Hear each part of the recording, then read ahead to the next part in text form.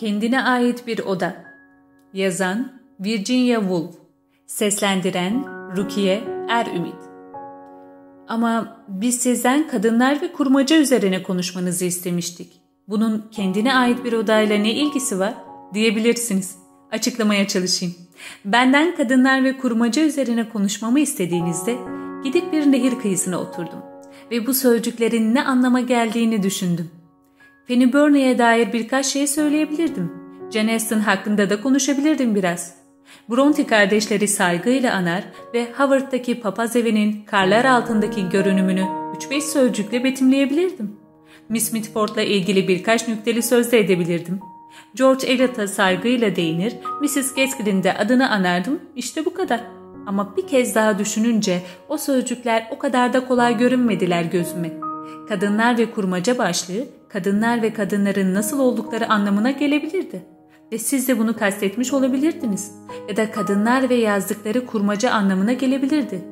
Kadınlar ve onlar hakkında yazılan kurmaca yapıtlar kastedilmiş olabilirdi ya da bu üçünün her nasılsa ayrılmaz biçimde iç içe geçmiş olduğu ve sizin de bunları bu gözle ele almamı istediğiniz anlamına da gelebilirdi. Ama ben konuyu bu sonuncu şekilde ele almaya başladığımda ki en ilgincinin o olduğunu düşündüm, çok geçmeden son derece önemli bir kusuru olduğunu fark ettim. Asla bir sonuca varamayabilirdim.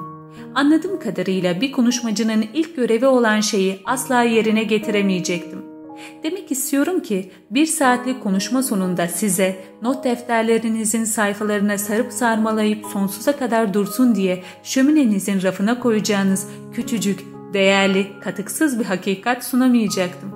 Sizlere ancak önemsiz sayılabilecek bir hususta bir fikir verebilirdim. Bir kadın eğer kurmaca yazacaksa parası ve kendine ait bir odası olmalıdır. Ve göreceğiniz gibi bu kadının gerçek doğasına ve kurmacanın gerçek doğasına dair büyük sorunu çözümsüz bırakmakta. Bu iki meseleyle ilgili bir karara varma görevinden kaçındım. Benim açımdan kadınlar ve kurmaca hala çözümü bulunmamış sorunlardır. Ancak bu eksikliği biraz olsun telafi etmek için oda ve para konusundaki bu fikre nasıl vardığımı göstermek üzere elimden geleni yapacağım.'' Böyle düşünmeye beni neyin sevk ettiğini sizin huzurunuzda olabildiğince eksiksiz ve serbestçe ele alacağım. Bu sözlerimin gerisinde yatan fikirleri, ön yargıları açıkça ortaya koyarsam onların hem kadınlarla hem de kurmacayla ilgisi olduğunu göreceksiniz. Ne olursa olsun eğer bir konu çok tartışmalıysa ki cinsiyetle ilgili her türlü mesele öyledir, hakikati söyleyemeyiz. Sadece hangi görüşe varmışsak ona nasıl vardığımızı belirtebiliriz.''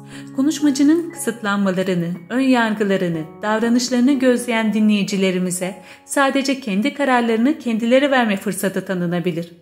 Bu noktada kurmaca büyük olasılıkla olgulardan daha fazla hakikat içerir.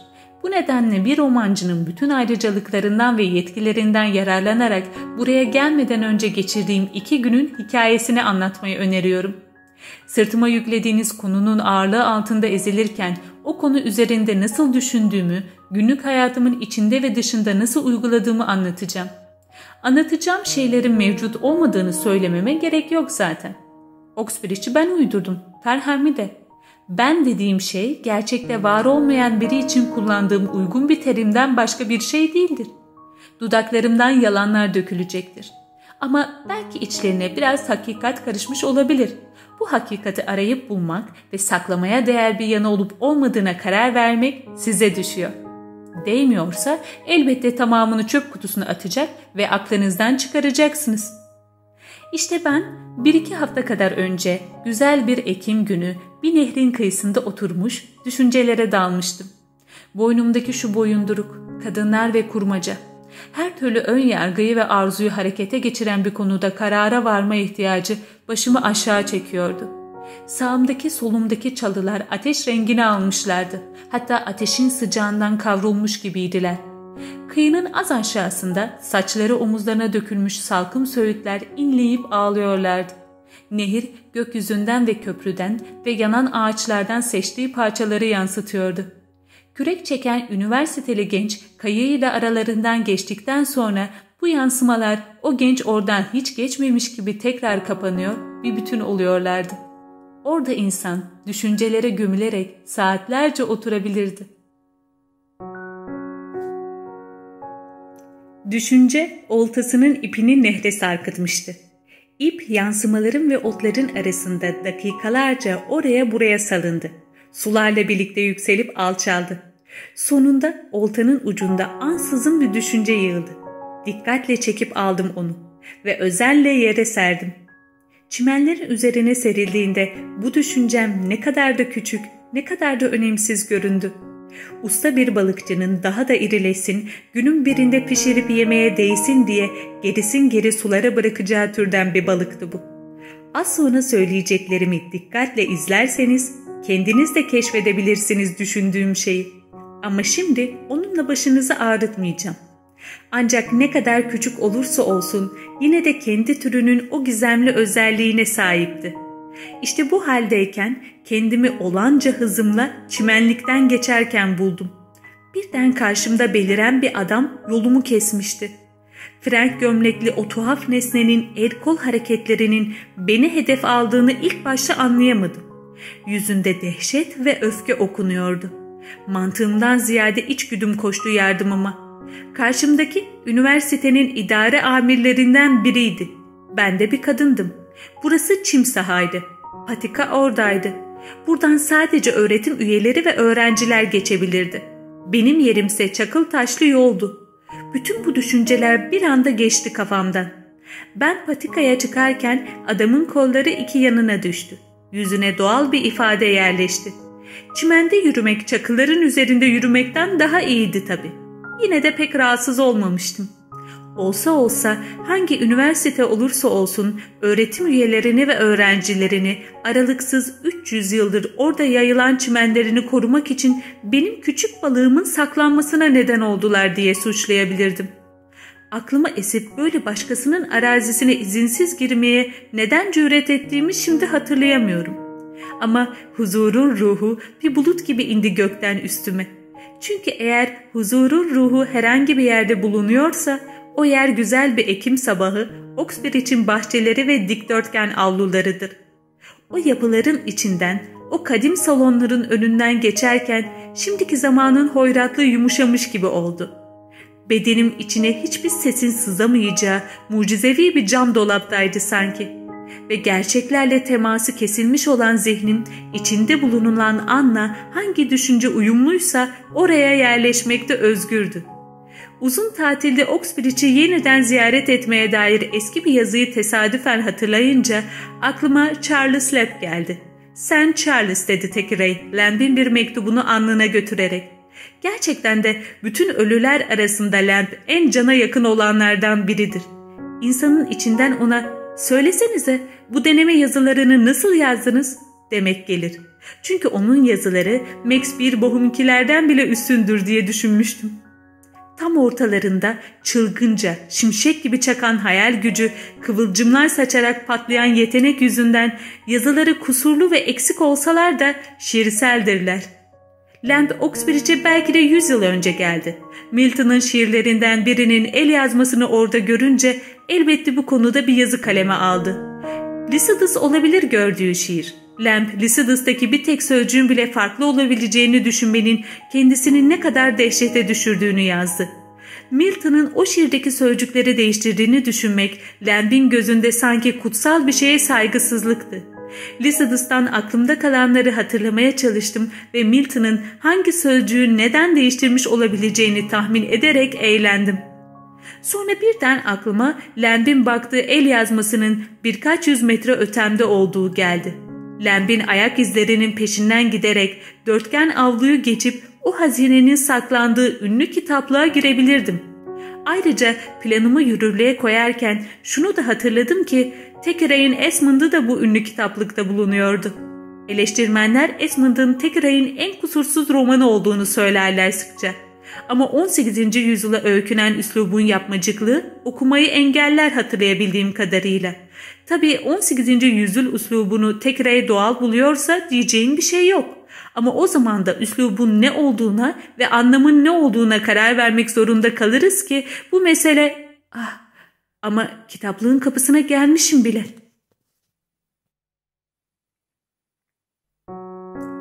Kapıyı açmış olmalıyım ki beyaz kanatları olmasa da uçuşan siyah cübbesiyle geçişimi engelleyen koruyucu bir melek gibi gümüş saçlı, nazik bir beyefendi dikildi karşıma. Ne yazık ki hanımefendilerin kitaplığa ancak üniversitenin öğretim üyelerinden birinin eşliğinde ya da ellerinde bir tavsiye mektubu varsa girebileceklerini söyledi alçak bir sesle. Ünlü bir kitaplığa bir kadının sövmesi ünlü bir kitaplığın umurunda bile olmaz. Saygın ve dingin bütün hazineleri bağrında sımsıkı kilitli halinden hoşnut bir şekilde uyumakta. Bana kalırsa uyuyabildiğince uyusun böyle. Öfke içinde merdivenlerden inerken bir daha asla orada ayak seslerim yankılanmayacak. Bana konuk severlik göstermesini bir daha asla istemeyeceğim diye yemin ettim. Öğle yemeğine daha bir saat vardı. Ne yapabilirdim bu arada? Çayırlarda mı gezinmeliydim? Nehir kıyısında mı oturmalıydım? Tatlı bir sonbahar sabahıydı. Kızıl yapraklar çırpınarak yere düşüyorlardı. Her iki tercihime de uyabilirdim. İkisi de kolaydı. Ama o sırada kulağıma müzik sesi geldi. Ya ayin yapılıyordu ya da bir kutlama. Şapelin kapısından girerken org muhteşem bir iniltiyle çalıyordu. Hristiyanlığın matemi bile o sakin havada matemden çok matem çağrışımı gibi geliyordu kulağa. Kadim orgun iniltileri bile huzura gömülmüştü sanki. Hakkım olsa da içeri girmek istemiyordu canım. Bu sefer de zangoç durdurabilirdi beni. Belki de vaftiz belgemi isterdi ya da dekandan bir tavsiye mektubu. Ne var ki bu görkemli yapıların dışları çoğunlukla en az içleri kadar güzeldir. Hem kalabalığın toplanmasını, içeri girip tekrar çıkmalarını, kovanın ağzında toplanmış arılar gibi şapelin kapısında oyalanmalarını seyretmek çok eğlenceliydi. Pek çoğu kep ve cübbe giymişti. Kimileri omuzlarına kürk almışlardı. Tekerlekli sandalyeyle getirilenler vardı. Orta yaşı geçmeyen bazılarının yüzleri kırışmış, bedenleri büzülüp öyle tuhaf şekiller almıştı ki insanın aklına akvaryumların tabanında kendilerini güçlükle kaldıran dev ıstakozları ve kerevitleri getiriyordu. Duvara yaslanmış dururken üniversite gözüme Strand Caddesi'nin kaldırımında yaşam savaşı vermek zorunda bırakılırlarsa çok geçmeden kullanılmaz hale gelecek nadir türlerin korunduğu bir barınak gibi göründü. Eski dekanların ve eski öğretim üyelerinin eski hikayeleri geldi aklıma. Ama cesaretimi toplayıp ıslık çalmama fırsat kalmadan saygıdeğer cemaat içeri girmişti bile. Şapelin dışı bana kaldı. Bilirsiniz şapelin yüksek kubbeleri ve kuleleri görülebiliyor. Geceleri ışıl ışıl, millerce uzaktan fark edilebilecek şekilde. Tepelerin öte tarafında çok uzaklarda durmaksızın yol alan ama asla limana varmayan bir gemi gibi. Tahmin ediyorum ki bir zamanlar düzgün çimenleri, devasa yapıları ve şapelin kendisiyle birlikte bu dörtgen avlunun bulunduğu yerde bataklıktı. Otlar dalgalanıyor, domuzlar burunlarıyla toprağa eşeliyorlardı herhalde. Uzak ülkelerden gelen vagonlar dolusu taşları arabalara koşulmuş atlarla öküzler buraya çekmiş olmalılar. Sonra da şimdi gölgesinde durduğum gri taş bloklar durup dinlenmeden birbiri üstüne düzgünce yerleştirilmiştir. Arkasından da ressamlar pencerelere takılacak camları getirmişlerdir. Duvarcılar yüzyıllar boyunca o çatıda macun ve çimentoyla, malalar ve kazmalarla çalışmışlardır her cumartesi biri o adamların kadim avuçlarına deri bir keseden altınlar ve gümüşler boşaltmış olmalılar ki onlar da akşam biralarını içebilsinler. Taşların gelmesini ve duvarcıların çalışmasını sağlamak için bu avluya sürekli altın ve gümüş akıtılmıştır diye düşündüm. Düzlensin ve çukur açılsın, kazılsın ve suyu çekilsin diye. Ama o zamanlar inat çağıydı. Bu taşları derin bir temele oturtmak için para bolca akıtılıyordu. Taşlar üst üste dikilince daha da fazla akıtmıştı krallar ve kraliçeler ve soylular kasalarından. Burada ilahiler söylensin ve alimler ders versin diye. Topraklar bağışlanmış ve toprak vergileri ödenmiştir. İnanç çağı sona erip de akıl çağı başladığında altınlar ve gümüşler aynı şekilde akmaya devam etmiştir. Öğretim üyelikleri kurulmuş, okutmanlıklar sağlanmıştır. Ancak altınlar ve gümüşler artık kralların sandıklarından değil, tüccarlarla fabrikatörlerin kasalarından akmıştır. Örneğin sanayide servet sahibi olan, mesleklerini öğrendikleri üniversiteye daha çok kürsü, daha çok öğretim üyeliği ve okutmanlık sağlamak üzere o servetten epeyce bir miktarını vasiyetlerine koyduran adamların cüzdanlarından akmıştır. Kitaplıklar ve laboratuvarlar böyle kurulmuştur. Gözlem evleri de. Yüzyıllar önce otların dalgalandığı ve domuzların yeri eşelediği yerde şimdi duran cam raflara dizili muhteşem, pahalı ve hassas araç gereç böyle sağlanmıştır. Kuşkusuz ben avluda dolaşırken altın ve gümüş temeller epeyce derinde görünüyordu. Yabani otların üzerindeki kaldırım sapa sağlam uzanıyordu. Başlarının üstünde tepsiler taşıyan adamlar merdivenden merdivene seyirtiyorlardı. Pencerelerdeki çiçekliklerde zevksiz çiçekler açmıştı. Binanın içindeki odalardan gramofonun tiz sesi zorlanarak yükseliyordu. Düşünmemek elde değildi ama her ne düşünüyorsam yarıda kesildi. Saat çaldı. Öğle yemeğine gitme zamanı gelmişti.'' Ne tuhaftır ki romancılar öğle yemeği davetlerinin söylenen nükteli bir söz ya da yapılan akıllıca bir şey yüzünden unutulmaz olduğuna ne yapıp edip inandırırlar bizi. Ancak neler yendiği hakkında tek kelime etmezler genellikle. Çorbadan, somon balığından ya da ördekten söz etmemek adettir romancılarda. Sanki çorba, somon ya da ördeğin hiçbir önemi yokmuş gibi. Sanki hiç kimse pro içmemiş ya da bir kadeh şaraba el sürmemiş gibi.'' Ama burada ben bu adete karşı çıkmak, bu yemeğin derin bir tabakta sunulan dil balığıyla başladığını, okulun aşçısının balığın üzerini bembeyaz kremayla kapladığını, kremanın üzerinde yer yer bir dişi geyiğin sarılarında olduğu gibi kahverengi benekler bulunduğunu anlatacağım.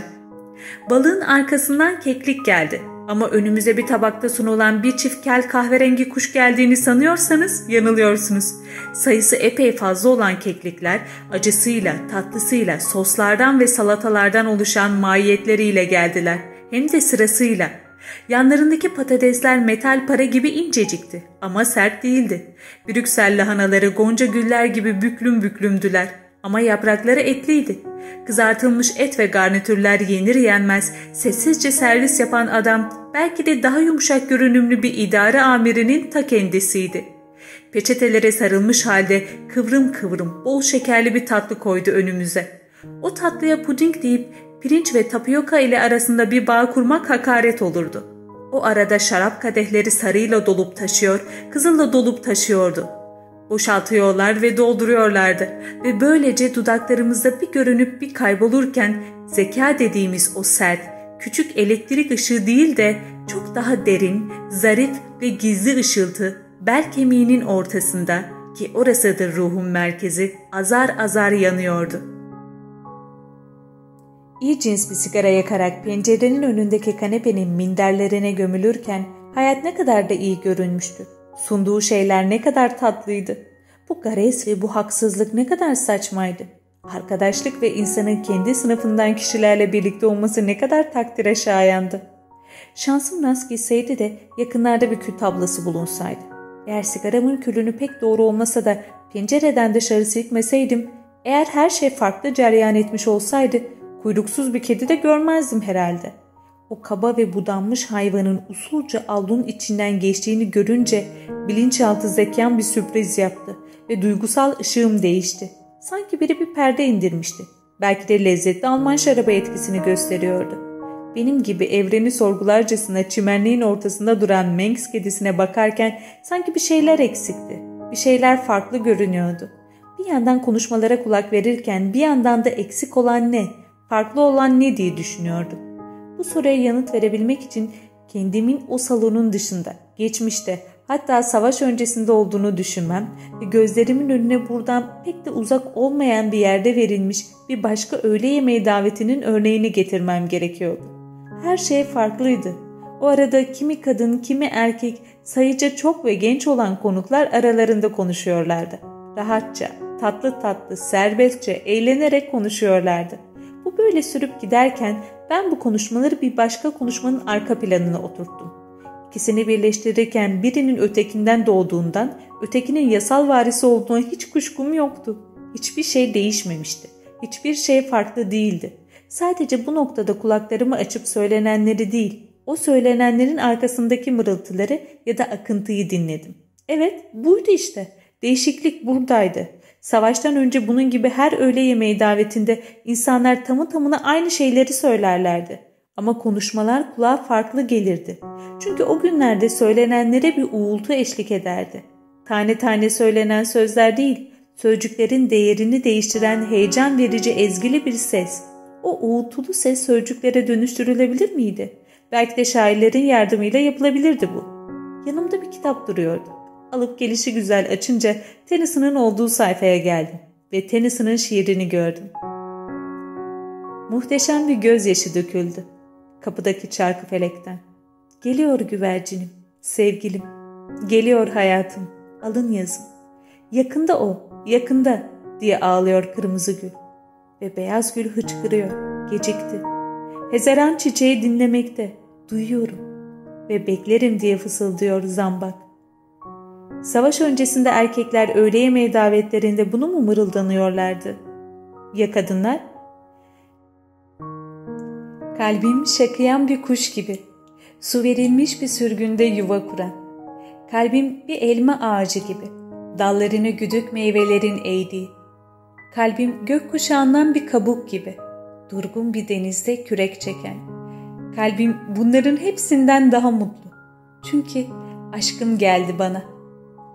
İnsanların savaş öncesinde böyle şeyleri öğle yemeği davetlerinde ağızlarının içinden bile olsa mırıldandıklarını düşünmek öylesine gülünç geldi ki bana. Neden güldüğümü de çimenliğin ortasında duran, gerçekten de garip görünen zavallı yaratık kuyruksuz Manx kedisini işaret ederek açıkladı. Kuyruksuz mu doğmuştu yoksa bir kazada mı kaybetmişti kuyruğunu? Men adasında birkaç tane bulunduğu söylense de kuyruksuz kedilerin sayısı sanıldığından da azdır. Acayip bir hayvandır. Güzel denemez. Daha çok ilginçtir. Kuyruk nasıl da fark ediyor Tanrım. Yemeğe katılanlar dağılırken ve herkes paltolarıyla şapkalarını ararken neler konuşulur bilirsiniz. Bu seferki yemek ev sahibi çok konuksever olduğundan ikindiye kadar sürmüştü. Güzelim Ekim günü soluyor ve ben geçerken bulvardaki ağaçların yaprakları dökülüyordu. Ardımdan kapılar nazikçe ama kesinlikle birer birer kapanır gibiydi.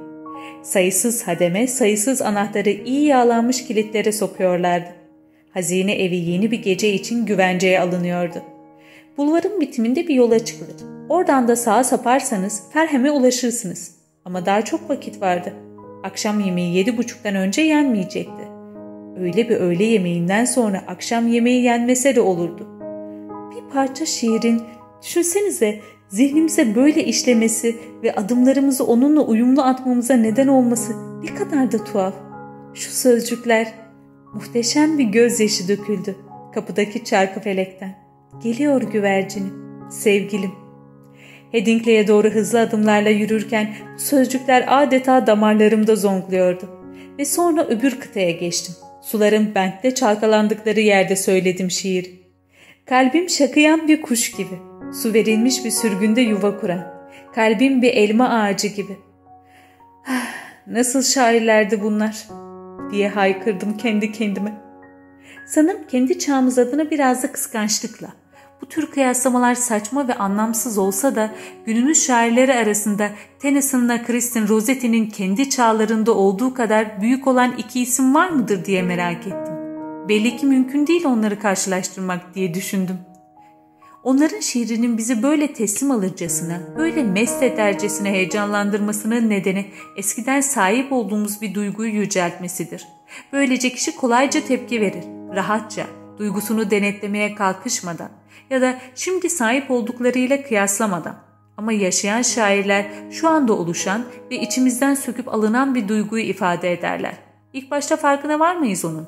Nedense çoğunlukla korkulur ondan. Dikkatle gözleriz ve kıskanarak kuşkulanarak bildiğimiz o eski duyguyla kıyaslarız. Modern şiirin güçlü buradan kaynaklanır ve bu güçlük yüzündendir ki günümüzün iyi şairlerinden birinin birbirini izleyen herhangi iki dizesinden daha fazlasını hatırlayamayız. Bu nedenle belleğimin bana yardımcı olmaması yüzünden malzeme yetersizleşti ve iddialarım yavanlaştı. Ama neden diye devam ettim Headingley'e doğru yürürken. Öğle yemeği davetlerinde ağzımızın içinden mırıllanmaktan neden vazgeçtik? Neden Alfred geliyor güvercinim, sevgilim diye şiir söylemeyi bıraktı? Neden Kristin kalbim bunların hepsinden daha mutlu, çünkü aşkım geldi bana diye yanıt vermekten vazgeçti. Suçu savaşa mı yükleyeceğiz? Ağustos 1914'te silahlar ateşlendiğinde kadınlar ve erkekler romantizmin öldüğünü birbirlerinin gözlerinde bu kadar mı açık gösterdiler? Krallarımızın yüzlerini top ateşinin aydınlığında görmek kesinlikle korkutucuydu. Ne kadar çirkin görünüyorlardı. Almanlar, İngilizler, Fransızlar ne kadar budala. Ama kabahat nerede, kimde olursa olsun aşklarının gelişini bu kadar tutkuyla şiire dökmeleri için Tennyson ve Christine Rossetti'yi esinlendiren hayal o günlerde olduğundan çok daha nadir şimdi. Sadece okumalı, bakmalı, dinlemeli ve hatırlamalıyız. Ama neden kabahat diyelim? Neden eğer hayali yıkan ve onun yerine hakikati koyan şey her ne idiyse felakete övgü düzmeyelim? İşte bu nokta hakikati ararken Ferham sapağını kaçırdığım yeri gösteriyor. Gerçekten de hangisi hakikatti, hangisi yanılsamaydı diye sordum kendime. Örneğin şu evlerin hakikati neydi? Alacakaranlıkta kırmızı pencereleriyle loş ve şenlikli. Sabahın dokuzundaysa tatlıları ve ayakkabı bağcıklarıyla soğuk, kırmızı ve bakımsız. Ya salkım söğütler ve ırmak ve ırmak boyunca uzanan bahçeler. Şu anda üzerlerine yayılan pusla bulanık ama güneş altında altın gibi ve kırmızı. Onların yanılsaması neydi? Oraya buraya dönen ve yön değiştiren düşüncelerimi anlatmıyorum size.'' Çünkü Hadley'e giderken bir sonuca varamadım. Sapacağım yeri kaçırdığımı çok geçmeden anlayıp geldiğim yoldan Ferham'a döndüğümü varsayın sadece. Bir Ekim günü olduğunu söylemiştim. Mevsimi değiştirip bahçe duvarlarının üzerinden sarkan leylakları, çiğdemleri ve ilkbaharın öbür çiçeklerini betimleyerek saygınızdan yoksun kalmayı ve kurmacanın saygınlığına leke sürmeyi göze alamam. Kurmaca olgulara bağlı kalmalıdır. Olgular ne kadar sahi ise Kurmaca da o kadar iyi olur. Bize böyle anlattılar. Bu nedenle mevsim hala sonbahardı. Yapraklar hala sararmıştı ve dökülüyorlardı. Olsa olsa daha da hızlanarak. Çünkü akşam olmuştu ve rüzgar çıkmıştı. Bütün bunlara rağmen tuhaf bir şeyler oluyordu sanki. Kalbim şakayan bir kuş gibi. Su verilmiş bir sürgünde yuva kuran. Kalbim bir elma ağacı gibi. Dallarını güdük meyvelerin eğdiği. Hayal gücümün böyle çıldırmasının sorumlusu kısmen Christine Rossetti'nin sözcükleri olabilirdi. Çünkü bunlar birer yanılsamadan başka bir şey değildi. Leylakların çiçeklerini bahçe duvarlarının üzerine dökmesi, kükürt renkli kelebeklerin şuraya buraya kaçışması, polen tozlarının havada uçması filan. Nereden geldiğini bilmediğim bir rüzgar esti. Körpe yaprakları havalandırdı. Havada birden gümüşsü bir grilik parladı. İki ışık arası zamandı renklerin yoğunluklarını yitirdiği ve morların ve altın sarısının heyecanla atan bir yürek gibi pencere camlarında zonkladığı zaman. Ne yazık ki dünyanın az sonra kaybolacak güzelliğinin iki ucu olduğu zamandı. Biri kahkaha, biri ızdırap. İnsanın yüreğini ikiye bölen. İlkbaharın alacakaranlığında Ferham'in bahçeleri önümde açılıyordu. Yabanıl ve geniştiler uzun otların arasına serpiştirilmiş, özensizce savrulmuş, belki en güzel havada bile düzenli değilken şimdi rüzgara kapılmış, köklerini koparırcasına çırpınan zerrinler ve çan çiçekleri gördüm. Binanın cömertçe kabaran kırmızı tuğlaların arasında gemi camları gibi kavislenen camlarının renkleri hızla kaçışan ilkbahar bulutlarının altında limon renginden gümüşe dönüştü. Hamakta biri vardı. Ama bu ışıkta herkes birer hayalet gibiydi. Kim olduklarını yarı tahmin ettiğim, yarı gördüğüm insanlar çimenlerin üzerinde koşuşuyorlardı. Ve sonra sanki hava almak, bahçeye bir göz atmak için dışarı fırlamış gibi kamburu çıkmış bir kadın geldi terasa. Heybetli ama mütevazıydı. Bu geniş alınlı, perişan kılıklı kadın o ünlü bilgin olabilir miydi? Evet, ta kendisiydi. Her yer loş ama aynı zamanda dolu doluydu. Alacakaranlığın bahçenin üzerine serdiği örtüyü bir yıldız ya da bir kılıç ortadan ikiye bölmüştü sanki. Heh, işte çorbam gelmişti. Akşam yemeği büyük yemek salonunda veriliyordu. İlkbahar bir yana aslında bir Ekim akşamıydı. Herkes büyük yemek salonunda toplanmıştı. Yemek hazırdı. Çorba gelmişti. Basit bir et suyu çorbasıydı. Çorbada insanın hayal gücünü harekete geçirecek hiçbir şey yoktu. Saydam sıvının arasından bakınca çorba tabağının üzerindeki bütün desenleri görebilirdiniz. Ama tabakta desen yoktu. Sade bir tabaktı. Çorbadan sonra sığır eti geldi. Yanında yeşillik ve patatesli. İnsan doğasının günlük gıdasından yakınmak için hiçbir neden yoktu. Çünkü önümüzdeki malzeme yeterliydi. Madenciler kuşkusuz daha azı için oturuyorlardı sofraya. Arkadan kremalı erik sunuldu. Kremayla yumuşatılmış olsa da kuru eriğin çok sert olmasından dolayı pintilerin yüreği gibi tel tel olduğundan ve 80 yıldır şarap ve sevgiden uzak duran ama yoksullara da bir şey vermeyen pintilerin damarlarında akacak türden bir sıvı salgılandığından yakınan çıkarsa kuru eriği bile sadaka sayan bulunduğunu düşünmek gerekir. Sonra kurabiye ve peynir geldi. Su sürahisi elden ele geçirildi. Çünkü kurabiyelerin doğasında kuru olmak vardır. Bu gelenler de tam birer kurabiyeydi. Hepsi buydu. Yemek sona ermişti. Herkes sandalyesini gıcırtatarak geriye itti. Sallanır kapılar sertçe açılıp kapandı.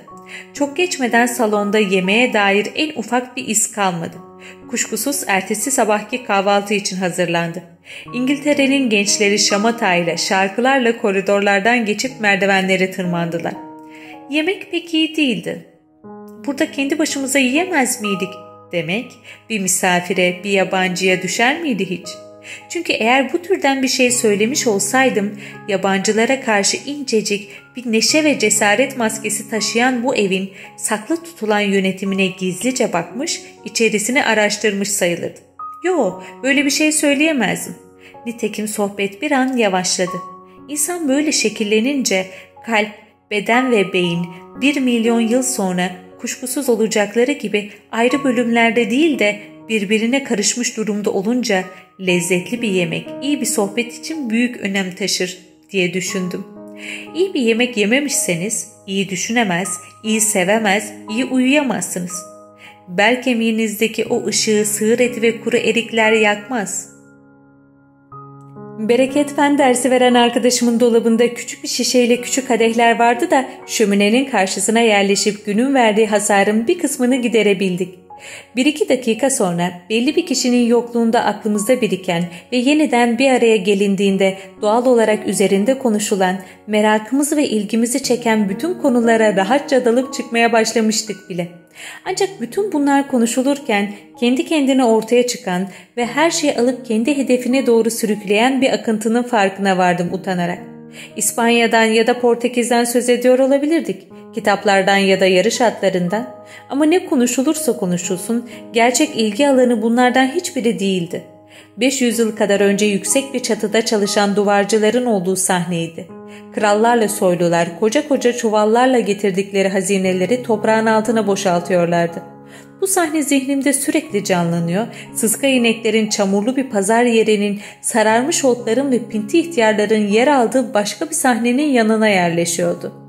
Bu iki tablo ne kadar birbirinden uzak, ayrı ve önemsiz olsa da bir araya gelmeye ve birbiriyle çatışmaya devam ediyorlardı. Beni ellerine geçirmişlerdi. Bütün sohbetimizin bozulmasını istemiyorsam yapacağım en iyi şey aklımda ne varsa sözcüklere dökmekti. Şansım rast giderse hepsi silinip gider. Windsor şatosunda açılan mezarda bulunan ölü kralın başı gibi ufalanıp dağılırdı. Şapelin çatısında yıllarca çalışan duvarcıları kısaca anlattım. Sırtlarında getirdikleri çuval çuval altını ve gümüşü toprağa boşaltan kralları ve kraliçeleri ve soyluları da. Sonra günümüz finans dünyasının kodomanlarının gelip ötekilerin altın külçelerini ve işlenmemiş topak topak altınları bıraktıkları yerlere çekleriyle senetlerini nasıl koyduklarını anlattım. Bütün bunlar oradaki üniversite binalarının altına gömülü dedim. Ama şimdi bulunduğumuz bu fakültenin altında onun gösterişli kırmızı kiremitlerinin ve bahçesindeki vahşi bakımsız otların altında neler var? Yemek yediğimiz sade porselen tabakların, sığır etinin, kremanın ve kuru eriklerin altında hangi güç gizli? Bak dedi Mary Seton. 1860 dolaylarında ve şunları söyledi. Odalar kiraya verilirdi. Komiteler toplanırdı. Zarflara adresler yazılırdı. El ilanları hazırlanırdı. Toplantılar yapılırdı. Mektuplar okunurdu. Filanca kişi şu kadar vaat etmiş. Tam tersine şu kişi tek kuruş vermeyecek. Büroların kirasını ödeyecek parayı nasıl toplayacağız? Kermes mi yapsak? En ön sıraya oturtacağımız güzel bir kız bulamaz mıyız? 60 yıl kadar önce sanırım böyle yapılırdı bu işler. Muazzam bir çaba gösterilirdi. Büyük zaman harcanırdı. 30 bin pound ancak uzun mücadelelerden, büyük güçlüklerden sonra sağlanabilirdi. Görülüyor ki şarabımız, kekliklerimiz ve başlarının üzerinde kalaylı tepsiler taşıyan uşaklarımız olamayacak dedi. Sedirlerimiz ve ayrı salonlarımızda. Bir kitaptan alıntı yaparak hayatın keyifli yanlarının beklemesi gerek dedi. En az 30 bin pound talep etmemiz söylendi bize.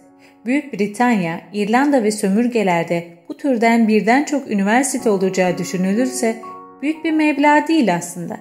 Üstelik erkek okulları için büyük paraların ne kadar kolayca toplandığı da unutulmamalı.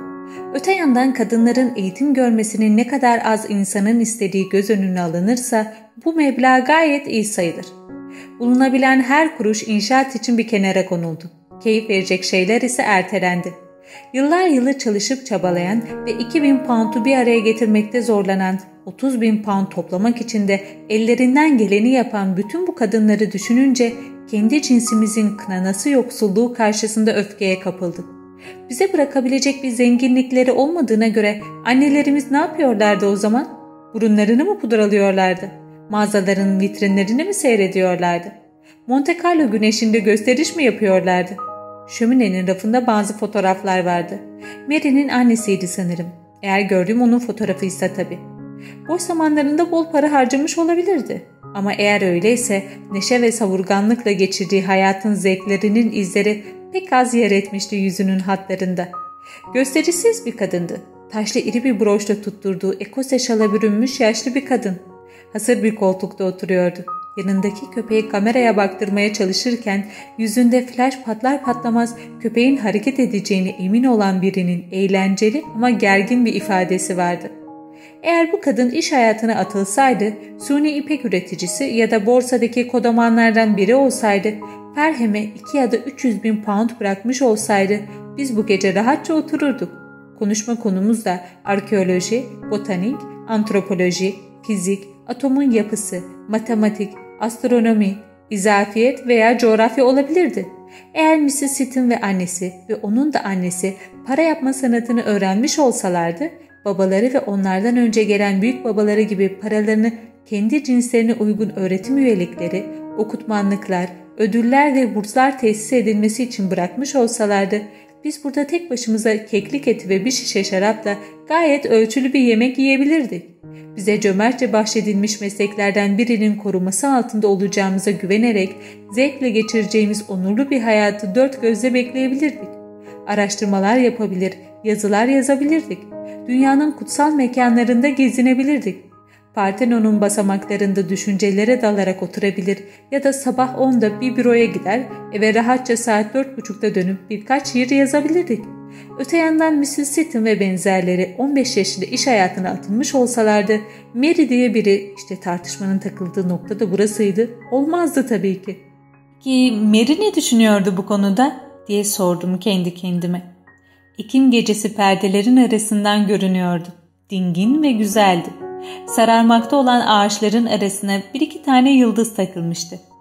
Ferhem'e kalemin bir hareketiyle 50 bin pound filan bağışlansın diye Mary kendi payına düşenden ve bıkıp usanmadan güzel havasını, pastalarının lezzetini övdüğü İskoçya'daki oyunlara ve çekişmelere dair anılarından vazgeçmeye hazır mıydı? Kendini bir okula vakfetmek aileler üzerinde bir kısıtlama getirecekti çünkü. Hem servet yapmak hem de 13 çocuk doğurmak. Tanrı'nın hiçbir kulu dayanamazdı buna. Gerçekleri dikkatle ele alalım dedik. Önce bebeğin doğumuna kadar 9 ay olduğunu düşünelim. Sonra bebek doğar. Arkasından bebeği emzirmekle geçecek 3-4 ay. Bebek beslendikten sonra onunla oynayarak en az 5 yıl geçirilir. Görünüşe göre çocukları oynasınlar diye sokağa bırakamazsınız. Rusya'da çocukların sokakta başıboş koşuştuklarını görenler bunun göze hiç de hoş görünmediğini söylüyorlar. Ayrıca insanın mizacının bir yaşla beş yaş arasında biçimlendiği de söyleniyor. Eğer Mrs. Sitton para kazanıyor olsaydı dedim, oyunlarla, çekişmelerle ilgili ne tür anıların olurdu? İskoçya'nın güzel havasının, pastalarının filan ne kadarını bilirdin? Ama bu soruları sormanın bir yararı yok. Çünkü sen zaten doğmamış olurdun Mary. Ayrıca Mrs. Sitton ve annesi ve onun da annesi büyük servet sahibi olsalardı ve bu serveti üniversitenin ve kitaplığın temellerine koysalardı neler olurdu diye sormanın da yararı yok. Çünkü bir kere para kazanmaları olanaksızdı. İkinci olarak da mümkün olsaydı bile yasalar onlara kazandıkları parayı kendilerinde tutma hakkı vermiyordu. Mrs. Sitton ancak son 48 yılda kendine ait bir paraya sahip olabildi. Daha önceki yüzyılların tamamında her şey kocasının mülkiyetindeydi. Belki de bu düşüncenin Mrs. Sitton'la annesinin ve onun da annesinin borsadan uzak durmalarında payı olmuş olabilir. Kazandığım her kuruş elimden alınacak ve kocam nasıl isterse öyle harcanacak. Belki de Kings'e bir burs verilmesine ya da öğretmenlik kadrosu kurulmasına harcanacak. Demek ki para kazanmak, kazanabiliyor olsam bile benim pek de ilgimi çeken bir husus değil. En iyisi kocam uğraşsın bununla diyebilirlerdi. Her ne olursa olsun kabahat tablodaki köpeğe bakan hanımefendi de olsa da olmasa da şu ya da bu nedenle annelerimizin meselelerini son derece kötü yönettiklerine kuşku yok. Hoş şeyler için keklik ve şarap, hademeler ve çimenlik, kitaplar ve prolar, kitaplıklar ve keyif için tek bir kuruş bile ayrılamamış. Ellerinden ancak kuru topraktan çıplak duvarlar yükseltmek gelmiş. Camın önünde ayakta durup her gece binlerce kişinin baktığı gibi biz de altımızdaki ünlü kentin kubbelerine ve kulelerine bakarak konuştuk. Sonbaharın ay ışığında çok güzel, çok gizemli duruyordu kent. Eski taşlar bembeyaz ve kutsal görünüyorlardı.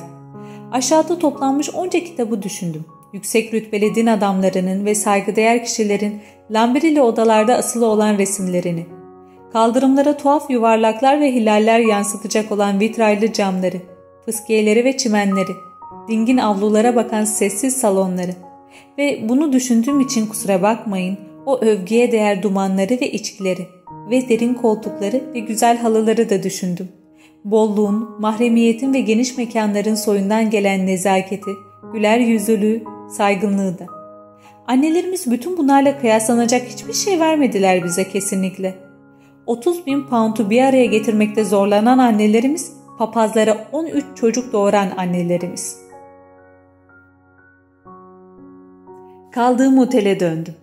Karanlık sokaklarda yürürken akşam işi biten herkesin yaptığı gibi şunun bunun üzerinde düşündüm. Mrs. Sitton'ın neden bize bırakacak parası olmadı diye düşündüm. Yoksulluğun insanın aklını nasıl etkilediğini, servetin aklımızı nasıl etkilediğini, o sabah gördüğüm omuzları kürklü o tuhaf yaşlı beyefendileri, biri ıslık çalınca onların nasıl koştuğunu hatırladım. Şapelde gümbürdeyen orgu, kitaplığın kapalı kapılarını düşündüm. Kilitli kapıların dışında kalmanın ne kadar tatsız olduğunu düşündüm. Belki içeride kilitli kalmanın daha da kötü olacağını düşündüm. Bir cins güvencede ve varlık içindeyken karşı cinsin yoksulluk ve güvensizlik içinde olduğunu, geleneklerin ve geleneksizliğin bir yazarın zihnindeki etkisini düşündüm. Sonunda tartışmaları ve izlenimleriyle, öfkesi ve kahkahalarıyla birlikte günün kırışmış kabuğunu dürüp çalılığa atmanın zamanının geldiğini düşündüm. Gökyüzünün mavi boşluğunda binlerce yıldız göz kırpıyordu. Gizemli bir toplulukla baş başa gibiydim. Bütün insanlar uykudaydı. Yüzü koyun, yatay ve dilsiz. Oxbridge'in sokaklarında kimseler görünmüyordu. Otelin kapısı bile görünmez bir elin dokunuşuyla açılıverdi. Vakit o kadar geçti ki odama kadar bana ışık tutacak tek bir görevli bile yoktu ortalıkta. Şimdi beni izleyin lütfen. Çünkü sahnemiz tamamen farklıydı. Yapraklar hala dökülüyordu. Ama artık Londra'daydık, Oxbridge'de değil. Gözlerinizin önüne binlerce benzeri olan bir oda getirmenizi istiyorum. Penceresinden bakınca insanların şapkalarının, kamyonetlerin, otomobillerin arasından başka pencereleri görüyorsunuz. Odadaki bir masanın üzerinde boş bir kağıt duruyor. Üzerinde büyük harflerle kadınlar ve kurmaca yazıyor o kadar. Oxbridge'de yenen öğlen ve akşam yemeklerinin kaçınılmaz devamı ne yazık ki British Museum'a yapılacak bir ziyaret gibi görünüyor. Bütün bu izlenimlerin içinde kişisel ve tesadüfe olan ne varsa silkip atmalı ve saf sıvıya, hakikatin esas yağına böyle ulaşmalıyız. Çünkü Oxbridge'e yaptığım o ziyaret O öğle ve akşam yemekleri peş peşe gelen soruları tetiklemişti. Neden erkekler şarap içerken kadınlar su içiyorlardı? Cinslerden biri o kadar varlıklıyken öbürü neden yoksuldu? Yoksulluğun kurmaca üzerinde nasıl bir etkisi vardı? Sanat eserleri yaratmanın koşulları nelerdi? Bir anda binlerce soru dikildi karşıma. Ama benim sorulara değil, yanıtlara ihtiyacım vardı. Yanıtı da ancak bilgili ve ön yargısız kişilere danışarak elde edebilirdim. Dil anlaşmazlıklarının ve beden karmaşasının dışına çıkmış ve muhakemelerinin ve araştırmalarının sonuçlarını British Museum'da bulabileceğim kitaplara dökmüş kişilere. Eğer hakikat British Museum'un raflarında bulunmayacaksa nerede bulunacak diye sordum kendi kendime elime bir defterle kalem alırken. Elimde bunlarla kendimden emin olarak araştırmaya hazır durumda hakikatin peşine düştüm. Yağmurlu olmasa da kasvetli bir gündü. Müzenin yakınındaki sokaklarda kömür kapakları açık duruyordu. Açık deliklerden içeri çuvallar dolusu kömür boşaltılıyordu. Dört tekerlekli arabalar kaldırıma yanaşıp içinde servet ya da sığınacak yer ya da gözlerine kestirdikleri başka bir şey peşinde olan ve bunları kışın Bloomsbury'deki pansiyonlarda bulabilecek bir İsviçreli ya da İtalyan ailenin bütün giyeceklerinin bulunduğunu tahmin ettiğim iple bağlanmış sandıklar indiriyorlardı. Her zamanki boğuk sesli adamlar el arabalarına yükledikleri bitkilerle sokaklarda dolaşıyorlardı. Kimi bağırıyordu, kimileri de şarkı söylüyordu. Londra bir atölye gibiydi. Londra bir makine gibiydi. Bir desen oluşsun diye hepimiz bu düzgün zeminde bir ileri bir geri fırlatılıyorduk. British Museum bu fabrikanın bir başka bölümüydü. Açılır kapanır kapılar açıldılar. Devasa kubbenin altında durdum. Üzerinde ünlü kişilerin adları yazılı bir bantın muhteşem bir biçimde çerçevelediği kocaman çıplak alnın içindeki bir düşünceydim sanki. Başvuru masasına gittim. Küçük bir kağıt aldım. Kataloglardan birini açtım. Ve 5 dakika boyunca şaşkınlıkla baktım. Bir yıl içinde kadınlara dair kaç kitap yazıldığı hakkında bir fikriniz var mı? Bunlardan kaçının erkekler tarafından yazıldığı hakkında? Evrende en çok tartışılan hayvan olduğunuzun farkında mısınız? Ben buraya elimde defter ve kalemimle geldiğimde bir sabah okuyarak geçireceğimi, öğlene kadar hakikati defterime kaydetmiş olacağımı varsayarak gelmiştim. Ama bütün bunlarla baş edebilmek için bir fil sürüsü olmam gerektiği düşündüm. Öbek öbek örümcek olmalıydım. Yaşam süreleri en uzun sayılan hayvanlarla çok sayıda gözü olan hayvanları aklıma getirerek salt kabuğu delebilmem için çelikten pençelerim olmalıydı. Bunca kağıdın içine gömülü hakikat zerrelerini nasıl bulacağım diye sordum kendi kendime. Gözlerimi çaresizlik içinde kitap adlarının yer aldığı upuzun listelerde gezdirdim. Kitapların adlarını bile düşünmem için malzeme gerekiyordu bana. Cinsiyet ve doğası doktorlara ve biyologlara cazip gelebilirdi. Ama şaşırtıcı ve açıklaması güç olan cinsiyetin yani kadınların aynı zamanda sevimli deneme yazarlarına, çala kalem yazanlara, lisansüstü eğitim almış genç adamlara, eğitimsiz erkeklere, kadın olmamaları dışında görünürde hiçbir niteliği olmayan erkeklere de çekici gelmesiydi. Bu kitaplardan bazıları görünüşte saçma sapan ve ciddiyetten uzaktı ama çoğu da ciddi kehanetle dolu, ahlaki ve öğüt vericiydi. Sırf başlıklarını okumak bile sahneye ve kürsüye çıkıp genellikle bu tür konuşmalara tanınan zamanı epeyce aşarak konu hakkında nutuk atan sayısız okul müdürünü, sayısız din adamını getiriyordu akla. Çok garip bir olaydı bu ve anladığıma göre bu noktada E harfine başvurduk. Erkek cinsine tahsis edilmişti. Kadınlar erkekler hakkında kitap yazmıyorlar. Bu gerçek elimde olmadan içimi ferahlattı. Çünkü önce erkeklerin kadınlar hakkında yazdıklarını, sonra da kadınların erkekler hakkında yazdıklarını okuyacak olsaydım, ben kalemimi kağıda değdirene kadar yüz yılda bir çiçek açan sarı sabır iki kez çiçek açmış olurdu. Böylece 10-12 kadar kitabı tamamen gelişi güzel seçerek küçük kağıtlarımı tel tepsiye bıraktım. Hakikatin esas yağını arayan öteki insanların arasında bekledim. Bu garip eşitsizliğin nedeni ne olabilirdi acaba? Britanyalı vergi mükelleflerinin başka amaçlar için sağladıkları küçük kağıtlara araba tekerlekleri çizerken bunu düşünüyordum. Bu kataloglardan gördüğüm kadarıyla neden erkekler kadınlara değil de kadınlar erkeklere çok daha ilginç geliyordu? Çok garip bir olguydu bu bana kalırsa. kadınlar hakkında kitaplar yazarak ömür geçiren erkeklerin hayatlarını gözümde canlandırmaya çalıştım. Yaşlı mı, genç miydiler? Evli mi, bekar mı? Kırmızı burunlu mu, kamburu çıkmış mı?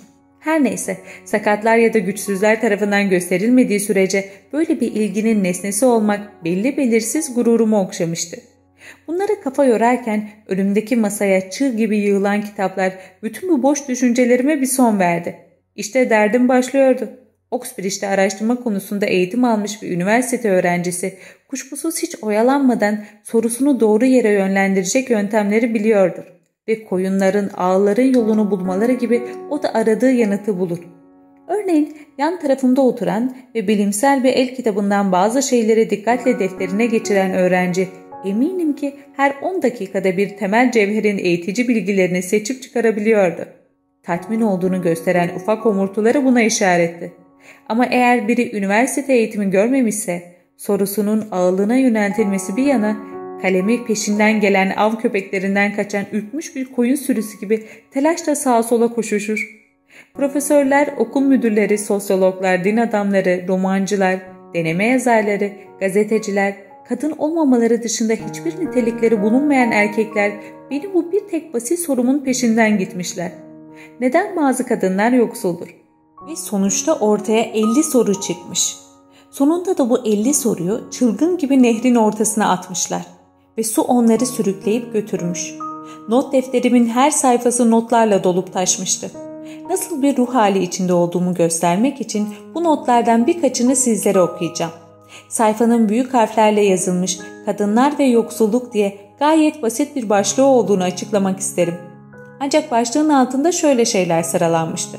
Orta çağdaki durumları, Fiji adalarındaki adetler, tanrıça olarak kabul edilenler, ahlaki anlamda daha zayıf olanlar, idealizm, daha büyük vicdan sahibi olmak, büyük okyanustaki adalarda yaşayanlarda ergenlik çağı, çekicilik, kurban edilenler, küçük beyin, daha derin bilinçaltı, bedenlerinde daha az tüyü olanlar, zihinsel, ahlaki ve bedensel aşağılık, çocuk sevgisi, daha uzun yaşam süresi, daha güçsüz kaslar, güçlü sevgi, kibir, yüksek öğrenim, Shakespeare'in görüşü, Labuer'in görüşü, Doktor John'un görüşü, Mr. Oscar Browning'in görüşü. Burada bir soluk alıp sayfanın kenarına Samuel Butler neden akıllı erkekler kadınlar hakkında ne düşündüklerini asla söylemezler diyor diye not eklemişim. Belli ki akıllı adamlar asla başka bir şey de söylemiyorlar. Ama diye devam ettim arkama yaslanıp. İçinde bir tek fikir olarak ama artık bezginleşmiş bir fikir olarak bulunduğum devasa kubbeye bakarak asıl talihsizlik akıllı erkeklerin kadınlar hakkında asla aynı şeyleri düşünmemeleri dedi. Pop şöyle demiş. Çoğu kadın kişiliksizdir. Labuer, kadınlar uçlardadır. Erkeklerden ya daha iyi ya da daha kötüdürler. Birbiriyle çağdaş olan iki keskin gözlemcinin tamı tamına zıt fikirleri. Eğitim alacak yetenekli mi kadınlar, değiller mi? Ruhları var mı yoksa yok mu? Bazı vahşiler olmadığını söylüyorlar. Ama bazıları da tam tersine kadınların yarı kutsal olduklarını söyleyip bu nedenle onlara tapıyorlar. Hikmet sahibi bazı kişiler kadınların beyinlerinin sığ olduğunu söylüyorlar. Kimileri ise bilinçlerinin daha derin olduğunu. Göte kadınları el üstünde tutardı. Mussolini ise nefret ederdi. Nereye baksanız erkeklerin kadınlar hakkında düşündüğünü görürsünüz ve hepsi de farklı düşünürler. Bütün bunları anlamanın mümkün olmadığına karar verdim yanımdaki okura imrenerek bakarken. Güzel güzel özet çıkarıyor, bunları A, B ya da C diye başlıklar altında topluyordu. Benim defterimse birbiriyle çelişen notlara ait çılgın karalamaların cümbüş yeri gibiydi. Üzücüydü, şaşırtıcıydı, küçültücüydü. Hakikat parmaklarımın arasından kayıp gitmişti. Her bir damlası kaçıp gitmişti. Erkekler kadınların kendilerinden üstün olduğunu bilirler.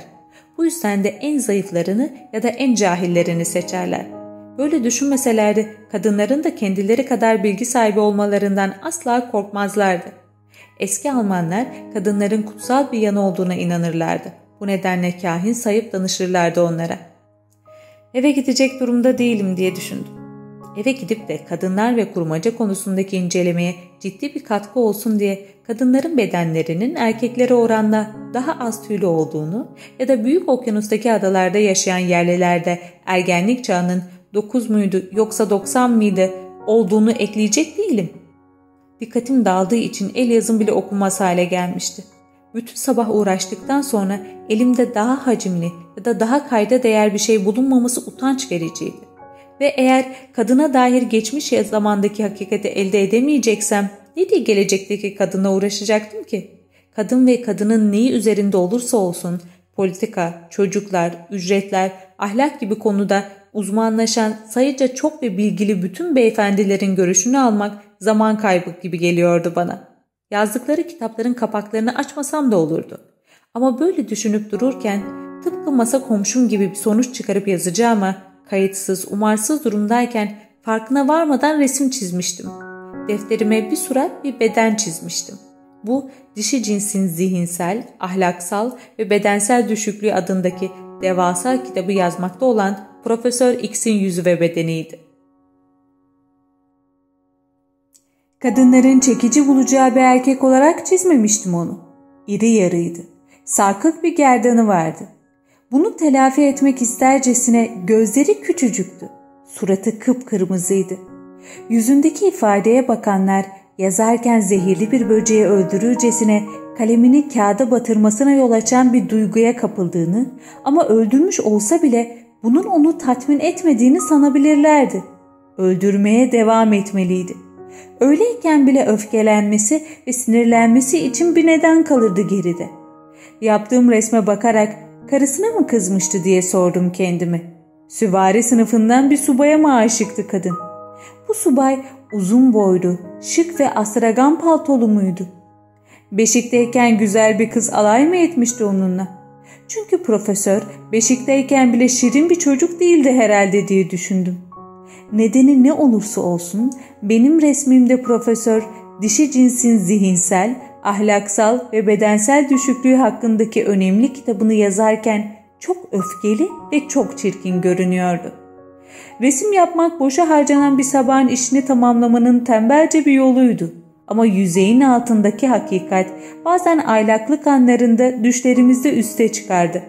Not defterime göz atınca basit bir psikolojik akıl yürütme öfkeli profesörün resminin öfke içinde yapılmış olduğunu gösterdi bana.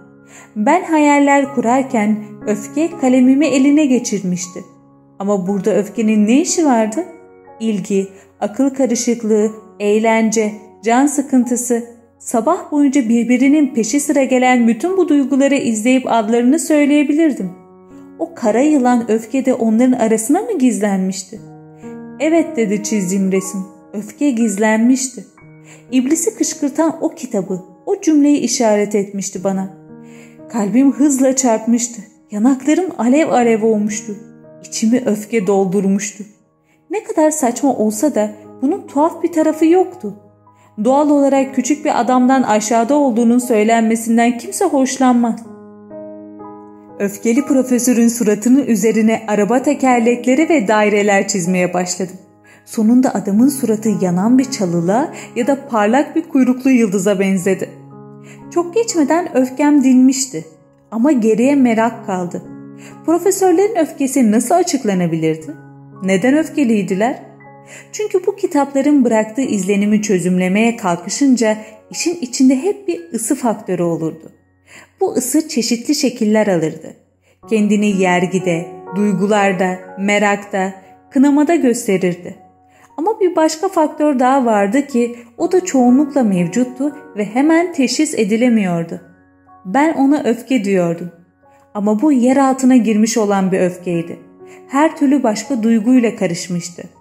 Tuhaf etkilere bakarsak kılık değiştirmiş ve karmaşık bir öfkeydi bu. Basit ve açık bir öfke değil. Neden ne olursa olsun masamın üzerindeki kitapları gözden geçirdiğimde hiçbirinin benim amacıma uygun olmadığını düşündüm. Bilimsel açıdan değersizdiler. Demek istiyorum ki insani açıdan talimatlarla, merakla, can sıkıntısıyla doluydular. Fiji adasında yaşayanların adetleriyle ilgili garip gerçekler de vardı. Duyguların kızıl ışığında yazılmışlardı. Gerçeğin beyaz ışığında değil. Bu nedenle kütüphanecinin masasına geri götürülmeli ve o devasa arı kovanında her biri kendi hücresine konulmalıydı. O sabahki çalışmamdan elime geçen tek şey öfkeyle ilgili gerçekten başka bir şey değildi. Profesörler öfkeliydiler ama neden diye sordum kendime. Kitapları iade ettikten sonra neden diye yineledim. Güvercinlerin ve tarih öncesi kanoların arasında sütunların altında dururken neden öfkeliler? Kendime bunu sorduktan sonra öğle yemeği yiyebileceğim bir yer bulmak üzere bir süre yürüdüm. Şimdi onların öfkesi diye nitelediğim şey aslında nedir diye sordum. British Museum yakınlarında küçük bir lokantada yemeğim gelene kadar bu zamanı dolduracak bir bilmeceydi bu. Benden önce orada yemek yiyen biri akşam gazetesinin erken baskısını sandalyenin üzerinde bırakmıştı. Garsonun gelmesini beklerken başlıklara göz atıyordum. İri harflerle yazılmış bir başlık sayfanın bir yanından ötekine uzanmıştı. Biri Güney Afrika'da büyük sayı yapmıştı. Daha küçük başlıklarla Sir Aston Chamberlain'in Cenevre'de olduğu duyuruluyordu. Üzerinde insan saçı olan bir kasap bıçağı bir bodrumda bulunmuştu. Sayın Yargıç boşanma mahkemesinde kadınların utanmazlığından söz etmişti. Gazetenin orasına burasına başka haberler serpiştirilmişti. Bir film yıldızı Kaliforniya'da bir tepeden sarkıtılmıştı. Havada asılı duruyordu. Hava sisli olacaktı. Gezegenimizde çok kısa kalan ve bu gazeteye eline alan bir konuk bile bu dağınık ifadelere bakarak İngiltere'de ataerkil bir yönetim olduğunu anlardı diye düşündüm. Aklı başında olan herkes profesörün üstünlüğünü anlardı. Güç de para da ondaydı. Gazetenin hem sahibiydi hem yazı işleri müdürü hem de onun yardımcısı. Hem dışişleri bakanıydı hem yargıç. Kriket oyuncusuydu. Yarış atları da onundu. Yatlar da. Hissedarlarına %200 kar payı dağıtan şirketin müdürüydü. Kendisinin yönettiği vakıflara ve üniversitelere milyonlar bırakıyordu. Film yıldızını havada asılı tutuyordu.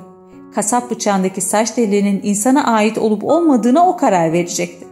Katili beraat ettirecek de oydu, mahkum edecek de. Asacak da oydu, özgür bırakacak da. Sis dışında her şey onun kontrolündeydi. Yine de öfkeliydi. Öfkeli olduğunu biliyordum. Kadınlar hakkında yazdıklarını okuduğumda sözlerini değil de kendisini düşündüm. Bir tartışmacı serin kanlılıkla tartışıyorsa eğer aklında sadece o konu vardır. O konuyu düşünür. Kadınlar hakkında serin kanlılıkla yazmış olsaydı, tezini savunmak için çürütülmesi olanaksız kanıtlar sunsaydı ve sonucunun şu mu bu mu olmasını arzuladığını hiç belli etmeseydi biz de hiç öfkelenmezdik. Gerçeği kabul ederdik. Tıpkı bezelyenin yeşil, kanaryanın sarı olduğunu kabul ettiğimiz gibi. Ben de tamam öyle hissederdim. Ama o öfkeli olduğu için ben de öfkelendim. Yine de çok garip diye düşündüm akşam gazetesinin sayfasını çevirirken. Bu kadar güce sahip bir erkeğin böyle öfkeli olması çok garip. Yoksa öfke her nasıl oluyorsa güce eşlik eden o bildik hayalet miydi? Örneğin zenginler çoğunlukla öfkelidirler. Çünkü yoksulların onların servetine göz diktiğinden kuşkulanırlar. Profesörler ya da belki yaşlı ve saygın kişiler demem daha uygun olur. Kısmen bu neden yüzünden öfkeleniyor olabilirler. Ya da fazla dikkat çekmeden yüzeyde yer alan bir başka neden yüzünden. Büyük olasılıkla hiç de öfkeli değillerdi. Gerçekten de sıklıkla özel yaşamlarındaki ilişkilerinde sadıktılar. Örnek gösterilirlerdi. Eğer profesör kadınların üstün konumda olmadıklarını biraz fazla vurguladıysa büyük olasılıkla kadınların üstün olmadıklarını değil kendi üstünlüğünü düşünüyordu. Bir hayli hiddetlenerek ve epeyce vurgulayarak koruduğu da buydu. Çünkü sahip olduğu şey onun gözünde nadide bir mücevherdi. Hayat her iki cins içinde oldukça zor ve sürekli bir mücadeleydi. Büyük cesaret ve güç gerektiriyordu. Belki de hepsinden önce yanılsamaya eğilimli yaratıklar olduğumuz düşünülürse insanın kendine güveni olmasını gerektiriyordu. Kendimize güvenimiz olmazsa beşikteki bebekler gibi oluruz. Ölçülemeyen ama pek değerli olan bu niteliği el çabukluğuyla nasıl oluşturabiliriz? Başkalarının bizden daha aşağıda olduğunu düşünerek. Başkalarına karşı doğuştan gelen bir üstünlüğe sahip olduğumuzu hissederek. Çünkü insanın imgelemindeki etkileyici araçların sınırı yoktur. Bu bakımdan fethetmek, hükmetmek zorunda olan saygıdeğer bir büyük için çok sayıda insanın hatta insan ırkının yarısının doğal olarak kendisinden aşağıda olduğunu hissetmek çok önemlidir. Sahip olduğu gücün ana kaynaklarından biri gerçekten budur herhalde. Şimdi de bu gözlemin ışığını gerçek hayata çevireyim diye düşündüm. Gündelik hayatın kıyısında not aldığımız bu psikolojik bulmacaların bazılarını açıklamanın yararı olur mu? Geçen gün çok insancıl, erkeklerin en alçak gönüllüsü olan Z, eline Rebecca West'in bir kitabını alıp bir paragraf okuyunca rezil feminist. Erkeklerin kendini beğenmiş olduğunu söylüyor diye bağırdığında düştüğüm şaşkınlığı açıklar mı? Beni çok şaşırtan, karşı cins hakkında kaba olsa da büyük olasılıkla gerçek olan bir ifadede bulundu diye Miss West neden rezil bir feminist olsun ki? Bu haykırış sadece yaralı bir kibrin çığlığı değildi. O adamın kendine inanma gücünün uğradığı saldırıya karşı bir protestoydu. West, liberal ve feminist görüşleriyle tanınıyordu. Bütün bu yüzyıllar boyunca kadınlar erkeği olduğundan iki kat büyük gösteren bir ayna görevi gördüler. Büyülü bir aynaydı bu ve müthiş bir yansıtma gücü vardı. Böyle bir güç olmasaydı dünya hala bataklık ve balta girmemiş ormanlardan ibaret olurdu. Savaşlarda zafer kazanıldığı duyulmazdı.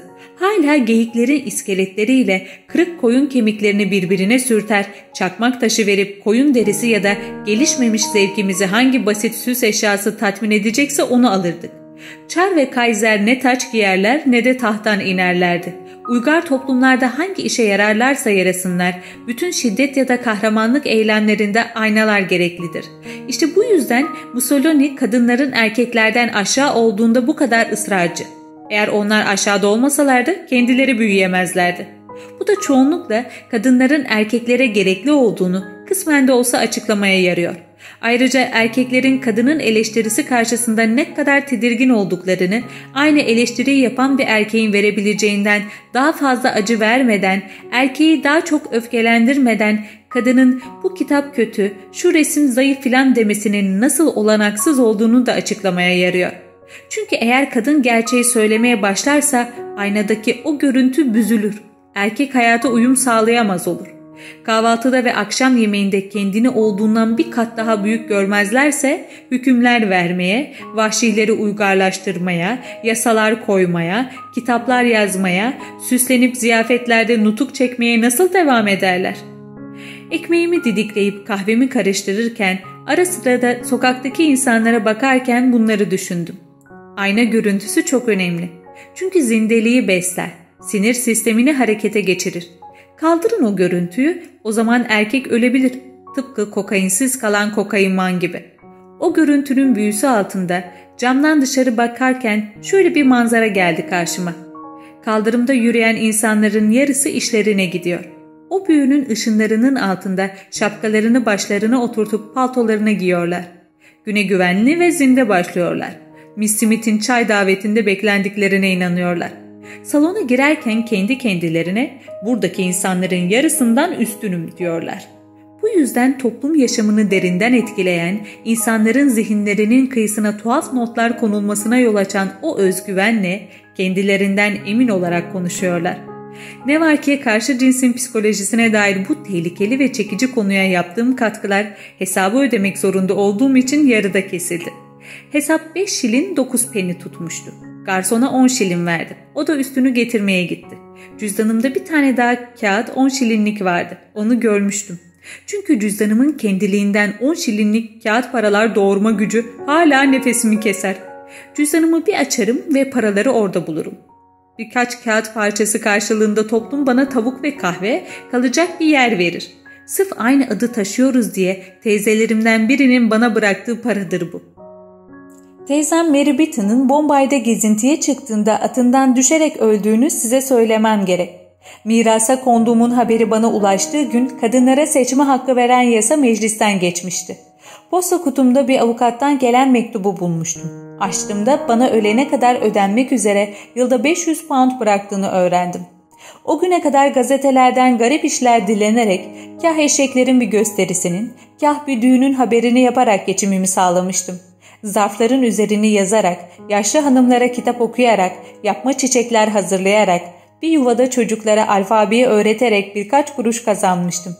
1918'e kadar kadınların yapabileceği başlıca işler bunlardı. Sanırım bu işlerin ne kadar güç olduğunu ayrıntılarıyla anlatmama gerek yok. Çünkü belki sizler de böyle işlerde çalışmış kadınlar tanıyorsunuzdur. Kazanılan bu parayla nasıl kıt kanaat geçinildiğini de anlatmayacağım. Zira sizler de aynı şeyi denemiş olabilirsiniz. Ama bu ikisinden de daha kötü bir sıkıntı olarak bende kalan o günlerin içimde doğurduğu korku ve umutsuzluk zehridir. Bir kere yapmak istemediğimiz şeyi yapıyorduk ve köle gibi yapıyorduk. Her zaman olmasa da kuyruk sallayarak, yaltaklık ederek yapıyorduk. Ama bu gerekli görünüyordu ve kendimizi tehlikeye atacak durumda da değildik. Ve sonra saklaması ölüm anlamına gelen o bir tek yeteneğin, onun, onunla birlikte kendimin de ruhumun da kaybolması düşüncesi, bütün bunlar ilkbaharın çiçeklerini kemiren, ağacın içini oyan bir küfe benzedi. Söylediğim gibi teyzem ölmüştü. Ne zaman on şilin bozdursam o küfün ve yıpranmanın bir kısmı silinip gider. Korkum ve umutsuzluğum yok olur. Doğrusu çok ilginç diye düşündüm bozuk paraları cüzdanıma atarken. O günlerdeki umutsuzluğumu hatırlayarak. Sabit bir gelir insanın keyfini nasıl da yerine getiriyor. Hiçbir güç 500 pantumu elimden alamaz. Yiyecekler, ev ve giysiler sonsuza kadar benim. Bu nedenle sona eren sadece çabalarım ve çalışmam değil, nefret ve umutsuzluk da. Erkeklerden nefret etmeme gerek yok. Bana zarar veremezler. Hiçbir erkeğe yaltaklık etmeme de gerek yok. Bana verecek bir şey yok onların. Böylece belli belirsiz insan ırkının öbür yarısına karşı yeni bir tutum geliştirdiğimi fark ettim. Bir sınıfı ya da bir cinsi tümüyle suçlamak saçmaydı. İnsan kitleleri hiçbir zaman yaptıklarından sorumlu değildiler. Kontrolleri dışındaki içgüdüleri yönlendirir onları. Bilge kişiler de, profesörler de sayısız güçlükle karşı karşıyaydılar. Aşmaları gereken korkunç engeller vardı. Onların eğitimi de bazı bakımlardan benimki gibi eksikti. Onlarda da bendeki kadar büyük arızalar bırakmıştı. Doğru, para ve güç sahibiydiler. Ama bunun bedeli göğüslerinde besledikleri bir kartal, bir yırtıcı kuş olmuştu. Sahip olma dürtüsü, elde etme hırsıydı bu. Sürekli başkalarının arazilerinde ve mallarında gözlerinin olmasına neden oluyordu. Sınır çizip bayrak dikmelerine, savaş gemileri ve zehirli gazlara, kendi hayatlarını ve çocuklarının hayatlarını feda etmelerine. Zafer anılarına ve toplara teslim olmuş herhangi bir bulvardan geçtiğinizi düşünün. Orada nasıl bir zaferin kutlandığını ya da ilkbahar güneşinde borsa simsarının ve büyük avukatın para, daha çok para ve daha çok para kazanmak üzere içeri nasıl girdiğini seyredin. Oysa yılda 500 pound insanı güneşin altında hayatta tutmaya yeter. Böyle içgüdüler beslemek hiç de hoş değil diye düşündüm. Bunlar hayat şartlarından ürüyor, uygarlığın olmamasından diye düşündüm. Cambridge Dükü'nün heykeline bakarken özellikle de yamuk duran şapkasındaki tüylere daha önce benim kadar gözlerini dikip bakan olmamıştır.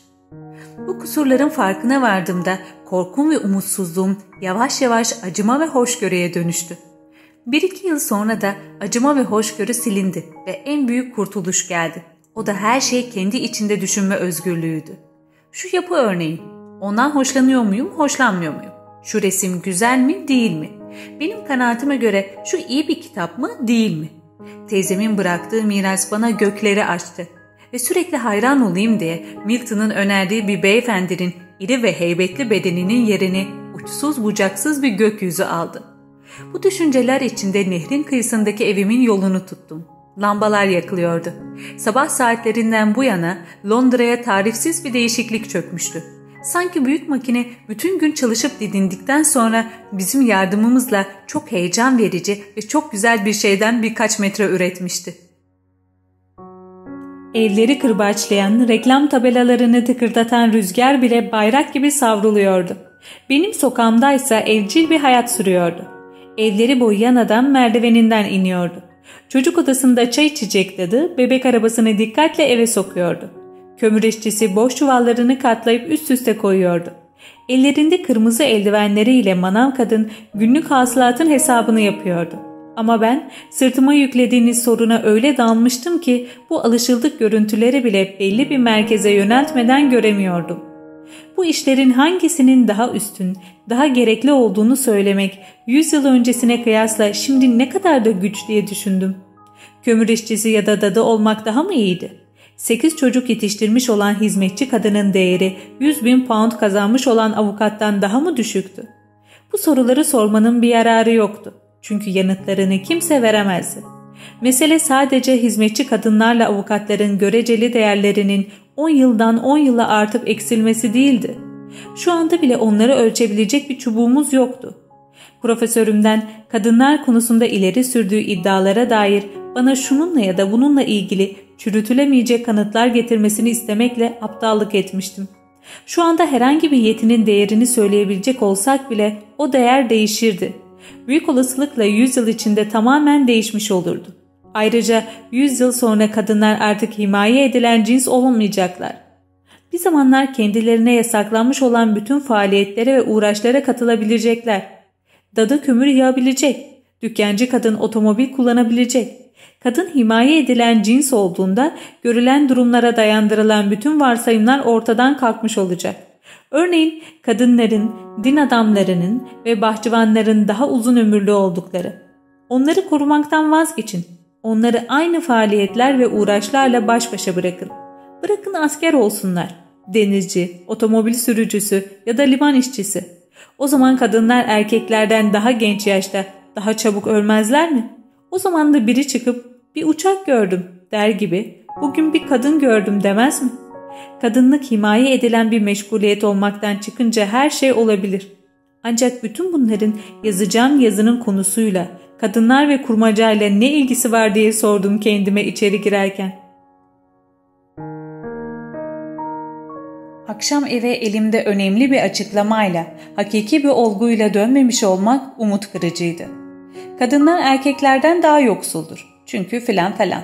Belki de artık gerçeğin peşinde koşmaktan vazgeçip başıma lav kadar yakıp kavurucu, bulaşık suyu kadar bulanık bir sel halinde fikirlerin yağmasına razı olmalıydım. Perdeleri kapatmak daha iyiydi.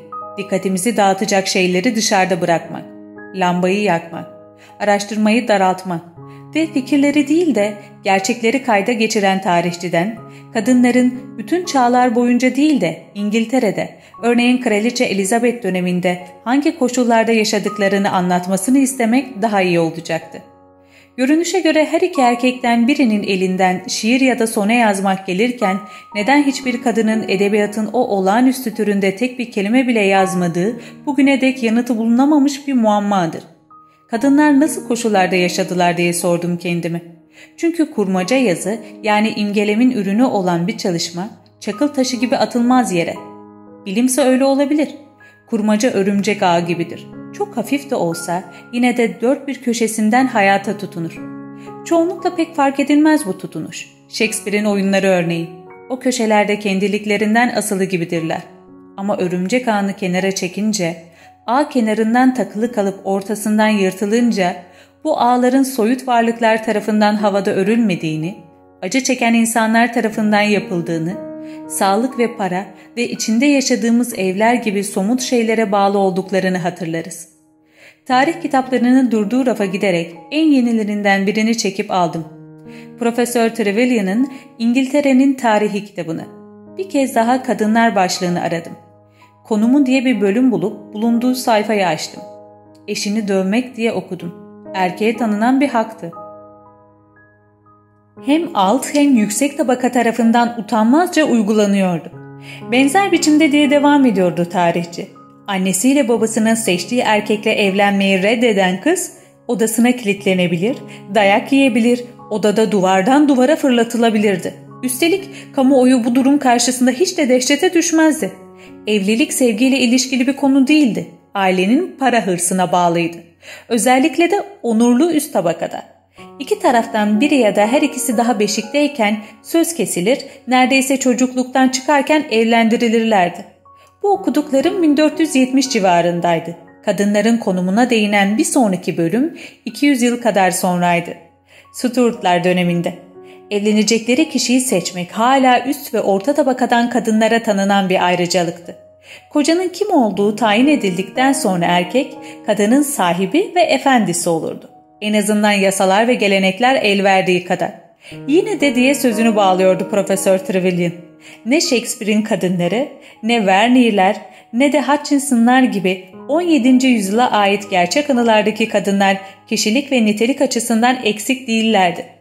Elbette düşünecek olursak Kleopatra'nın bir duruşu vardı herhalde. Lady Macbeth'in iradesini kullandığını varsayabiliriz. Rosalind çekici bir kız olmalı diye düşünüyorum.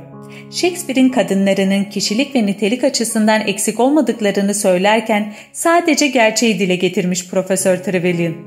Tarihçi olmadığımıza göre biraz daha ileriye gidebilir ve ezelden beri bütün şairlerin bütün yapıtlarında kadınların işaret ışığı gibi yandıklarını söyleyebiliriz. Oyun yazarlarında Clytemnestra, Antigone, Kleopatra, Lady Macbeth, Phaedra, Rosalind, Malfi Düşesi, düz yazı yazanlarda Clarissa, Becky Shan, Emma Bovary. Bu adlar insanın aklına üşüşürken kişiliği ve niteliği eksik kadınları düşündürmüyor hiç. Aslında eğer kadın sadece erkeklerin yazdığı kurmacalarda var olsaydı, kadının büyük öneme sahip biri olduğunu hayal ederdik.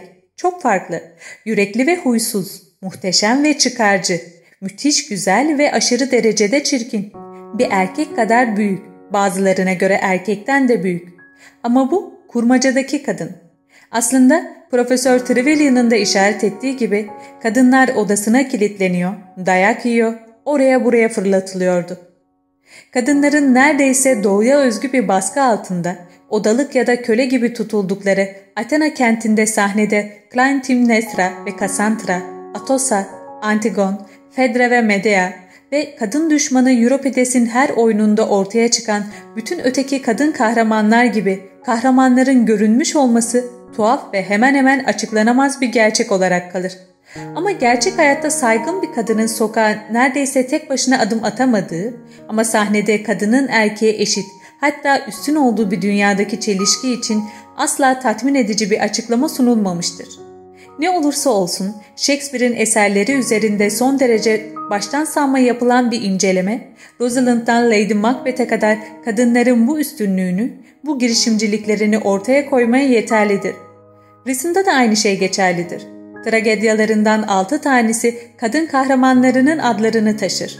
Hermione ve Andromache, Berenice, Roxanne, Fedre ve Atele'nin karşısına onun hangi erkek kahramanını çıkarabiliriz? Ibsen'da da aynı şey. Solveig ve Nora, Hedda ve Hilda Wangel ve Rebecca West boy ölçüştürebileceğimiz erkekler var mıdır? Böylece çok garip ve karışık bir varlık çıkıyor ortaya. Hayal edildiğinde çok önemli, pratikte ise tamamıyla önemsiz. Şiir kitaplarını baştan sona istila etmiş. Tarihte ise adı geçmiyor. Kurmacalarda kralların ve fatihlerin hayatlarına hükmediyor. Gerçek hayatta ailesinin parmağına zorla yüzük taktığı herhangi bir delikanlının kölesi. Dudaklarından edebiyatın en ilham verici sözcükleri, en derin duygularından bazıları dökülüyor. Gerçek hayatta okuması yazması neredeyse yok. Zor heceliyor sözcükleri ve kocasının malı durumunda. Önce tarihçileri, sonra da şairleri okuyarak uydurduğumuz bir canavardı bu kuşkusuz. O kadın Mrs. Martin'di. 36 yaşında, mavi giysili, başında siyah bir şapka, ayaklarında kahverengi ayakkabılar vardı. Ama kurmacada gözden uzak tutulmamalıydı. Ancak bu yöntemi Elizabeth dönemi kadınında denediğiniz an aydınlanmanın bir kolu başarısız kalır. Olguların azlığı engeller bizi. O kadın hakkında ayrıntılı bilgi sahibi olamayız. Tamamı doğru ve önemli bilgiler edinemeyiz. Tarihte adı geçmez. Tarihin kendisi için ne anlama geldiğini görmek için tekrar Profesör Trevelyan'a döndüm. Kitabındaki bölüm başlıklarına bakınca şunları buldum. Malikane ve açık arazide tarım yöntemleri, Haçlı seferleri, üniversite, avam kamerası, yüzyıl savaşları, Güller Savaşı, Rönesans alimleri, manastırların kaldırılması, tarımdaki ve dindeki sürtüşmeler, İngiliz deniz gücünün kaynakları, donanma vesaire. Ara sıra bir kadının adı geçer. Bir Elizabeth'in ya da bir Mary'nin, bir kraliçe ya da önemli bir hanımefendinin. Ama aklından ve kişiliğinden başka meziyeti olmayan orta sınıftan kadınlar, bir araya getirildiklerinde tarihçinin geçmişe dair görüşünü oluşturan büyük hareketlerin hiçbirinde yer alamazlardı. O kadına anekdotlarda da rastlayamayız. Aubrey pek söz etmez ondan. O kadın ne hayatını yazar ne de günlük tutar. Sadece bir avuç mektubu kalmıştır geriye. Kendisi hakkında hüküm verebilmemizi sağlayacak ne bir oyun ne de bir şiir bırakmıştır. İnsanın istediği bir miktar bilgidir. O kadın kaç yaşında evlenirdi? Genelde kaç çocuğu olurdu? Evi nasıldı? Kendine ait bir odası var mıydı? Yemekleri o mu pişirirdi? Bir hizmetçisi var mıydı? Bütün bu bilgiler bir yerde vardır. Bölge kilisesinin kayıtlarında ve hesap defterlerinde olabilir. Elizabeth dönemindeki ortalama kadının hayatı bir yerlere serpilmiş olmalı. Keşke biri toplayabilse onu ve bir kitap hazırlayabilse. O ünlü okulların öğrencilerine tarihi yeniden yazmalarını önermeyi aklımın ucundan bile geçiremem diye düşündüm olmayan kitapları bulmak amacıyla raflara göz gezdirirken. Oysa tarihin sık sık biraz tuhaf, gerçek dışı, dengesiz göründüğünü biliyorum. Ama tarihe neden bir bölüm eklemesini o öğrenciler? Elbette göze çarpmayan bir ad vermeliler ki kadınlar orada yakışıksız görünmesinler. Çünkü sıklıkla büyük insanların hayatlarında şöyle bir gözümüze çarparlar. Sonra geri plana kaçarlar. Göz kırpışlarını, kahkahalarını, belki de bir gözyaşını gizleyerek diye düşünürüm. Ne de olsa Jane Austen'dan pek çok hayat vardır elimizde.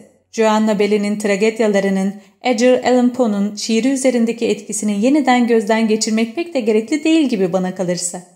Mary Russell Mitford'un evleri ve uğrak yerleri en az 100 yıl halka kapalı kalsa hiç umurumda olmazdı. Raflara yeniden göz gezdirirken asıl esef edilecek olan diye devam ettim. 18. yüzyıldan önce kadınlar hakkında bir şey bilinmiyor olması. Şu ya da bu yönden ele alabileceğim hiçbir örnek yok kafamda. Kadınların Elizabeth döneminde neden şiir yazmadıklarını soruyorum. Ancak nasıl bir eğitim aldıklarını bilemiyorum. Yazı yazmak öğretiliyor muydu onlara? Kendilerine ait bir oturma odaları var mıydı? 21 yaşına gelmeden kaç kadın çocuk doğuruyordu? Kısacası sabahın 8'inden akşamın 8'ine kadar ne yapıyorlardı? Görünüşe bakılırsa paraları yoktu.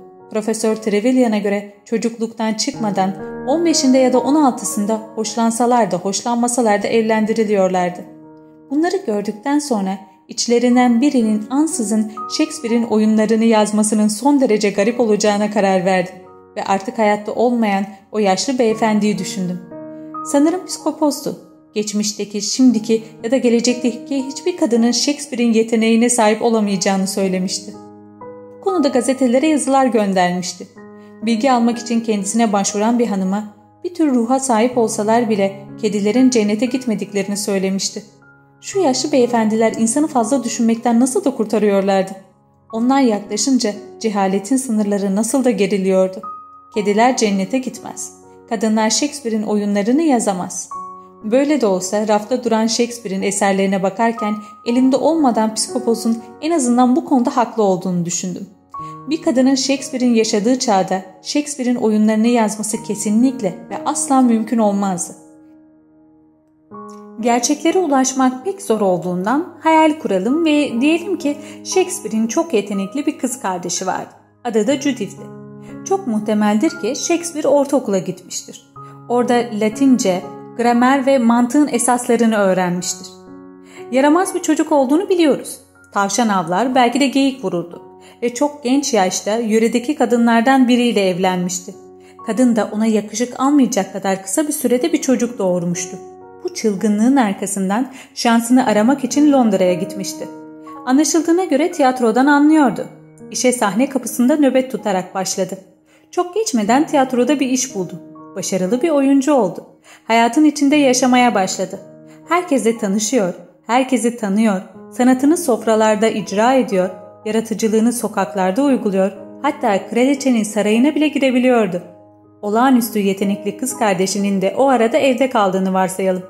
O da abi kadar maceraperest, hayalperestti ve dünyayı görmeye can atıyordu. Ama okula gönderilmemişti. Dil bilgisi ve mantık öğrenme şansı yoktu.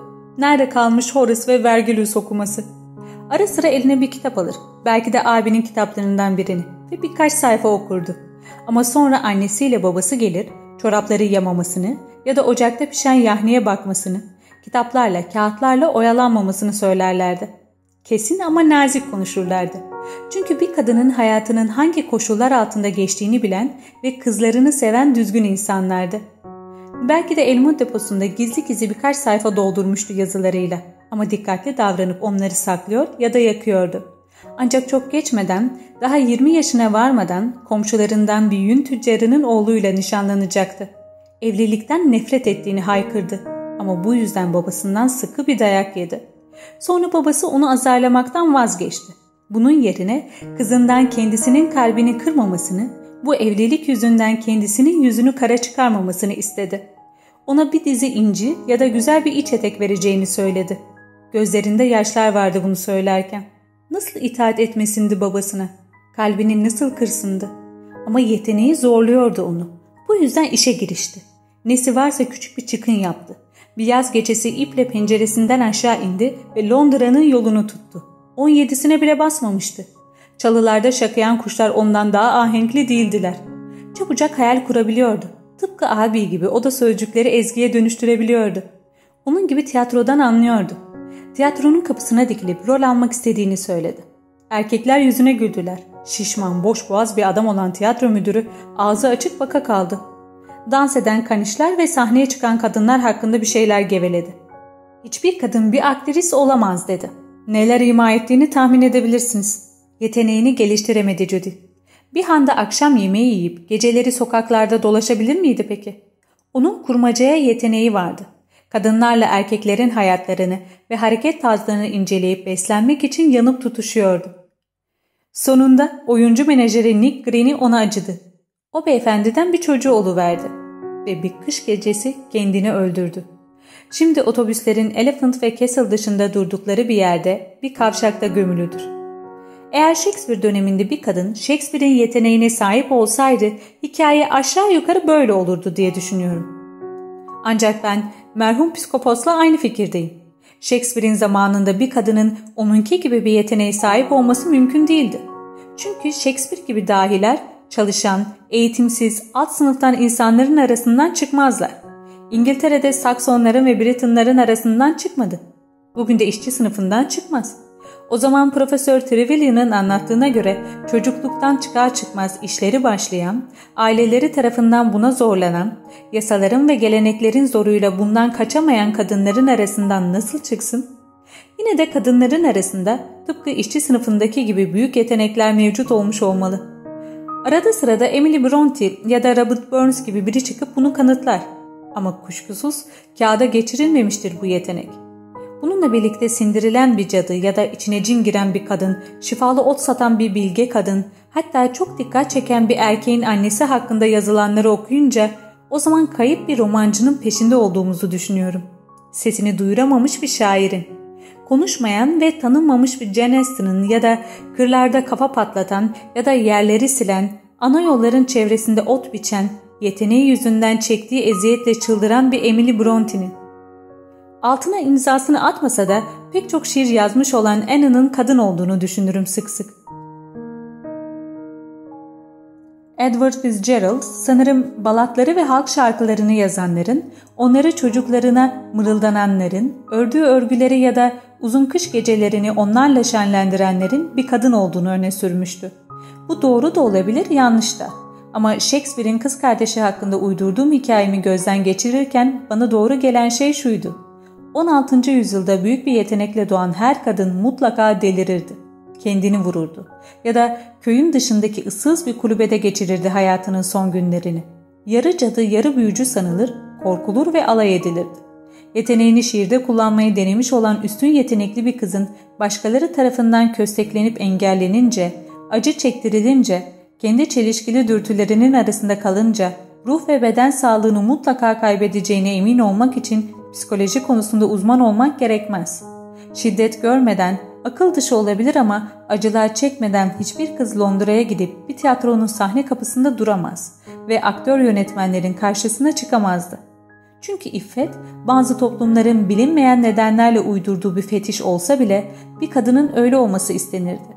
O dönemde hatta bugün bile iffetin bir kadının hayatında dinsel bir rolü vardır sinirlerle ve içgüdülerle öylesine sarılıp sarmalanmıştır ki onu kesip almak, gün ışığına çıkarmak büyük cesaret ister. 16. yüzyılda Londra'da serbest bir hayat sürmek, şair ve oyun yazarı olan bir kadını ölüme götürebilecek bir baskı ve çıkmaz anlamına gelirdi. Hayatta kalsa bile ne yazdıysa hastalıklı bir zihinden çıkmışçasına çarpıtılır, biçimi bozulurdu. Ve kuşkusuz diye düşündüm, kadınların yazdığı hiçbir tiyatro oyunu bulunmayan rafa bakarken eserlerinin altına imzasını atmazdı. Böyle bir çözüme sığınırdı mutlaka. 19. yüzyılın sonlarında bile kadınların anonim kalmasını gerektiren iffet duygusunun yadigarıydı bu. Currer Bell, George Eliot, George Sand yazdıklarının kanıtladığı üzere hepsi de içlerindeki mücadelenin kurbanı olan bu kadınlar erkek adı kullanarak beyhude bir çabayla kendilerini gizlemeye çalıştılar. Böylece de karşı cins tarafından konulmuş olmasa da onun tarafından bolca desteklenen geleneğe yani kadınların ünlü olmasının iğrenç bir şey sayılmasına biat ettiler. Anonim olmak kadınların kanında var. Gizli kalma arzusu hala tutsak etmekte onları. Şimdi bile ünlü olmaya erkekler kadar meraklı değillerdir. Genel konuşursak üzerine adlarını kazımak için dayanılmaz bir arzu duymaksızın bir mezar taşının ya da işaret levhasının yanından geçerler. Oysa Alfbert ya da Chess olsa güzel bir kadının hatta bir köpeğin geçtiğini görünce bu köpeğin sahibi benim diye mırıldanan içgüdülerini dinler. Ve elbette köpek olmayabilir diye düşündüm. Parlamento meydanını, kuşatma caddesini ve öbür caddeleri hatırlayarak bir toprak parçası ya da kıvırcık siyah saçlı bir erkek de olabilir. Kadın olmanın en büyük avantajlarından biri çok güzel bir siyah kadının yanından bile onu bir İngiliz kadını yapmak için istek duymadan geçebilmektir. Demek ki 16. yüzyılda şairlik yeteneğiyle dünyaya gelen o kadın mutsuz bir kadındı. Kendisiyle mücadele eden bir kadındı. Hayatının bütün koşulları, bütün içgüdüleri, beynin içinde ne varsa serbest bırakmak için ihtiyaç duyulan ruh haline düşmandı. Yaratma eylemine en elverişli olan ruh hali hangisidir diye sordum kendi kendime. O tuhaf eylemi mümkün kılan ve geliştiren bir ruh hali edinebilir mi insan? Bu noktada Shakespeare'in tragedyalarının bulunduğu kitabı açtım.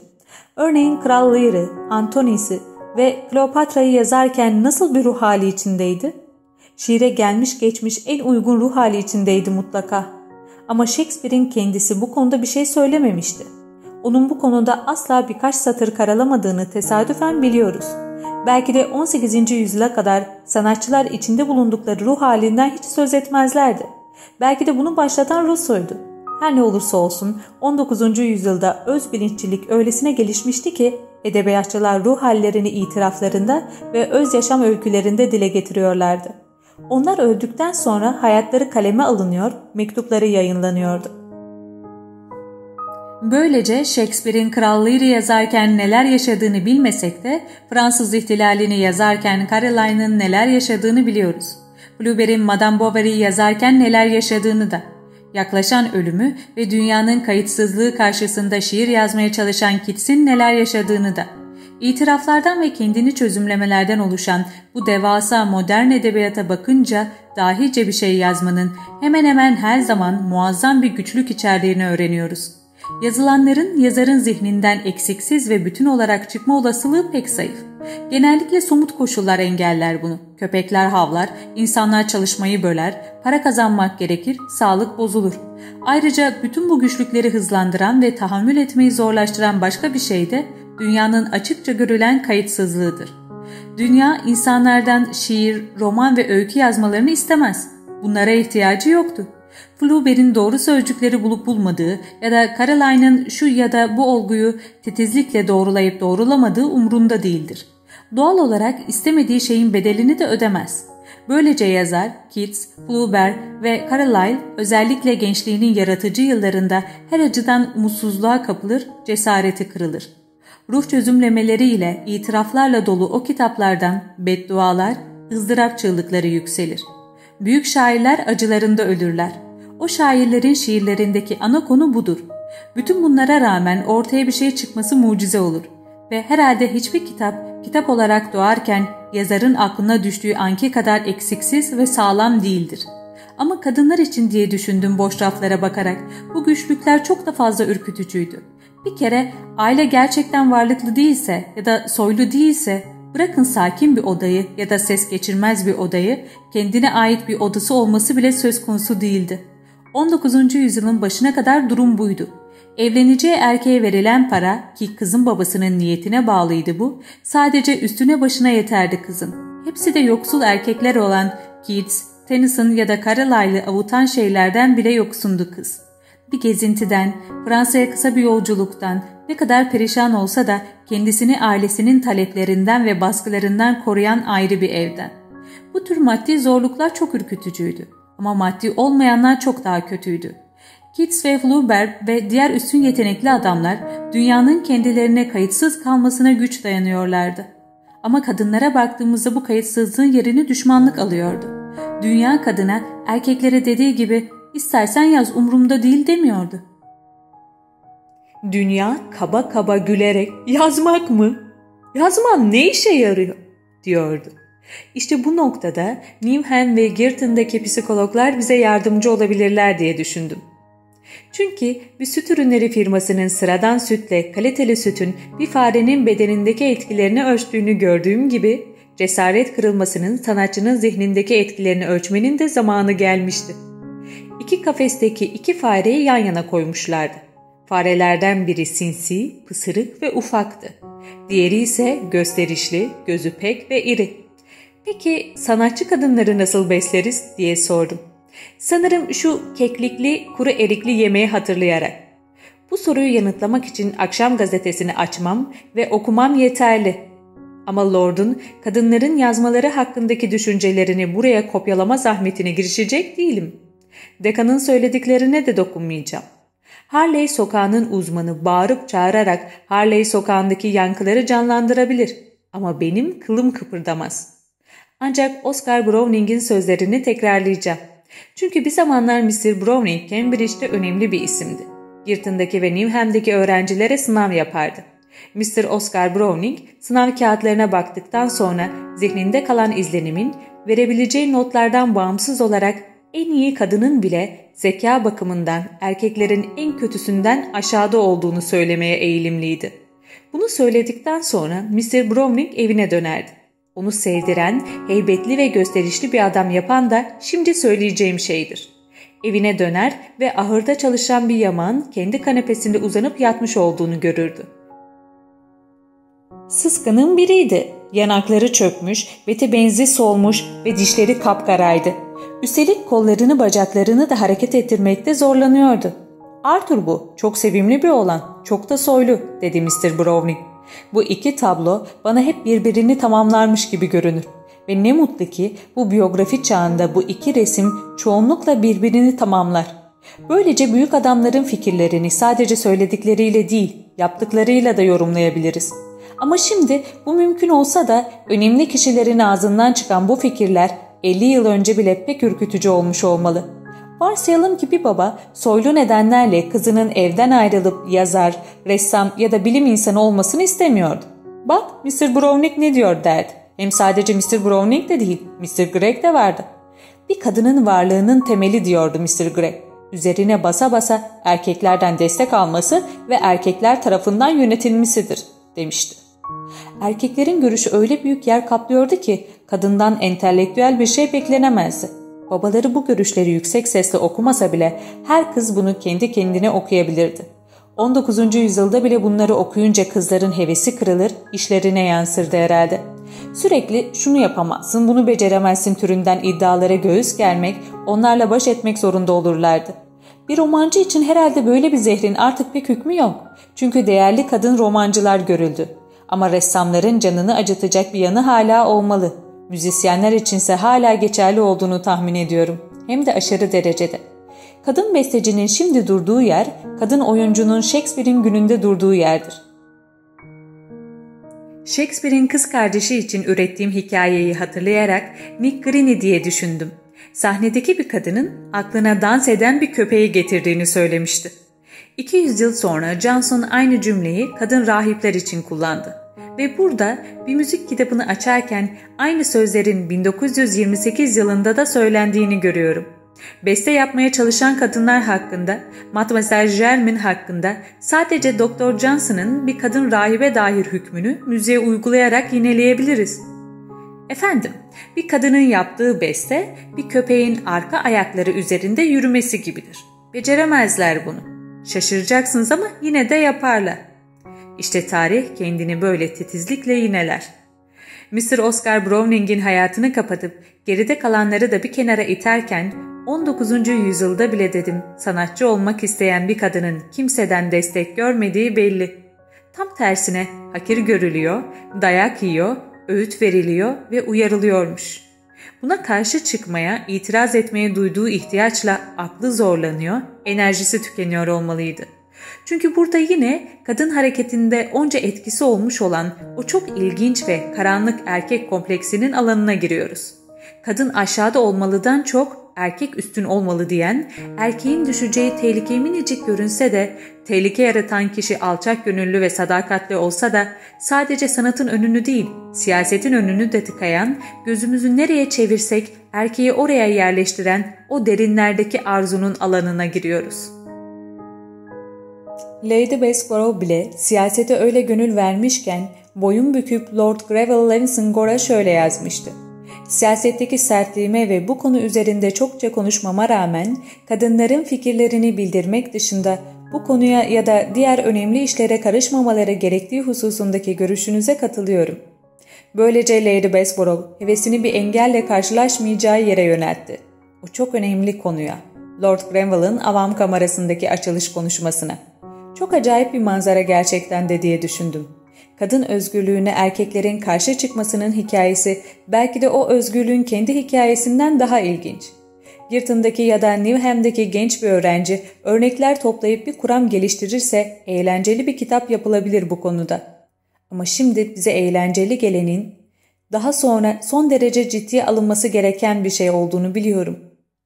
Emin olun ki şimdi gazete kesiklerinin biriktirildiği bir defterin içine yapıştırılan ve yaz geceleri seçkin dinleyicilerin huzurunda okumak için saklanan fikirler bir zamanlar gözyaşı akıtılmasına neden olurdu. Büyük anneleriniz ve büyük büyük anneleriniz arasında ağlamaktan gözleri kıpkırmızı olanlar vardı.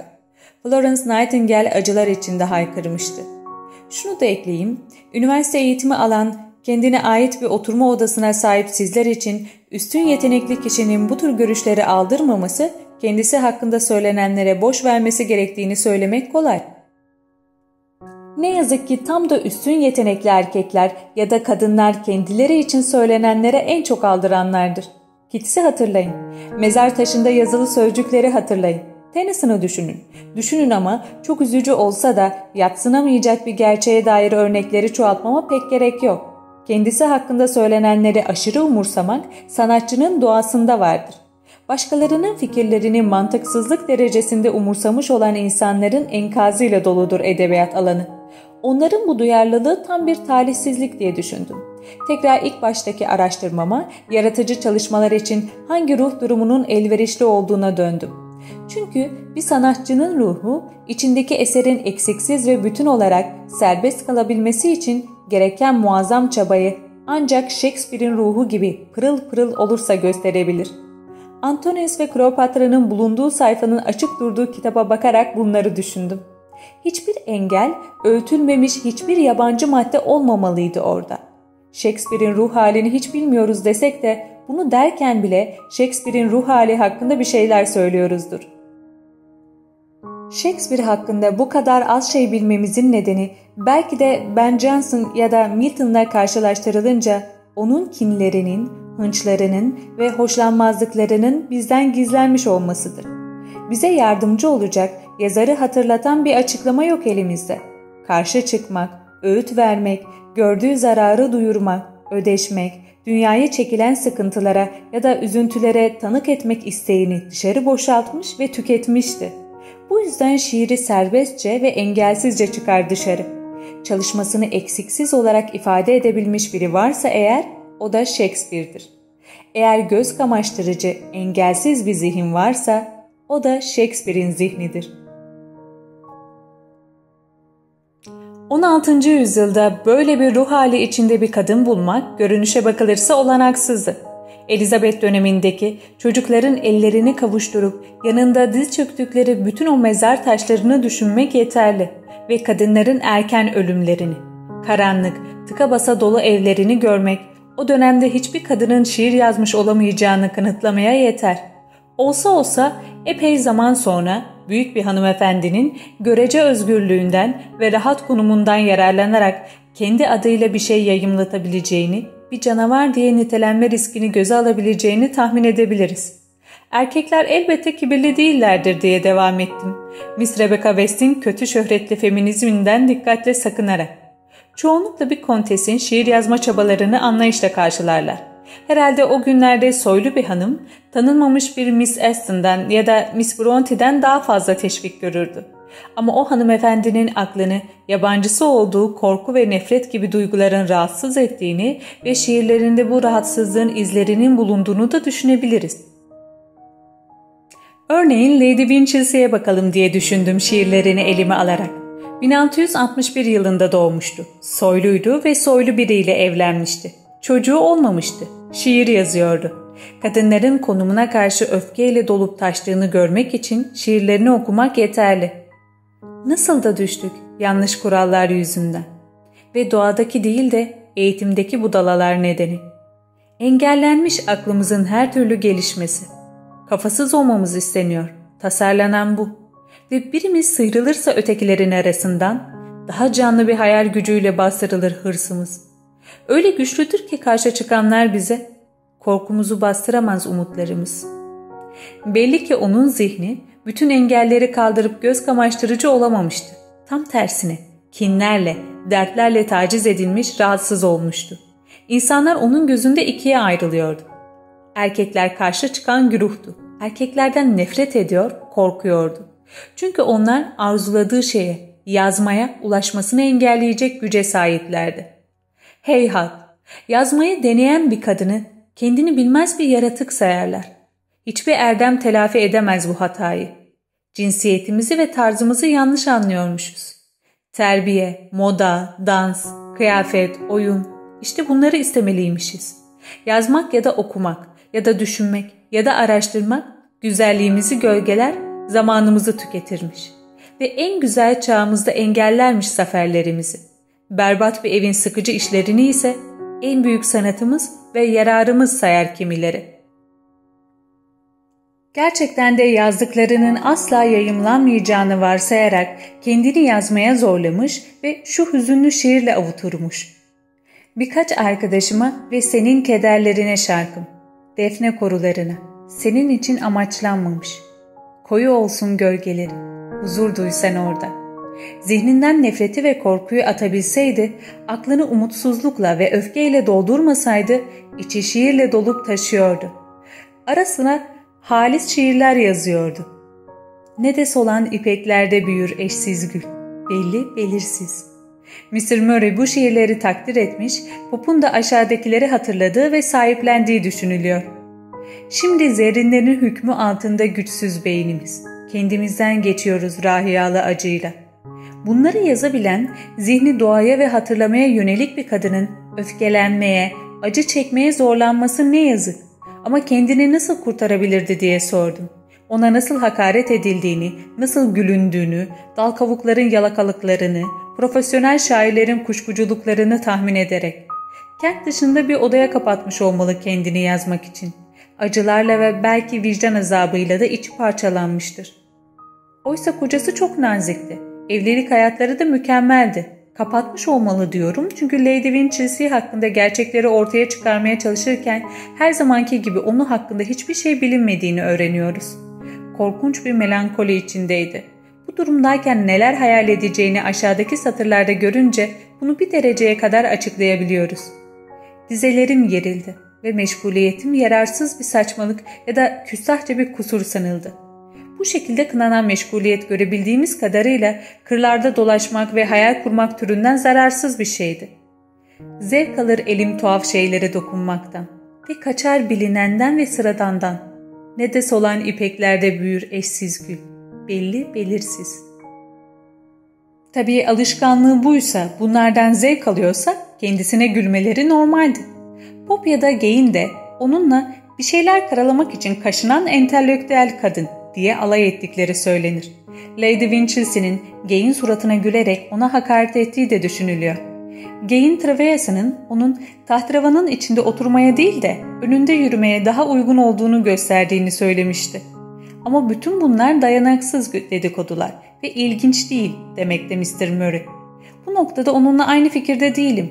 Çünkü kırlarda gezinmekten, tuhaf şeyler düşünmekten hoşlanan, düşüncesizce, ihtiyatsızca berbat bir evi çekip çevirmenin sıkıcılığını aşağılamış olan o melankolik hanımın nasıl göründüğünü keşfedebilmek ya da kendimce bir görüntüsünü biçimlendirebilmek için dayanaksız bile olsa daha fazla dedikodu duymuş olmak isterdim. Ama Lady Winchelsea fazla yayılmıştı, diyor Mr. Murray. Yeteneğinin çevresine yaban otları dolanmış, yaban gülleriyle sarılmıştı. Ne kadar zarif, seçkin bir yetenek olduğunu gösterme şansı yoktu. Lady Winchelsey'i rafa geri bıraktım. Öbür büyük hanımefendiye, Lamb'in sevdiği, kuş beyinli, olağanüstü düşese, Margaret of Newcastle'a döndüm. Lady Winchelsey'den yaşça büyük olsa da onunla çağdaştı. Çok farklılardı ama ortak bir yanları da vardı. Her ikisi de soyluydu ve her ikisi de şahane erkeklerle evliydi. Her ikisi de şiire tutkuyla bağlıydı. Her ikisi de aynı amaçlar için çirkinleşmiş, biçimsizleşmişlerdi. Düşesi açın, aynı öfke patlamasını onda da görürsünüz. Kadınlar yarasalar ya da baykuşlar gibi yaşıyor. Hayvanlar gibi çalışıyor ve solucanlar gibi ölüyorlar, diyordu Margaret. Margaret da şair olabilirdi. Günümüzde olsa bütün bu faaliyetleri bir işe yarardı. O durumda o vahşi, bereketli, eğitimsiz zekayı ne zapt edebilir, ne ehlileştirebilir ya da insanların kullanımı için uygarlaştırabilirdi diye düşündüm. Karma karışık bir halde dışarı fışkırıyordu. Sel gibi akıyordu şiirler ve düz yazılar, dizeler ve felsefe. Kimsenin okumadığı kağıtların, yaprakların arasında sıkışıp kalıyorlardı. Margaret'ın eline bir mikroskop verilmeliydi. Yıldızlara bakmayı öğrenmeli, bilimsel düşünmeliydi. Yalnızlık ve özgürlük aklını karıştırmıştı. Kimse denetlemiyordu onu. Kimse bir şey öğretmiyordu. Profesörler ona yaltaklanıyorlardı. Sarayda alay ediyorlardı.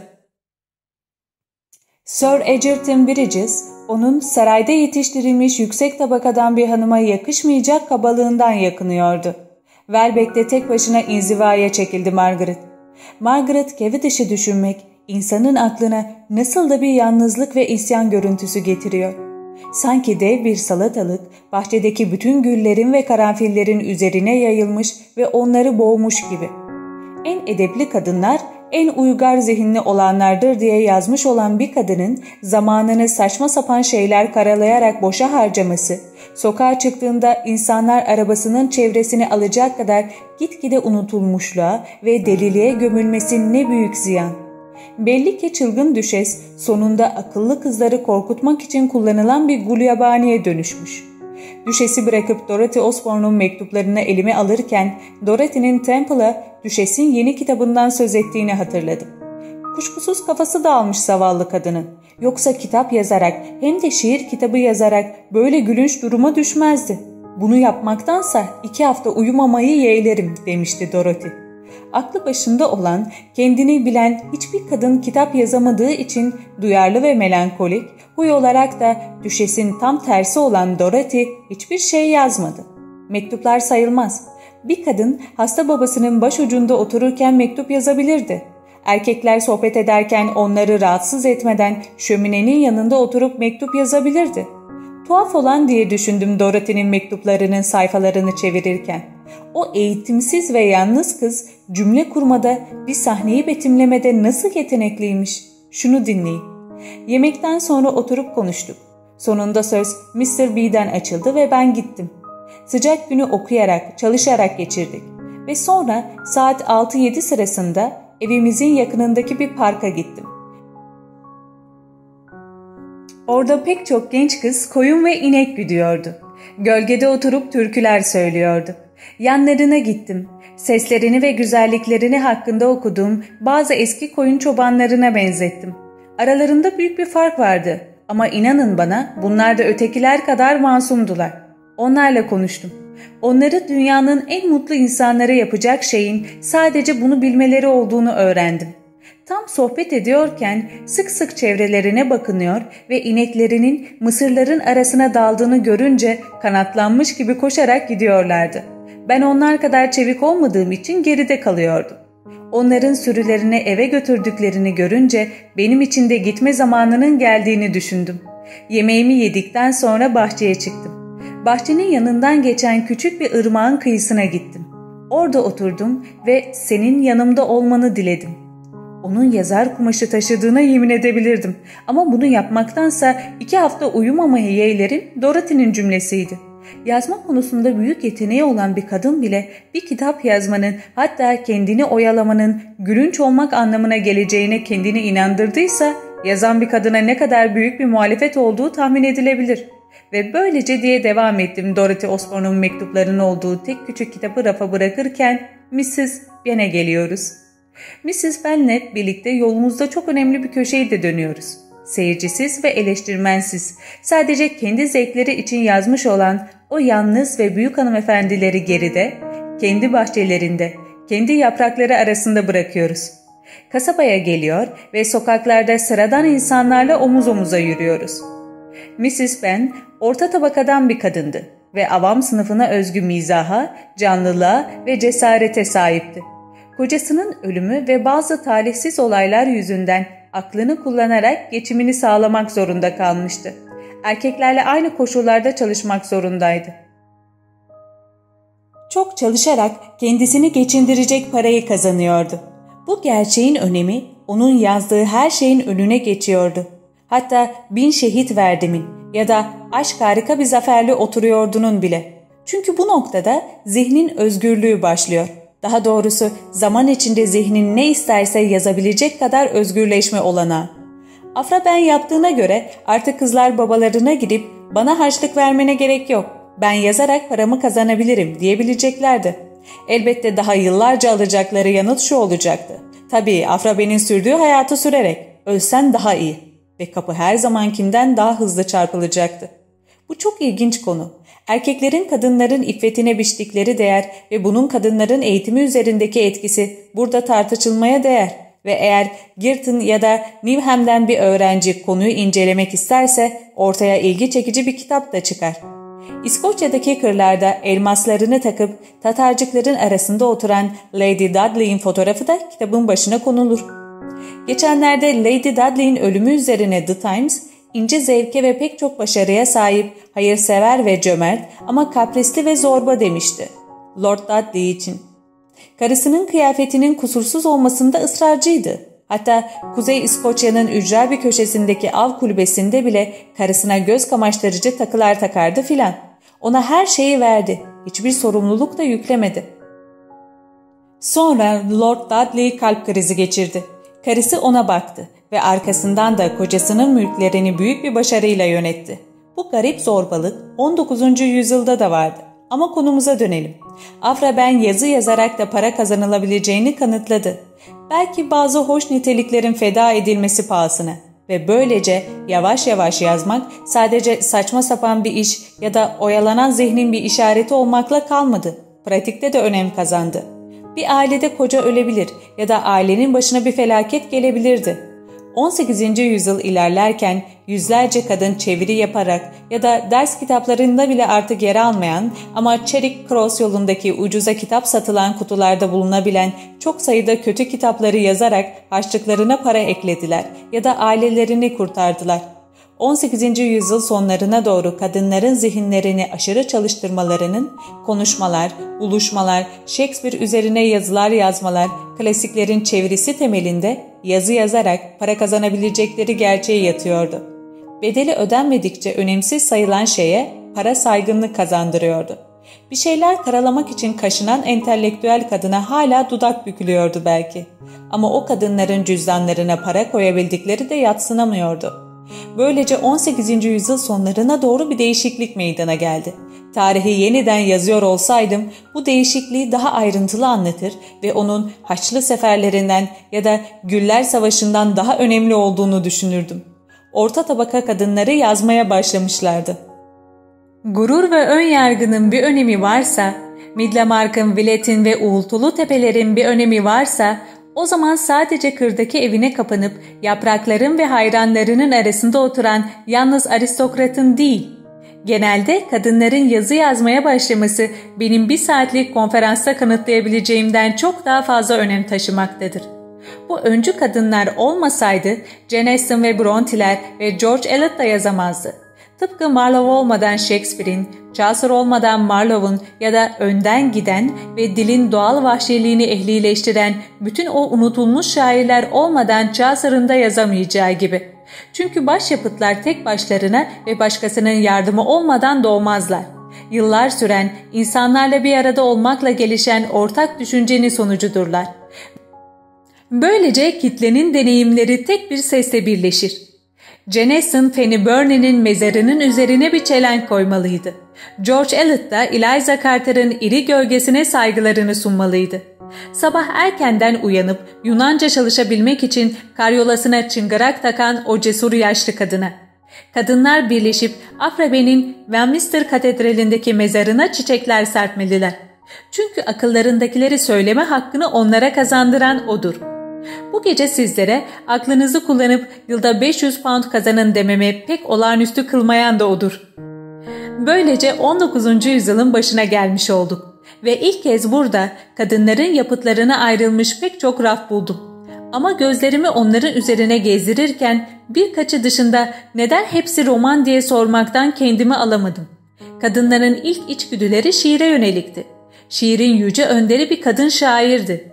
Hem Fransa'da hem İngiltere'de kadın romancılardan önce kadın şairler çıkmıştır. Üstelik diye düşündüm dört isme bakarken George Eliot'la Emily Bronte'nin ortak yönleri neydi? Charlotte Bronte Jane Austen'ı hiç anlayamamış değil miydi? Büyük olasılıkla bu kadınların hiçbirinin çocuğu olmamasını bir kenara bırakırsak bunlardan daha uyumsuz dört karakterin bir odada bir araya gelmeleri mümkün değildi. Dolayısıyla bir toplantı yapmak, aralarında diyaloğa girmelerini sağlamak çok kışkırtıcı bir fikirdi. Tuhaf bir güç onları roman yazmaya itmişti. Mesele orta tabakada doğmuş olmak mı acaba diye sordum. Miss Emily Davis'ın kısa bir süre sonra çarpıcı bir şekilde gösterdiği gibi orta tabakadaki ailelerin sadece bir tek oturma odasına sahip oldukları gerçeği miydi? Bir kadın yazacaksa herkesin kullandığı oturma odasında yazmak zorundaydı. Miss Nightingale'in şiddetle yakındığı gibi yazarken araya hep bir şey giriyordu.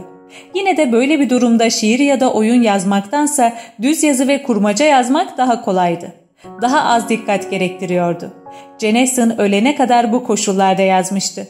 Bütün bunları nasıl becerdiği diye yazmıştır yeğeni anılarında. Çok şaşırtıcı çünkü kendine ait bir çalışma odası yoktu. Çalışmalarının büyük kısmını herkesin kullandığı oturma odasında yapmış olmalı. Oysa orada işini bölecek her türlü şey oluyordu. Ne yaptığını ailesi dışındaki kişilerin, hizmetkarların ya da konukların fark etmemesine özen gösteriyordu. Jennison el yazmalarını saklıyor ya da üstlerine bir kurutma kağıdı kapatıyordu. 19. yüzyıl başlarında bir kadının edebiyat konusunda alabileceği bütün eğitim, kişilik gözlemi ve duygu çözümlemesinden ibaretti. Onun duyarlılıkları yüzyıllar boyunca ortak kullanılan oturma odasındaki etkilenimlerle eğitilmişti. İnsanların duyguları onun üzerinde iz bırakmıştı. Kişisel ilişkiler hep gözlerinin önünde ceryan ediyordu. Bu nedenle adını verdiğim dört ünlü kadından ikisinin doğasında roman yazmak olmadığı yeterince aşikar olmasına rağmen orta tabakadan bir kadın yazmaya başladığında doğal olarak roman yazıyordu. Emily Bronte manzum oyunlar yazmalıydı. George Eliot'ın yetenekli zihni iyice açılıp yayıldığı sırada tarih ve biyografide kullanmalıydı yaratıcı içgüdülerini. Oysa roman yazdılar. Böbürlenmeden ya da karşı cinsi incitmeden. Raftan gurur ve ön yargıyı alırken bunları düşündüm. Gurur ve ön yargının iyi bir roman olduğunu söyleyebiliriz. Ne olursa olsun gurur ve ön yargıyı yazarken yakalanmaktan utanmazdı insan. Yine de bir menteşe gıcırdadığında memnun oluyordu Janes'in. Odaya kimse girmeden el yazmasını gizleyebiliyordu. Janes'in gözünde gurur ve önyargıyı yazmanın ayıplanacak bir yanı vardı. Acaba diye düşündüm. Janes'in el yazmasını eve gelen konuklardan gizleme gereğini duymasaydı gurur ve önyargı daha iyi bir roman olabilir miydi? Anlamak için bir iki sayfa okudum. Ama içinde bulunduğu koşulların çalışmasına en ufak bir zarar verdiğine işaret eden bir şeye rastlamadım. Belki de bu işteki asıl mucize buydu. İşte 1800'de bir kadın kin duymadan, umutsuzluğa kapılmadan, korkmadan, itiraz etmeden, öğüt vermeden yazıyordu. Shakespeare de böyle yazmıştı diye düşündüm Antonius ve Kleopatra'ya bakarken. İnsanlar Shakespeare ile Jane karşılaştırırlarken her ikisinin zihninin de kendilerini engelleyecek her şeyi tükettiğini söylemek istemiş olabilirler. Bu nedenle de biz Jane tanımıyoruz ve Shakespeare'i tanımıyoruz ve bu nedenle Jane yazdığı her kelimeyi sindiriyor. Shakespeare de aynısını yapıyor. Eğer Jane içinde bulunduğu ortamdan rahatsızsa bu ancak uyumak zorunda olduğu kısıtlı yaşam yüzünden olabilirdi. Bir kadının tek başına sokağa çıkması imkansızdı. Asla seyahate çıkmadı. Asla Londra'da bir otobüsle dolaşmadı ya da tek başına yemek yemedi bir dükkanda. Ama belki de elinde olmayanı istememek Jane doğasında vardı. Yeteneği ve bulunduğu ortam birbiriyle tamamen uyuşuyordu. Ama aynı şeyin Charlotte Bronte için geçerli olduğundan kuşkuluyum dedim Jane açıp gurur ve önyargının yanına koyarken. 12. bölümü açtım. Gözüm şu cümleye takıldı. Kim isterse beni suçlayabilir. Charlotte Bronte'yi neyle suçluyorlardı diye merak ettim. Mrs. Fairfax reçel hazırlarken Jane nasıl dama çıktığını ve kırların üzerinden uzakları seyrettiğini okudum. Ve sonra suçlanmasının nedeni olan şu şeyi arzulamış. Sonra o sınırı aşacak bir gücüm olsaydı keşke dedim. Kalabalık dünyaya ulaşsam, kasabalara, duyduğum ama hiç görmediğim cıvıl cıvıl yörelere. Sonra sahip olduğumdan daha fazla hayat deneyimim olmasını arzuladım. Kendi sınıfımdan olanlarla daha çok bir araya gelseydim. Burada, yakınımda olan insanlar arasından daha çeşitli kişileri tanısaydım. Mrs. Fairfax'in iyi yanlarına değer veriyordum. Edel'in de ama daha farklı ve daha güçlü iyiliklerin var olduğuna inanıyordum. İnandığım şeyi de görmek istiyordum. Kim suçluyor beni? Pek çok kişi kuşkusuz ve benim için huysuz diyecekler. Elimde değildi. Huzursuzluk doğamda vardı. Bazen alt üst oluyor, acı çekiyordum. İnsanlar sükunetten tatmin olmalı demenin yararı yok. Eylem içinde olmalıdırlar. Eğer bulamazlarsa yaratacaklardır. Milyonlarca kişi benimkinden çok daha sakin bir yazgıya sahiptir. Milyonlarca kişi kaderlerine sessizce isyan ediyordur. İnsanların sessiz hayatlarında kim bilir kaç isyan mayalanmaktadır. Genelde kadınların çok serin kanlı olmaları istenir. Ama kadınlar da erkeklerle aynı şeyleri hissederler. Katı yasaklamalara, mutlak durgunluklara tahammül edemezler. Tıpkı erkekler gibi daha fazla ayrıcalığa sahip başka insanların onların puding hazırlamakla, çorap örmekle, piyano çalmakla ya da nakışla yetinmelerini söylemeleri dar kafalılıktır. Kadınlar geleneklerin kendi cinsleri için gerekli gördüğünden fazlasını yapmak ya da daha fazla öğrenmek istiyorlarsa onları suçlamak ya da alay etmek düşüncesizliktir. Böyle yalnızken Grace Bull'un kahkahalarını az duymadım. Biçimsiz bir mola diye düşündüm. Birdenbire Gracepool'la karşılaşmak rahatsız ediciydi. Süreklilik bozulmuştu. Elimdeki kitabı gurur ve ön yargının yanına bırakırken bu sayfaları yazan kadın Jane daha parlak bir yeteneğe sahip de denebilir diye düşündüm. Ama o sayfaları tekrar okuyup içlerindeki o sarsıntıyı, o öfkeyi fark edince yazarın yeteneğini hiçbir zaman eksiksiz ve bütün olarak dışarı vuramayacağını görüyorsunuz. Kitapları biçimini yitirecek, çarpılacaklardır. Sükunet içinde yazacağına öfke içinde yazacaktır. Karakterlerini anlatacağına kendini anlatacaktır. Kaderiyle savaş içindedir. Genç yaşta sıkışmış ve engellenmiş durumda ölmemek elinde miydi? Bir an için Charlotte Bronte'nin yılda 300 poundluk bir geliri olduğunu, her nasılsa kalabalık dünya, kasabalar ve hayat dolu yöreler hakkında daha fazla bilgisi olduğunu, hayat deneyiminin daha fazla olduğunu, kendi sınıfından kişilerle görüşebildiğini, değişik kişilerle tanışabildiğini varsayalım. Bu sözler sadece bir romancı olarak onun kusurlarını işaret etmiyor. O çağda yaşayan ve kendi cinsinden olanların kusurlarını da gösteriyor. Yeteneğini tek başına kırların ötelerine bakarak harcamasaydı, deneyim kazanmasına, insanlarla ilişki kurmasına, seyahat etmesine izin verilseydi bundan yeteneğinin ne kadar daha kazançlı çıkacağını herkesten daha iyi biliyordu. Ama ona izin verilmedi. Bu dediklerim ondan esirgendi. Villette, Emma, Uğultulu Tepeler, Midlamark gibi bütün o iyi romanları yazan kadınların ancak saygıdeğer bir papazın evinin kapısından giren hayat deneyimine sahip oldukları gerçeğini kabul etmeliyiz. Hem de bu kadınlar o saygıdeğer evde bütün ailenin oturduğu odada uğultulu tepeler ya da Ceneri'yi yazmak için her seferinde birkaç tabakadan fazla kağıt alamayacak kadar yoksuldular. Aralarından biri, bu bir gerçek, George Eliot pek çok sıkıntı çektikten sonra evden kaçtı. Ama sadece Joneswood'da izbe bir eve gitmek üzere. Kınayan gözlerin gölgesi altında oraya yerleşti. Davet edilmek istediğini söylemeyen hiç kimseye gelip burada ziyaret etmesi için çağırmayacağım diye yazıyordu. Bunun bilinmesini istiyorum. Çünkü o evli bir adamla günah içinde yaşamıyor muydu? Ve onu öyle görmek Mrs. Smith'in ya da uğrayan her kimse onun namusunu da lekelemez miydi?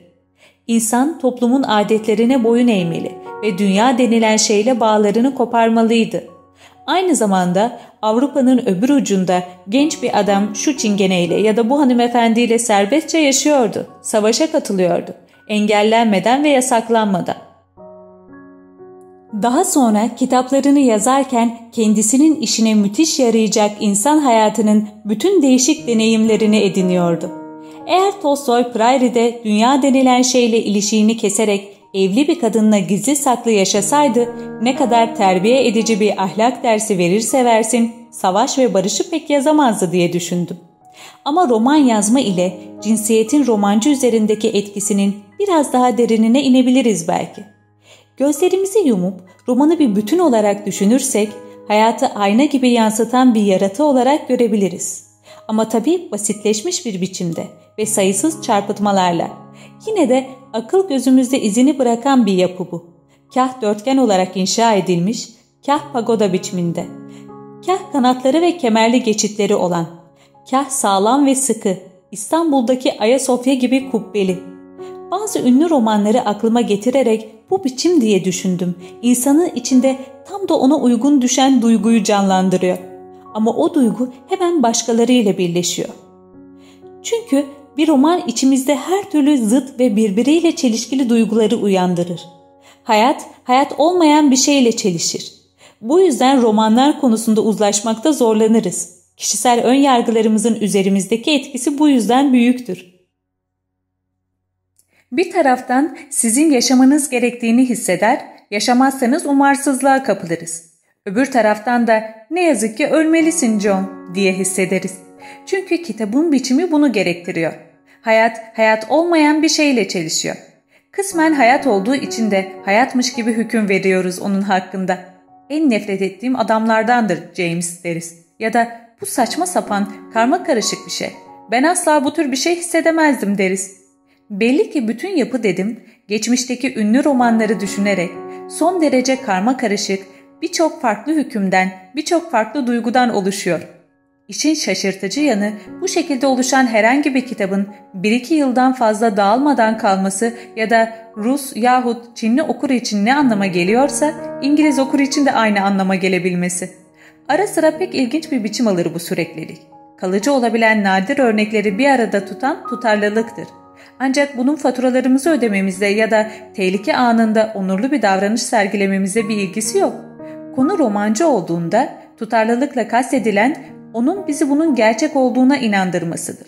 Evet, bunun böyle olabileceği hiç aklıma gelmezdi diye hissetmemizdir. Böyle davranan insanlar görmemiştim hiç dememizdir. Ama sen beni bunun böyle olduğuna, böyle yaşandırdığına inandın. İnsan okurken her cümleyi, her sahneyi ışığa tutuyor. Çünkü tuhaf ama doğa bize bir iç ışık bahşetmiş sanki. Bununla romancının tutarlı oluşuna ya da dağılışına hükmediyoruz. Belki de doğa tamamen mantıksız davranarak görünmez mürekkeple zihnimizin duvarlarına bir uyarı çizmiştir ve bu büyük sanatçılar onu doğrulamıştır. Görünür olması için sadece yeteneklerin ateşine tutulması gereken bir karalamadır bu. O böyle görünür olunca ve biz onun canlandığını görünce coşkuyla ama ben zaten hep böyle hissetmiştim, bunu bilmiş ve arzulamıştım diye haykırırız. Heyecandan içimiz içimize sığmaz. Kitabı çok değerli, hayatta olduğumuz sürece başvuracağımız güvenilir bir şeymiş gibi adeta saygıyla kapatıp rafa geri koyarız dedim. Ve savaş ve barışı elime alarak yerine koydum. Öte yandan insanın alıp sınadığı bu yetersiz cümleler, parlak renkleri ve enerjik hareketleriyle ilk başta ve hemen hevesli bir karşılık alırlarsa da orada kalırlar. Sanki ilerlemeleri engellenmiş gibidir. Ya da yüzeye çıkardıkları sadece şu köşede cılız bir karalama, burada bir mürekkep lekesi olacaksa, tam ve bütün olarak bir şey göremeyeceksek, o zaman hayal kırıklığıyla iç geçirir ve bir başarısızlık daha deriz. Bu roman bir yerde takılıp kalmış ve elbette çoğunlukla bir yerlerde takılıp kalır romanlar. Yaşanan müthiş gerginlik altında hayal gücü tökezler, idrak bocalar, gerçekle yalanı birbirinden ayıramaz. Her an birçok değişik melekenin kullanılmasını gerektiren büyük çabayı sürdürecek gücü yoktur artık. Ancak romancının cinsiyeti bütün bunları nasıl etkiler diye merak ettim Jane Eyre'ye ve öteki romanlara bakarak. Bir kadın romancının cinsiyeti onun tutarlılığına engel olur mu? Bir yazarın omurgası saydığım tutarlılığına. Ceneyre'den alıntıladığım paragraflarda öfkenin romancı Charlotte Bronte'nin tutarlılığı ile oynadığı belliydi. Kendini hikayesine bütünüyle vermesi gerekirken onu bırakıp başka derdine düşmüştü. Hak ettiği deneyimlerden yoksun bırakıldığını hatırlamıştı. Başını alıp dünyayı gezmek istiyordu o. Oysa bir papaz evinde ot gibi yaşayıp çorap yamamak zorunda kalmıştı. Öfkesi yüzünden hayal gücü yolundan sapıyordu ve biz de hissediyoruz bu sapmayı. Ama onun hayal gücünü oraya buraya çekiştiren ve yolundan çeviren daha birçok etki vardı. Örneğin cehalet. Rochester'ın portresi karanlıkta çizilmişti. Korkunun onun içindeki etkisini hissederiz. Tıpkı bastırılmanın sonucu olan burukluğu, romancının tutkusunun altında usul usul tüten ızdırabı. Ne kadar şahane olsalar da bu kitapları acıyla kasılarak daraltan hıncı sürekli hissettiğimiz gibi. Bir roman gerçek hayatla böyle uyuştuğu için değerleri de bir ölçüde gerçek hayatın değerleridir. Ancak belli ki kadınların değerleri karşı cins tarafından konulan değerlerden sıklıkla farklı. Doğal olarak böyledir bu. Ne var ki geçerli olan erkeklerin değerleridir. Kabaca söylersek futbol ve spor önemlidir. Modaya düşkün olmak, giysiler satın almaksa önemsiz ve kaçınılmaz olarak bu değerler hayattan alınıp kurmacaya taşınırlar. Savaşı konu edindiği için bu önemli bir kitap diye karar verir eleştirmen. Bu kitapsa önemsiz çünkü bir salondaki kadınların duygularını konu edinmiş. Bir savaş alanı sahnesi bir mağazadaki sahneden daha önemlidir. Her yerde ve çok daha az göze çarpacak biçimde değer farklılığı mevcuttur. Bu bakımdan eğer karşımızdaki kadınsa 19. yüzyıl başındaki romanın bütün yapısı kafasının dikine gitmeyen ve dış otoriteye saygı nedeniyle berrak bakışını değiştirmek zorunda kalan bir zihin tarafından kurulmuş oluyordu. Yazarın eleştiriyle karşılaştığına dair kehanette bulunmak için o eski unutulmuş romanları gözden geçirmek ve onlarda kullanılan ses tonuna kulak vermek yeterlidir. Şunu saldırı kabiliğinden ya da ötekini uzlaşma kabiliğinden söylemiştir diyebiliriz. Ya sadece bir kadın olduğunu kabulleniyordu o ya da bir erkek kadar iyi olduğunu söyleyerek itiraz ediyordu. Yaratılışı gereği tepki veriyordu eleştiriye. Ya alttan alıp çekinerek ya da öfkeyle ve şiddetle. Hangisi olduğu önemli değil. Kadın yazar kitabın kendisini değil başka bir şey düşünürdü. Kitabını önümüzde bulurduk. Özünde bir hata olurdu. Londra'daki ikinci el kitap satılan kitap evlerinde bir meyve bahçesindeki küçük, çopur elmalar gibi sağa sola dağılmış bütün o kadın romanlarını düşündüm. Onların bozulmasına neden olan özlerindeki kusurdu. Yazar başkalarının fikirlerine gösterdiği saygı yüzünden kendi değerlerini değiştirmişti. Ama sağa ya da sola doğru kıpırdamak kim bilir ne kadar olanaksızdı onlar için. Bütün o eleştirilerin karşısında o tamamı ataerkil toplumun ortasında ürkmeden bakarak kitaplarına sıkı sıkı sarılabilmeleri için kim bilir nasıl bir yetenek, nasıl bir tutarlılık gerekmişti. Bunu sadece Jane Austen ve Emily Bronte başardılar. Onların şapkalarındaki belki de en hafif tüydü bu. Onlar erkek gibi değil, kadın gibi yazdılar. O dönemde roman yazan binlerce kadın arasında sadece onlar ebedi eğitimcinin şunu yaz, bunu düşün diye süre giden uyarılarına kulak asmadılar. Kah homurdanan, kah büyüklük taslayan, kah hükmedici, kah kederli çıkan, kah korkulu, kah öfkeli, kah babacan o ısrarlı sese. Kadınları rahat bırakmayan, titiz bir dadı gibi tepelerinden eksik olmayan, Sir Egerton Bridges gibi zarif olmaları için ricada bulunan, hatta şiiri ve cinsiyeti eleştiren, İyi davranırlarsa sanırım parlak bir ödül kazanırsınız diye öğüt veren, söz konusu beyefendinin uygun bulduğu sınırlar içinde kalmalarını söyleyen o sese bir tek onlar kulaklarını tıkadılar. Kadın romancılar ancak kendi cinslerinin kısıtlanmalarını cesaretle kabul ederek mükemmellik peşinde koşmalıdırlar. Bu da meseleyi toparlar. Şaşıracaksınız ama size bu cümlenin Ağustos 1828'de değil de Ağustos 1928'de yazıldığını söylersem sanırım bize şimdi ne kadar eğlenceli görünse de geniş kitlelerin fikirlerini temsil ettiğini kabul edeceksiniz. Yüz yıl önce çok daha güçlüydü bu fikirler. Çok daha fazla duyuluyordu. 1828'de ancak çok yürekli bir genç kadın bütün bu küçümsemeleri, azarlamaları ve ödül vaatlerini duymazlıktan gelebilirdi. Ama edebiyatı da satın alamazlar ya diye düşünmek için tam bir deli fişek olmak gerekliydi.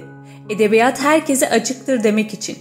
Üniversitenin idare amiri de olsanız beni çimenlerden çıkarmanıza izin vermiyorum. İsterseniz kitaplıklarınıza kilit vurun. Ama zihnimin özgürlüğüne vurabileceğiniz ne bir kilit var ne de sürgü, ne de kapatabileceğiniz bir kapı.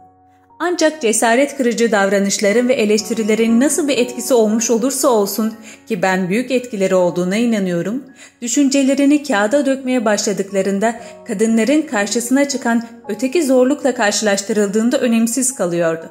Demek istediğim sırtlarını dayayacakları bir gelenek yoktu. Varsa da öyle küçük ve sınırlıydı ki pek yardımı olmuyordu. Çünkü kadınlar anneleri üzerinden geçmişi düşünürler. Yardım istemek için büyük erkek yazarlara başvurmanın yararı yoktur. Onların yanına gitmek bize ne kadar zevk verse de Lamb, Brownie, Thackeray, Newman, Stern, Dickens, De Quincey hangisi olursa olsun asla bir kadına yardımcı olmamışlardır. Ama onlardan birkaç numara öğrenip bunları kendi yazdıklarında kullanan bir kadın olmuştur belki. Bir erkeğin zihninin ağırlığı, hızı, adımları kadınınkine hiç benzemez. Bu nedenle de kadın erkekten dişe dokunacak bir şey öğrenemez. Maymun çaba gösteremeyecek kadar uzaktadır. Belki de kalemini kağıda değdirdiği anda kullanabileceği ortak bir cümle bulunmadığını anlamıştır. Thackeray, Dickens ve Balzac gibi büyük romancıların düz yazıları doğaldı. Hızlı tempoluydu ama dağınık değildi. Zengin ifadeli ama süslü püslü değildi ortak özelliklerinden uzaklaşmayıp kendi renklerini katıyorlardı. O günlerde geçerli olan cümleyi temel alıyorlardı. 19. yüzyılın başında geçerli olan cümle belki de şöyleydi. Eserlerinin ihtişamı bir kanıttı onlar için. Durmamalı, ilerlemeliydiler. Onları sanatlarını uygulamaktan, sürekli hakikat ve güzellik üretmekten daha fazla heyecanlandıracak ya da tatmin edecek bir şey mevcut değildi. Başarı kişiyi çaba göstermeye sevk eder. Alışkanlık da başarıyı kolaylaştırır. Bu bir erkek cümlesidir. O cümlenin gerisinde Johnson'ı, Gibbon'ı ve ötekileri görebiliriz. Bir kadının kullanmasına uygun bir cümle değildi bu. Düz yazıya ne kadar yetenekli olsa da Charlotte Bronte elinde bu hantal silahla tökezleyip yere düştü. George Eliot tanımlaması zor gaddarlıklar yaptı onunla. Jane ona baktı ve alay etti son derece doğal, biçimli bir cümle kurup kullandı ve o cümleden hiç vazgeçmedi. Böylece yazma konusunda Charlotte Bronte kadar yetenekli olmasa da çok daha fazla şey söyleyebildi. Gerçekten de sanatın temelinde özgürlük ve zengin ifade yattığına göre böyle bir gelenek eksikliği, kullanılabileceği araçların kıt ve yetersiz oluşu, kadınların yazmaları üzerinde müthiş etkili olmuştur. Ayrıca bir kitap peş peşe dizilen cümlelerden oluşmaz. Eğer bir imgenin yararı olursa kemerli geçitler ya da kubbelere dönüşen cümlelerden oluşur ve bu şekilde erkekler kendi ihtiyaçlarını karşılamak üzere kendi kullanımları için hazırlamışlardır. Epik oyunun ya da manzum oyunun kalıbı en az o cümle kadar ters düşer kadına. Ama kadının yazar olduğu dönemde artık edebiyatın bütün o eski kalıpları katılaşmış ve sabitleşmişti. Sadece roman yeniydi ve kadının ellerinde yumuşacık duruyordu. Bu da neden roman yazdığını gösteren bir başka gerekçe. Yine de bütün kalıpların içinde en esneği olan romanın bile onun kullanımına uygun olduğunu kim söyleyebilir? Kuşkusuz elini kolunu serbestçe kullanabildiğinde onu kendi istediği biçime sokabileceğini göreceğiz. ve içinde taşıdığı şiir için mutlaka şiir kalıbında olması gerekmeyen yeni bir araç sağlayacağını da. Çünkü hala çıkış yolu verilmeyen tür şiirdir. Bir kadının bugün beş perdelik bir manzum tragedyayı nasıl yazabileceğini düşündüm. Dizeler mi kullanırdı yoksa düz yazıyı mı tercih ederdi? Ama bunlar geleceğin alacakaranlığında yatan zor sorular. Onları bırakmalıyım. Konumdan ayrılıp yolu izi olmayan ve büyük olasılıkla vahşi hayvanların eline düşeceğim ormanlara girmem için beni kışkırtıyor olsa bile. Bu çok sıkıcı konuyu kurmacanın geleceğini açmak istemiyorum. Eminim ki siz de istemiyorsunuzdur. Bu nedenle burada bir an durup kadınları ilgilendirdiği kadarıyla dikkatinizi fiziksel koşulların gelecekte sahip olacağı önemli role çekmek istiyorum. Kitap bir biçimde bedenle uyumlu olmalıdır. Kadınların kitaplarının erkeklerinkinden daha kısa, daha yoğun olması gerektiği söylenir. Gelişi güzel ve öyle düzenlenmelidir ki saatlerce yerlerinden kalkmadan, bölünmeden çalışmak zorunda kalmasınlar. Çünkü kadınların çalışmaları her zaman bölünebilir. Beyni besleyen sinirlerin kadınlarla erkeklerde birbirinden farklı olduğu da söylenebilir. O sinirlerin en iyi, en verimli şekilde çalışmasını istiyorsanız onlara nasıl davranılacağını öğrenmelisiniz. Hangi aralıklarla çalışıp dinlenecekler? Dinlenme derken hiçbir şey yapmamak değil, bir şey ama farklı bir şey yapmak anlamında. Peki ne olacak bu fark? Bütün bunlar tartışılmalı ve ortaya çıkarılmalı. Bütün bunlar kadınlar ve kurmaca sorununun bir parçası. Yine de diye devam ettim kitap rafına yeniden yaklaşırken. Kadınların psikolojisi hakkında bir kadın tarafından yapılmış bir çalışmayı nerede bulacağım? Futbol oynama yetenekleri olmadığı için kadınların doktorluk yapmalarına izin verilmiyor maalesef. Böyle dereden tepeden konuşurken sonunda günümüz yazarlarının kitaplarının bulunduğu raflara gelmiştim. Kadınların ve erkeklerin. Çünkü kadın yazarların kitaplarının sayısı neredeyse erkeklerinki kadardı. Ya da bu dediğim henüz pek doğru değilse de eğer erkek hala daha konuşkan olan cinsse de kadınların artık sadece roman yazmadıkları da bir gerçektir. Jen Yunan arkeolojisi üzerine kitapları vardır. Vernon estetik üzerine, Gertrude Bell'in İran üzerine. Bir kuşak önce hiçbir kadının elini sürmediği her türlü konuda kitaplar var. Şiirler, oyunlar, eleştiriler, tarih kitapları ve biyografiler, gezi kitapları, ilim ve araştırma kitapları, hatta birkaç felsefe kitabıyla bilim ve ekonomi üzerine kitaplar da. Sayıca daha fazla olsalar da başka türlü kitaplarla bir araya gelince romanlar da değişmiş olabilir. Kadınların yazdıklarında artık doğal bir sadelik bulunmayabilir. Epik çağ geçmiş olabilir. Okumak ve eleştiri kadının ufkunu genişletmiş, zekasını bilemiş olabilir. Öz yaşam öyküsüne eğilimi azalmış olabilir. Yazmayı kendini ifade etmenin yöntemi olarak değil de bir sanat olarak kullanmaya başlıyordur. Bu yeni romanlar arasında bu tür pek çok sorunun yanıtı bulunabilir. Rastgele birini seçtim. Rafın en sonundaydı. Adı Hayatın Serüveni ya da ona benzer bir şeydi. Yazarı Mary Carmichael'dı. İçinde bulunduğumuz Ekim ayında yayımlanmıştı. Galiba ilk romanı diye düşündüm. Ama epeyce uzun bir dizinin son kitabıymış gibi okumalıyız onu. Göz attığım bütün o kitapların bir devamı olarak. Biz onları alışkanlıkla ayrı ayrı değerlendirsek de romanlar birbirlerini izlerler. Onu koşullarına göz attığım bütün o kadınların soyundan gelen biri gibi görüp onların özelliklerinin ve kısıtlanmalarının ne kadarını devraldığını görmeliyim. Romanlar çoğunlukla panzehir değil, uyuşturucu etkisi gösterirler. İnsanın içini dağlayıp harekete geçireceklerine uyuşukluğa sevk ederler. Bu yüzden içimi çekerek elime bir defterle kalem aldım. Mary Carmichael'ın ilk romanı olan Hayatın Serüveniyle ilgili olarak elimden geleni yapmak üzere oturdum. İlk önce sayfayı baştan sona gözden geçirdim. Zihnimin mavi gözlerle ve kahverengi gözlerle ve Chloe ile Roger arasındaki olası ilişkiyle doldurmadan önce yazarın cümlelerinin aslını esasını kavrayacağım dedim.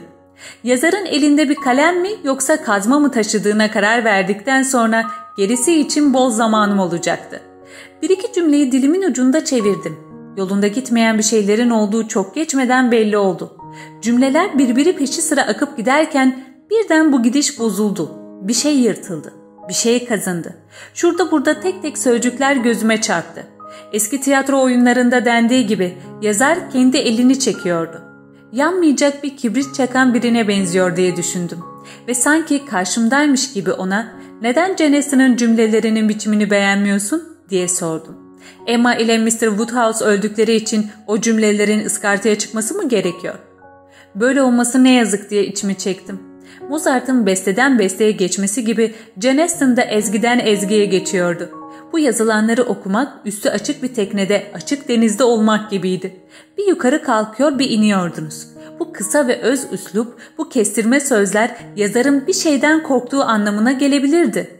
Belki duygusal damgası yemekten çekiniyordu ya da kadınların yazdıklarına süslü püslü denildiğini hatırlayıp gereksizce sertleşmiş olabilirdi. Ama bir sahneyi dikkatle okumadan onun kendisi mi bir başkası mı olarak yazdığına emin olamam. Ne olursa olsun daha titizlikle okuyunca insanın enerjisini azaltmıyor ama çok fazla olgu yığıyor üst üste. Bu kalınlıkta bir kitapta bunların yarısını bile kullanamaz. Yine de şu ya da bu şekilde hepimizi bir kanoya bindirip nehirde götürmeyi başarmıştı. Bekle bir dakika dedim arkama yaslanırken. Daha fazla ilerlemeden önce her şeyi daha dikkatli ele almalıyım. Mary Carmichael'ın bize bir oyun oynadığına neredeyse eminim dedim içimden. Dönemeçli bir demir yolunda vagon beklendiği gibi savrulacağına yeniden yola dönünce ne hissedilirse onu hissediyordum. Mary romanın beklenen devamıyla oynuyordu. Önce cümleyi kırmıştı. Şimdi de romanın gidişini kırıyordu. Pekala kırmak için değil de yaratmak içinse bunları ikisini yapmaya hakkı var. Mary'nin karşısına bir durum çıkmadıkça bunların hangisinin geçerli olduğuna emin olamam. Ona her türlü serbestliği tanıyacağım dedim. İstediği durumu seçebilir. İsterse teneke kutulardan ve eski çaydanlıklardan yapsın. Ama bunun bir durum olduğuna inandığına beni ikna etmeli. O durumu yarattıktan sonra da karşısında durabilmeli. O bana karşı yazarlık görevini yerine getirirse ben de ona karşı okurluk görevimi yerine getirmeye kararlıydım. Bunu düşünerek sayfayı çevirdim ve onu okudum. Böyle aniden kestiğim için kusura bakmayın. Hiç erkek yok değil mi burada? Şuradaki kırmızı perdenin arkasında Sir Charles birinin gizlenmediğine söz verir misiniz? Buradaki herkes kadın mı diyorsunuz bana? O zaman okuduğum sözcüklerin şunlar olduğunu söyleyebilirim size. Chloe Olivia'dan hoşlanıyordu. İrkilmeyin, yüzünüz kızarmasın. Aramızda kalsın böyle şeyler olur bazen. Kabul edelim. Bazen kadınlar kadınlardan hoşlanır. Chloe Olivia'dan hoşlandı diye okudum ve sonra burada ne kadar büyük bir değişiklikle karşı karşıya olduğumu anladım. Belki de edebiyatta Chloe ilk kez hoşlanıyordu Olivia'dan. Kleopatra Octavia'dan hoşlanmıyordu. Eğer hoşlanmış olsaydı Antony ise Kleopatra nasıl da baştan sona değişirdi. Korkarım ki hayatın serüveninden biraz uzaklaştım ve bu durumda her şey basitleştirilmiş, gelenekselleştirilmiş diye düşündüm. Hatta saçma bir biçimde bile diyebilirim. Kleopatra Octavia'ya karşı sadece kıskançlık duyuyor. Boyu benden daha mı uzun, saçlarını nasıl tarıyor, belki de oyunda daha fazlasına gerek yoktu. Ama iki kadın arasındaki ilişki daha karmaşık olsaydı ne kadar ilginç olurdu. Kadınlar arasındaki bütün bu ilişkiler kurmacalardaki kadınların muhteşem geçit törenini hatırlayarak çok daha fazla basit. Ne kadar çok şeye değinilmemiş, ilgilenilmemişti. Okuduklarım arasında iki kadının arkadaş olarak sunulduğu bir örnek olup olmadığını hatırlamaya çalıştım. Aykırı Dayana'da böyle bir girişim var. Yunan tragedyalarında bu kadınlar sırdaş. Ara sıra da anne ve kız. Ama hemen hemen her zaman erkeklerle ilişkileri bağlamında gösteriliyorlar. Cenesine gelene kadar kurmaca yapıtlardaki bütün kadınların sadece karşı cins tarafından görüldüklerini değil, sadece karşı cinsle ilişkileri bağlamında görüldüklerini düşünmek çok tuhaftı. Ve bir kadının yaşamının ne kadar küçük bir parçasıdır bu. Cinsiyetin gözüne oturttuğu, kara ya da pembe gözlükle bakan bir erkek bunun ne kadar canı bilebilir? Belki de kadının kurmacadaki garip yapısı bundan kaynaklanmaktadır güzelliğinin ve korkularının bu kadar uçlarda verilmesi, cennete gidecek kadar iyi ve cehenneme gidecek kadar ahlaksız olması. Çünkü aşkı çoğalıp eksilen, mutlu ya da mutsuz olan bir aşık onu böyle görürdü. Ama aynı şey 19. yüzyıldaki romancılar için pek de geçerli değil. Kadın çok daha çeşitleniyor ve karmaşıklaşıyor burada. Belki de erkeklerin manzum dramalardan yavaş yavaş uzaklaşmalarının nedeni kadınlar hakkında yazmayı arzulamış ve romanı kadınlar için daha uygun bir kılıf olarak görmüş olmalarıdır. Çünkü şiddet içeren dramalarda kadınlar fazla kullanılamıyordu. Hal böyleyken Proust'un yapılarında bile bir erkeğin kadınlar hakkındaki bilgilerinin korkunç derecede kısıtlı ve kısmi olduğu belli. Aynı şey aksi yönde de geçerli. Kadınlar da erkekler konusunda aynı durumda. Sayfaya yeniden göz atarken erkekler gibi kadınların da sürüp giden ev ve aile hayatının dışında da ilgilendikleri şeyler olduğu ortaya çıkmakta. Chloe Olivia'dan hoşlanıyordu. Aynı laboratuvarı paylaşıyorlardı diye okumaya devam ettim. Ve bu iki genç kadının görünüşe bakılırsa ölümcül kansızlığa çare olan ciğer doğradıklarını keşfettim. Oysa biri evliydi ve iki küçük çocuğu da vardı. Bütün bunların tabi dışarıda bırakılması gerekmişti ama bu yüzden de kurmacadaki kadının muhteşem portresi fazlasıyla basit ve fazlasıyla yavan kalmıştı. Örneğin erkeklerin edebiyatta asla erkeklerin arkadaşları, asker, düşünür, hayalperest olarak değil de sadece kadınların sevgilileri olarak temsil edildiğini varsayın. Shakespeare'in oyunlarında ne kadar az yer verilebilirdi onlara. Edebiyat nasıl da çekerdi bunun acısını. Otello'dan pek bir şey eksilmezdi. Antonis'ten de öyle. Ama ne Sezar olurdu ne de Brutus. Ne Hamlet, ne Lear ne de Jack. Edebiyat inanılmaz derecede yoksullaşırdı. Tıpkı kadınların suratına kapatılan kapılar yüzünden edebiyatın ölçülemeyecek derecede yoksullaşması gibi. İstemeden evlendirilmişlerdi kadınlar. Bir odaya tıkılıp bir tek şeyle meşgul olmaya zorlanmışlardı. Bu durumda bir oyun yazarı onları nasıl eksiksiz, ilginç ya da gerçeğe uygun şekilde anlatabilirdi ki? Tek olası tercüman aşk olabilirdi. Şair eğer kadınlardan nefret etmiyorsa ya şehvetli olmak zorundaydı ya da üzücü. Bunun da anlamı kadınların ondan hoşlanmamasıydı.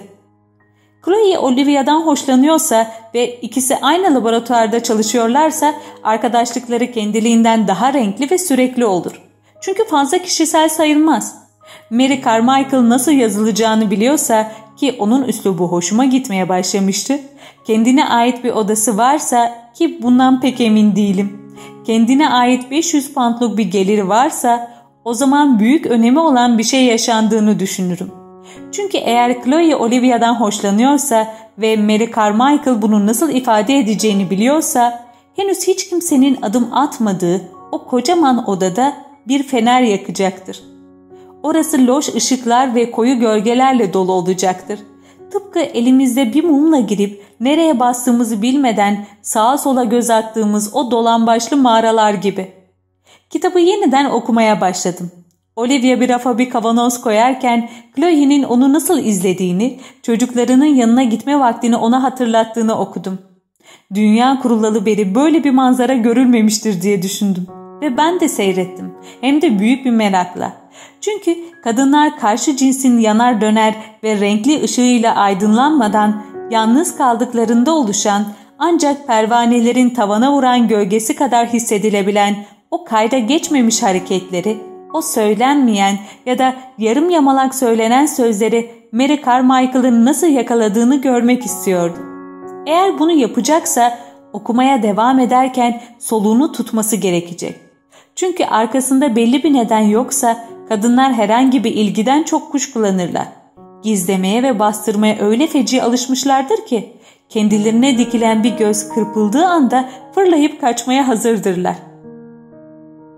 Bunu yapmanın tek yolu Mary Carmichael karşımdaymış gibi ona hitap ederek sürekli camdan dışarı bakarak başka bir şeyden söz etmek ve böylece çok çok kısa sözcüklerle hatta neredeyse heceye dönüşmemiş sözcüklerle neler olduğunu kaydetmek.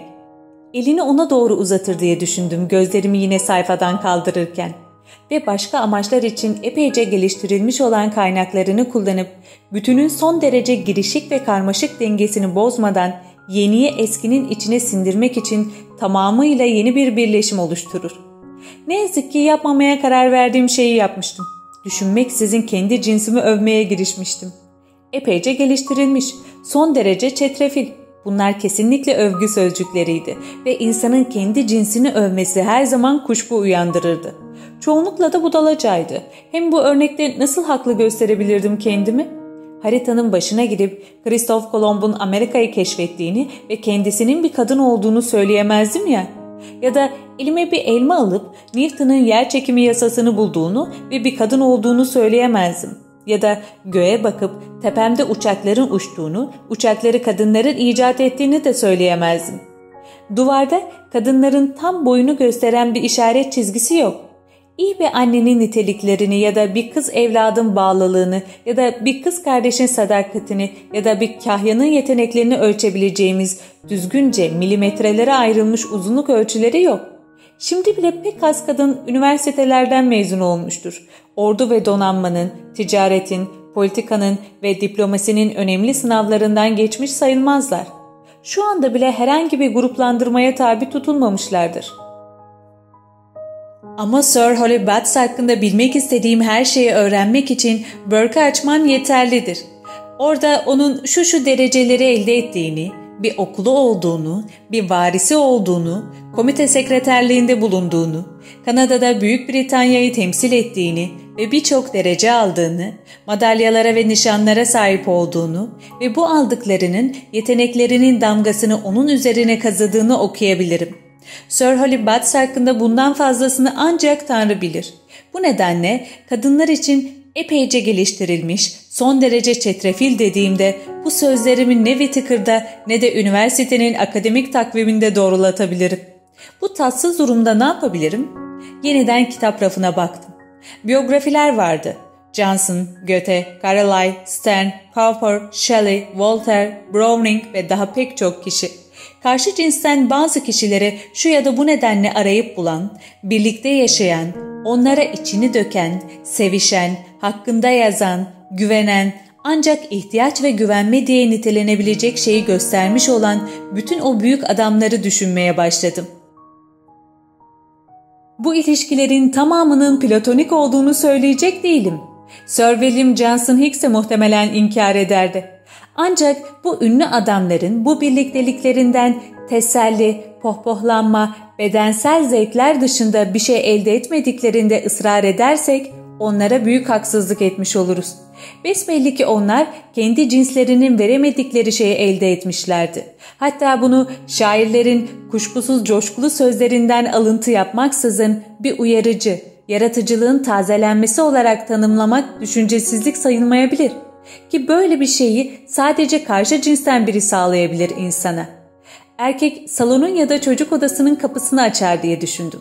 Ve belki kadını çocuklarının arasında bulur ya da kucağında bir nakışla.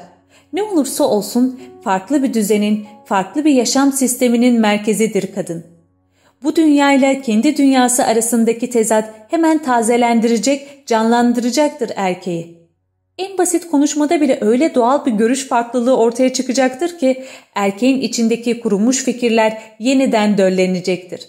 Kadını kendisininkinden farklı bir ortamda bir şeyler yaratırken görmek erkeğin yaratıcılığını öyle hızlandıracaktır ki kısır zihni yavaş yavaş yeniden plan yapmaya başlayacak ve erkek şapkasını başına oturtup kadının yanına gelmeden önce eksik olan cümleyi ya da sahneyi bulacaktır.''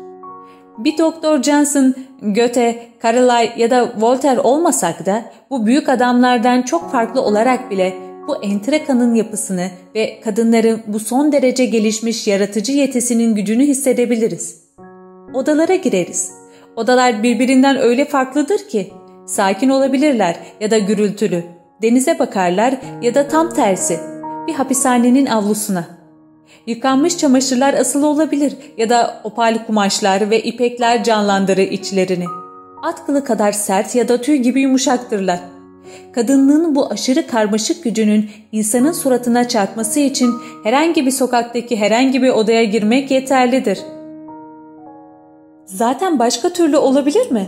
Çünkü kadınlar milyonlarca yıldır evlerinin içinde oturdular. Artık onların yaratıcılıkları o evlerin duvarlarını delmiştir. Bu güç tuğlaların ve harcın kapasitesini öylesine zorlamıştır ki artık kalemlere ve fırçalara, iş hayatına ve politikaya yönelmek ihtiyacındadır. Ancak kadınların yaratıcılığı erkeklerinkinden çok farklıdır. Asırlar süren çok katı bir disiplin sonucunda kazanılmıştır ve yerini de hiçbir şey alamaz. Bu yüzden eğer engellenirse ya da ziyan edilirse çok yazık olur. Kadınlar erkekler gibi yazsalardı ya da erkekler gibi yaşasalardı, onlar gibi görünselerdi çok yazık olurdu. Dünyanın ne kadar geniş ve çeşitli olduğunu düşünürsek, iki cins bile pek yetersiz kaldığına göre sadece tek bir cinsle nasıl idare edebilirdik? Eğitim benzerlikleri değil de farklılıkları meydana çıkarıp güçlendirmemeli mi? Çünkü zaten oldukça fazla benziyoruz birbirimize. Bir kaşif gittiği yerden dönüp başka ağaçların dallarının arasından başka göklere bakan başka cinslerin olduğu haberini getirecek olsa insanlığa bundan büyük yardımda bulunamazdı. Biz de ayrıca Profesör X'in kendi üstünlüğünü kanıtlamak üzere koşup ölçü çubukları almasını seyretmenin tadını çıkarırdık. Mary Carmichael hala sayfayı biraz uzakta tutarak seyirci olarak kalacak, işi başkası kotaracaktır. Korkarım ki naturalist romancı olmak gelecektir içinden, düşünen romancı değil. Bu da türlerin içinde en az ilginç olan daldır. Gözlemleyeceği öyle çok yeni olgu vardır ki artık kendisini üst orta sınıfın saygıdeğer evleriyle sınırlaması gerekmeyecektir. Nezaket göstermeden, tenezzül eder gibi yapmadan, arkadaşlık ruhuyla fahişelerin, orospuların ve buldoklu hanımların oturduğu o küçük mis kokulu odalara girecektir. O kadınlar orada erkek yazarın sırtlarına zorla giydirdiği o kaba hazır dikim kıyafetlerle oturmaktadır hala. Ama Mary Carmichael makasını çıkarıp o kıyafetleri kadınların üzerlerine kalıp gibi oturtacaktır. Bu kadınları oldukları gibi görmek şaşırtıcı olacaktır. Ama biraz beklemeliyiz.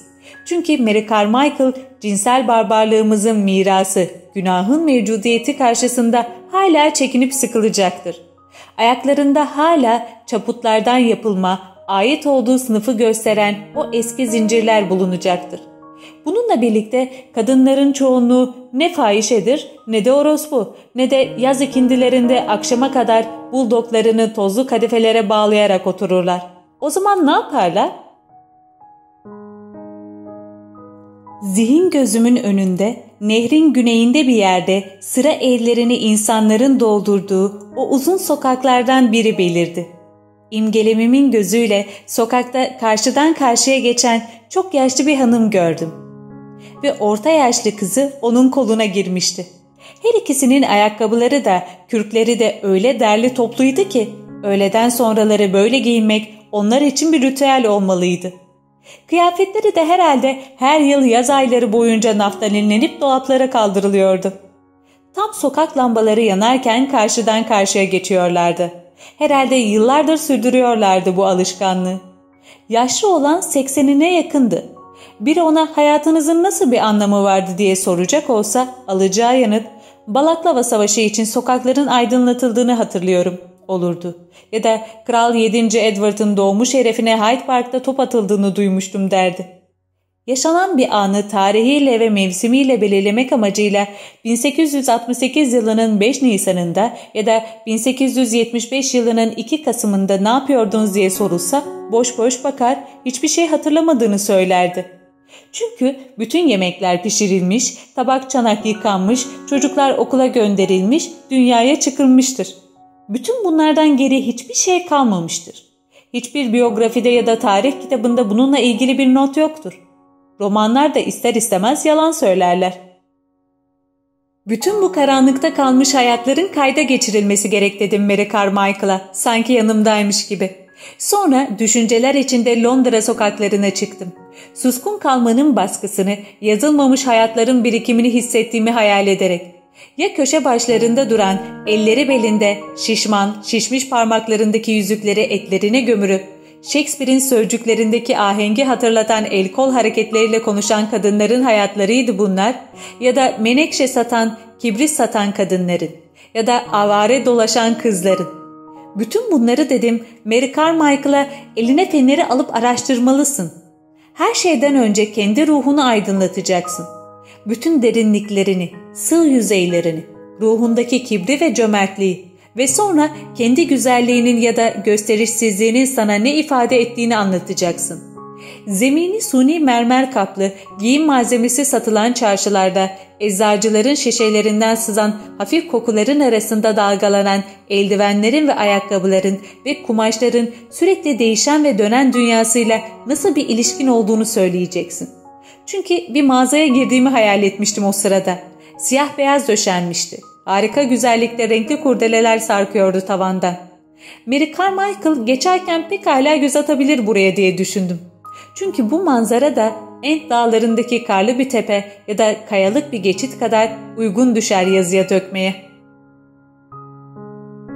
Kafamızın arkasında kendimizin asla göremeyeceği bir şilin büyüklüğünde bir nokta vardır. Kafanın arka tarafındaki bir şilin büyüklüğündeki o noktayı betimlemek için cinslerden birinin ötekini sorumluluktan kurtarması iyi bir iştir. Juvenel'in taşlamalarından, Strindberg'in eleştirilerinden kaç kadının yararlandığını bir düşünün. Erkeklerin ilk çağlardan beri nasıl bir insaniyet ve parlak zekayla kadınlara kafanın arkasındaki o karanlık noktayı işaret ettiğini düşünün. Eğer Mary çok cesur ve çok dürüst olsaydı karşı cinsin arkasına geçer ve orada ne gördüğünü bize söylerdi. Bir kadın bir şilin büyüklüğündeki o noktayı bize betimlemedikçe bir erkeğin eksiksiz bir portresi çizilemez. Bununla birlikte gözlerimi yeniden sayfaya çevirmenin zamanı gelmişti de geçiyordu bile. Mary Carmichael'ın ne yazabileceğini ve yazması gerektiğini düşünecek yerde onun aslında ne yazdığını görmeliydim. Böylece yeniden okumaya koyuldum.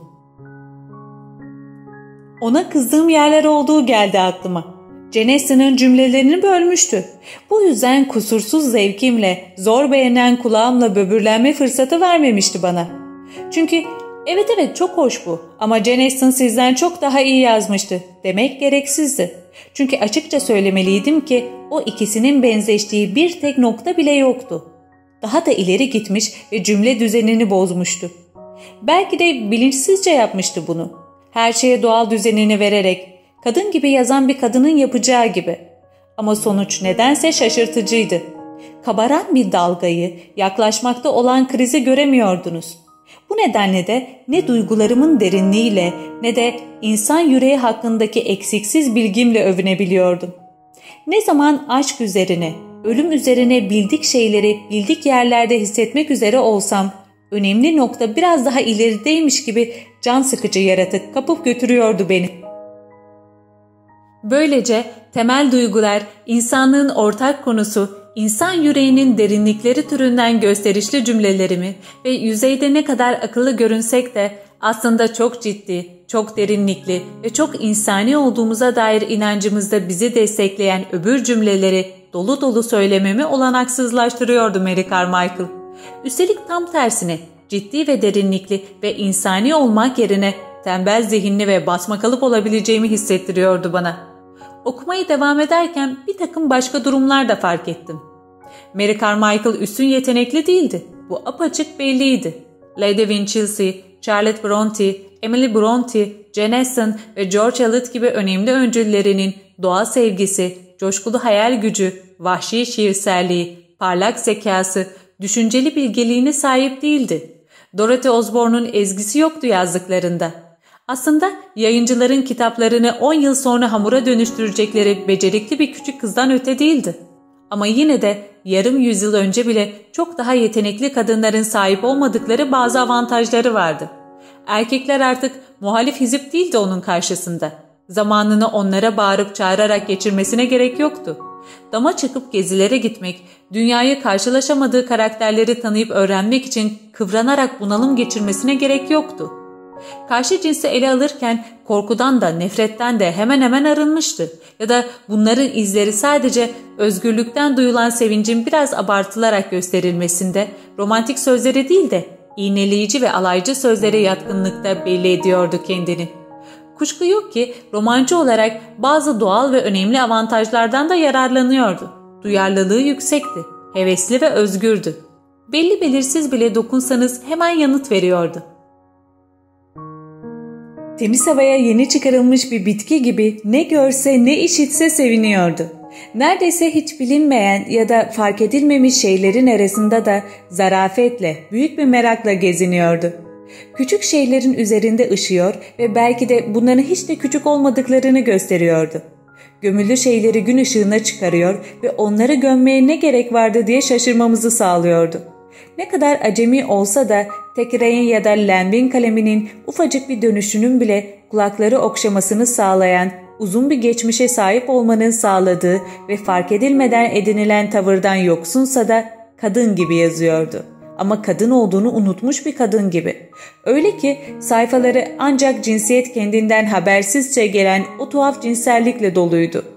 Bütün bunlar olumluydu. Ancak Mary Carmichael geçici ve kişisel olanı alıp devrilmeden kalacak bir yapı inşa edemediği sürece duygu bolluğu da seziş inceliği de uçup giderdi. Yazar bir durumla karşılaşana kadar bekleyeceğimi söylemiştim. Demek istediğim sadece yüzeylere değip geçmediğini, derinlere de bakmış olduğunu çağırarak, el ederek ve bir şeyleri bir araya getirerek kanıtlayana kadar bekleyecektim. Bir an gelecek, işte zamanı geldi diyecekti içinden. Şiddete başvurmadan bütün bunların anlamını gösterebilirim. Ve işaret vermeye, el vermeye başlayacaktı. O zaman okurken bir kenara bırakılan öteki bölümlerin içinden belki de önemsiz görülen, unutulmaya başlanan küçük şeyler bellekte canlanacaktı. Son derece doğal bir biçimde dikiş diken ya da piposunu içen birileri o küçük şeylerin varlığını hissettirecekti bize.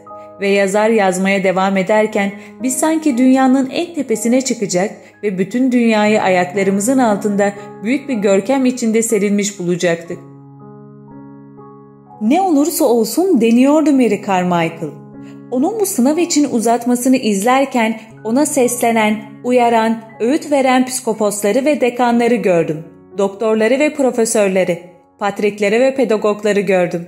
Ve keşke Mary görmese dedim. Bunu yapmamalısın, şunu yapmayacaksın. Çimenlere sadece öğretim üyeleri ve öğrenciler basabilir. Elinde tavsiye mektubu olmayan hanımlar giremez hevesli ve zarif kadın romancılar şu taraftan. Yarış alanındaki çitin arkasında bekleşen kalabalıklar gibi bırakmadılar peşini.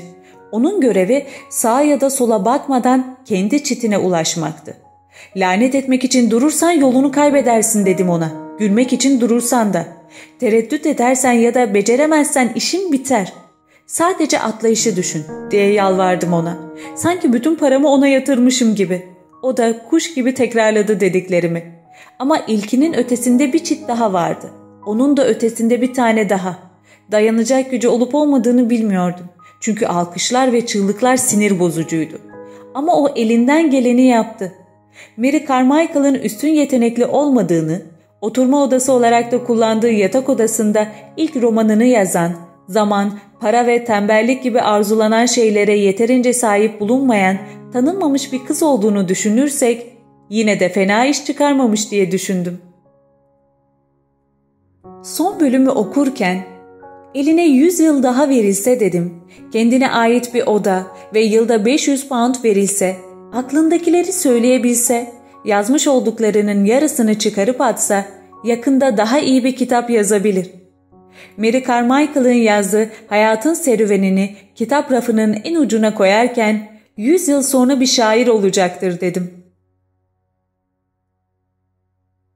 Ertesi gün Ekim sabahının ışığı perdesiz pencerelerden içeri tozlu oklar gönderiyor, sokaktan trafiğin uğultusu yükseliyordu.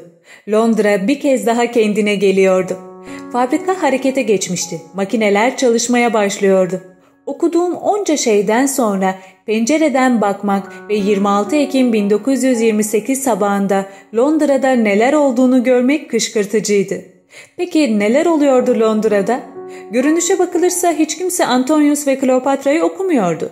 Belli ki Shakespeare'in oyunlarına tamamen kayıtsızdı Londra. Kurmacanın geleceği kimsenin umrunda değildi. Şiirin öldüğüne ya da ortalama kadının zihnindekini olduğu gibi ifade edecek bir düz yazı üslubu geliştirmesine de aldıran yoktu. Bu meselelerden biri hakkındaki görüşler kaldırıma tebeşirle çizilmiş olsa kimse durup da okumazdı onları.'' Telaşla koşuşturan umursamaz ayaklar yarım saat geçmeden silerdi bütün yazıları. Şuradan bir çırak geliyordu. Buradan kayışında köpeğiyle bir kadın. Londra sokaklarının büyüleyici yanı birbirlerine benzeyen iki kişi bile bulunmamasıydı. Herkes kendi özel işinin peşinde gibiydi. Ellerinde küçük çantalarıyla iş adamına benzeyenler vardı. Civardaki parmaklıklarda sopalarını takırtatan serseriler vardı. Sokakları kulüp odası gibi kullanan nazik kişiler vardı. Arabalarıyla geçen adamlara el sallıyor, sorulmadan bilgi veriyorlardı. Kendi ölümlülüklerini ansızın hatırlayan erkekler geçen cenazeleri şapkalarını kaldırıp selamlıyorlardı. Sonra çok kibar bir beyefendi bir kapıdan çıkıp merdivene iniyor, şu ya da bu şekilde harika bir kürk manto, bir demet menekşe edilmiş olan telaşlı bir hanımefendiye çarpmamak için duruyordu. O sırada Londra'da sıklıkla yaşanır ya bir sessizlik oldu. Trafik durdu. Sokaktan kimse geçmiyor, kimse görünmüyordu. Sokağın ucundaki çınar ağacından bir tek yaprak koptu ve o sessizlikte askıya alınmış o anda yere düştü. Bir bakıma bir işaretti sanki düşen. İnsanın gözünden kaçan şeylerdeki güce işaret ediliyordu. İşaret görünmeden akıp geçen bir nehri gösteriyordu. Köşeyi dönen, sokaktan aşağı akan bir nehri. Oxbridge'deki nehir kürek çeken üniversite öğrencisini ve sararmış yaprakları nasıl alıp götürdüyse bu da insanları önüne katıp sürüklüyordu. Şimdi sokağın bir yanından karşı çapraza rugan botlu bir kızı taşıyordu. Sonra da kahverengi paltolu bir genç adamı. Bir taksiyi de götürüyordu. Bu üçünü tam penceremin altında bir noktada buluşturuyordu. Genç kızla genç adam durdular. Taksiye bindiler. Sonra taksi akıntıyla başka yere sürükleniyormuş gibi kayıp gitti. Gerçekten sıradan bir manzaraydı bu. Tuhaf olan benim ingelemimin onu kuşatan ritmik temposuydu. Taksiye binen iki kişinin sıradan görüntüsünün onların görünürdeki memnuniyetlerinden bir kısmını bize iletme gücüydü. Sokaktan geçen ve köşede buluşan iki kişiyi seyretmek insanın zihnindeki gerilimi azaltıyor diye düşündüm. Taksinin köşeyi dönüp gözden kaybolmasını izledim. Belki de son iki gündür benim yaptığım gibi bir cinsin ötekinden farklı olduğunu düşünmek çaba gerektiriyordur diye geçirdim aklımda. Zihnin bütünlüğünü bozuyordur. Şimdi iki kişinin buluşup bir taksiye bindiklerini görünce bu çaba bitmiş, o bütünlük yeniden sağlanmıştı. Zihin kuşkusuz çok gizemli bir organ diye düşündüm. Ve ona ne çok güveniriz. Ama hakkında hiçbir şey bilmiyoruz.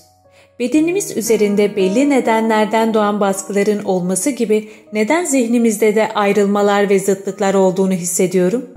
Zihin bütünlüğü derken neyi kastediyoruz diye düşündüm. Çünkü zihnimizin herhangi bir anda, herhangi bir noktada yoğunlaşma gücü öylesine büyük ki tek bir halde olamazmış gibi duruyor. Örneğin sokaktaki insanlardan kopabilir ve kendini onlardan ayrı düşünebilir. Yukarıdaki bir pencereden onlara bakıyordur ya da başka insanlarla birlikte düşünebilir kendiliğinden. Örneğin bir haber dinlemek üzere bekleyen bir kalabalığın arasındayken. Daha önce yazan bir kadının anneleri üzerinden eskiyi düşündüğünü söylemiştim. Zihin de anneleri ya da babaları üzerinden eskiyi düşünebilir. Bir kadınsanız bilincinizin ansızın ikiye bölünmesi şaşırtabilir sizi sık sık. Örneğin Whitehall'dan aşağı yürürken o uygarlığın doğal bir varisiyken bir anda tam tersine onun dışında kalır, yabancı ve eleştirici duruma düşer. Belli ki zihin odak noktasını sürekli değiştiriyor. Dünyayı farklı perspektiflere oturtuyor. Ama bu ruh hallerinden bazıları kendiliğinden oluşsa bile ötekiler kadar rahat değildir. Onların içinde sürekli kalabilmek için farkına varmadan bir şeyi engelleriz. Bu bastırma zamanla çaba gerektirir. Ancak çabasız da sürekli kalabileceğimiz bir ruh hali de bulunabilir. Çünkü bastırmamız gereken bir şey yoktur onda. Pencereden geri çekilirken belki de bu onlardan biridir diye düşündüm. O çiftin taksiye bindiklerini gördüğüm zaman zihnim daha önce bölünmüşken doğal bir birleşimle yeniden bütünleşmişti iki cinsin işbirliği yapmasının bunun doğal nedeni olduğu düşünülebilir. Erkekle kadının birleşmesinin en büyük tatmini verdiği, eksiksiz mutluluğu doğurduğu kuramından yanadır gönlümüz. Mantıksızca da olsa. Ama taksiye binen iki insanı gördüğüm için ve bunun bana verdiği tatmin yüzünden acaba dedim bedende iki ayrı cinsiyet olduğuna göre Acaba zihinlerde de bedenlerdekine denk gelen iki ayrı cinsiyet var mı? Ve acaba mutlak tatmine ve mutluluğa ulaşmak için onların da birleşmesi gerekiyor mu? Amatörce ruhun bir şemasını çizmeye giriştim. Her birimizin içinde iki güç bulunacaktı. Biri erkek, biri kadın. Erkeğin beyninde erkek kadına egemen olacaktı. Kadının beyninde de kadın erkeğe egemen olacaktı. Bu ikisi uyum içinde bir arada yaşarlarsa, ruhsal işbirliği yaparlarsa normal ve rahat bir beden hali doğar. Bir kişi erkekse beyninin kadın tarafı yine de etkilidir. Bir kadın da içindeki erkekle ilişki içinde olmalıdır. Coleridge büyük bir zihnin çift cinsiyetli olduğunu söylerken belki de bunu kastediyordu. Ancak böyle bir birleşme olursa zihin eksiksiz döllenmiş olur ve bütün yetilerini kullanır. Belki de katıksız erkek olan bir zihin yaratıcı olamaz. Katıksız kadın olan bir zihin de. Durup bir iki kitaba göz attım. Kadınsı erkek ve erkeksi kadınla ne kastedildiğini görmek istiyordum. Coleridge büyük bir zihnin çift cinsiyetli olduğunu söylerken kadınlara özellikle sempati besleyen, kadınların meselesini benimseyen ya da kendini kadınları yorumlamaya adayan bir zihin demek istememiştir. Belki de çift cinsiyetli zihin tek cinsiyetli zihin kadar uygun değildir böyle ayrımlar yapmaya. Belki de çift cinsiyetli zihnin yankılı ve geçirgen olduğunu söylemek istemiştir. Engelsizce geçiriyordur duyguları. Doğal olarak yaratıcıdır, göz kamaştırıcı ve bütündür. Aslında çift cinsiyetli kadınsı erkek zihne örnek olsun diye Shakespeare'in zihnine başvurulabilir. Ancak Shakespeare'in kadınlar hakkında ne düşündüğünü söylemek mümkün değil. Cinsiyeti özellikle ya da ayrı olarak düşünmemenin tam gelişmiş zihnin belirtilerinden biri olduğu doğruysa, zihnin bu duruma gelmesi eskiye kıyasla şimdi ne kadar zordur. Bu sırada yaşayan yazarların kitaplarına varmıştım. Orada durup bu gerçeğin uzun zamandır aklımı kurcalayan bir şeyin kökeninde yatıp yatmadığını düşündüm. Hiçbir çağ bizimki kadar rahatsız edici derecede cinsiyetin bilincinde olmamıştır. British Museum'daki kadınlar hakkında erkekler tarafından yazılmış sayısız kitap bunun kanıtıdır. Kuşkusuz bunun suçu oy hakkı için yürütülen kampanyadadır. Bu kampanya erkeklerin içinde benlik davası gütmek için olağanüstü bir arzu uyandırmış olmalı. Kendi cinslerine ve niteliklerine önem vermeye zorlamıştır onları. Kendilerine meydan okunmasaydı böyle bir şey düşünme zahmetine girmezlerdi. Ve insana meydan okunursa birkaç siyah boneli kadın tarafından bile olsa karşılık verilir. Eğer daha önce böyle meydan okunmamışsa epeyce sertçe hem de. Bu kitapta rastladığımı hatırladığım özelliklerden bazılarını açıklıyor bu belki de diye düşündüm. Mr. A'nın yazdığı yeni bir romanı alırken raftan genç yaşta olan yazar görünüşe bakılırsa eleştirmenlerden geçer not almış dedim. Kitabı açtım ve gerçekten de hoşuma gitti. Yeniden bir erkeğin yazdıklarını okumak, kadınların yazdıklarından sonra ne kadar dolaysız, ne kadar açık sözlü geldi bana. Nasıl da bir düşünce özgürlüğü, kişisel özgürlük ve kendine güven sergiliyordu. İnsan kendini bu iyi beslenmiş, iyi yetiştirilmiş, asla engellenmemiş ya da karşı çıkılmamış doğumundan başlayarak istediği yönde yayılması için alabildiğine serbest bırakılmış özgür zihnin karşısında bedensel olarak sağlıklı hissediyordu. Bütün bunlar takdire değerdi. Ama bir iki bölüm okuduktan sonra sayfanın üzerine bir gölge düşer gibi oldu. Dümdüz siyah bir çizgiydi. I harfine benzeyen bir gölge. Arkasındaki manzarayı görebilmek için bir o yana bir bu yana kaçmaya başladım. Ağaç mıydı yoksa yürüyen bir kadın mıydı emin olamadım. Durmadan I harfine dönüyordum. Bu I son derece saygın bir I'ydı. Dürüst ve mantıklı, ceviz gibi sert, iyi bir eğitimle, iyi beslenerek yıllardır terbiye edilmişti. Bütün kalbimle saygı ve hayranlık duyuyordum o I'ya. Ama en kötüsü I harfinin gölgesinde kalan her şey pus içindeymiş gibi şeklini yitiriyordu. Bu bir ağaç mı? Yo bir kadın ama bedeninde bir tek kemik yok diye düşündüm. Sahilden bana doğru gelen Phoebe'ye bakarken. Çünkü adı buydu. Sonra Alan ayağa kalktı. Alan'ın gölgesi hemen Phoebe'yi yok etti. Alan'ın görüşleri vardı çünkü ve Phoebe onun görüşlerinin selinde boğuldu. Sonra tutkuları da var Ela'nın diye düşündüm. Burada sayfaları hızlı hızlı çevirdim. Krizin yaklaşmakta olduğunu seziyordum. Yaklaştı da sahilde, güneş altında oldu. Açıkça oldu. Çok sert oldu. Bundan daha yakışıksız bir şey olamazdı ama... Ne kadar çok ama dedim. Durmadan ama diyemeyiz ki. Bir biçimde bitir cümleni diye azarladım kendimi. Bitirecek miyim? Ama çok sıkıldım. Neden sıkıldım ama? Kısmen I harfinin üstünlüğünden ve dev kayın ağacı gibi gölgesinin yarattığı çoraklıktan. Burada hiçbir şey yetişmez. Kısmen de daha karanlık bir nedeni vardı. Mr. A'nın zihninde yaratıcı enerji pınarının önünü tıkayan ve onu dar sınırlar içinde alan bir engel. Bir köstek vardı sanki. Oxbridge'deki öğle yemeğini, sigara külünü, Manx kedisini, Tennyson ve Kristin Rossetti'yi, bunların hepsini birden hatırlayınca engelin orada bulunması mümkün göründü gözüme.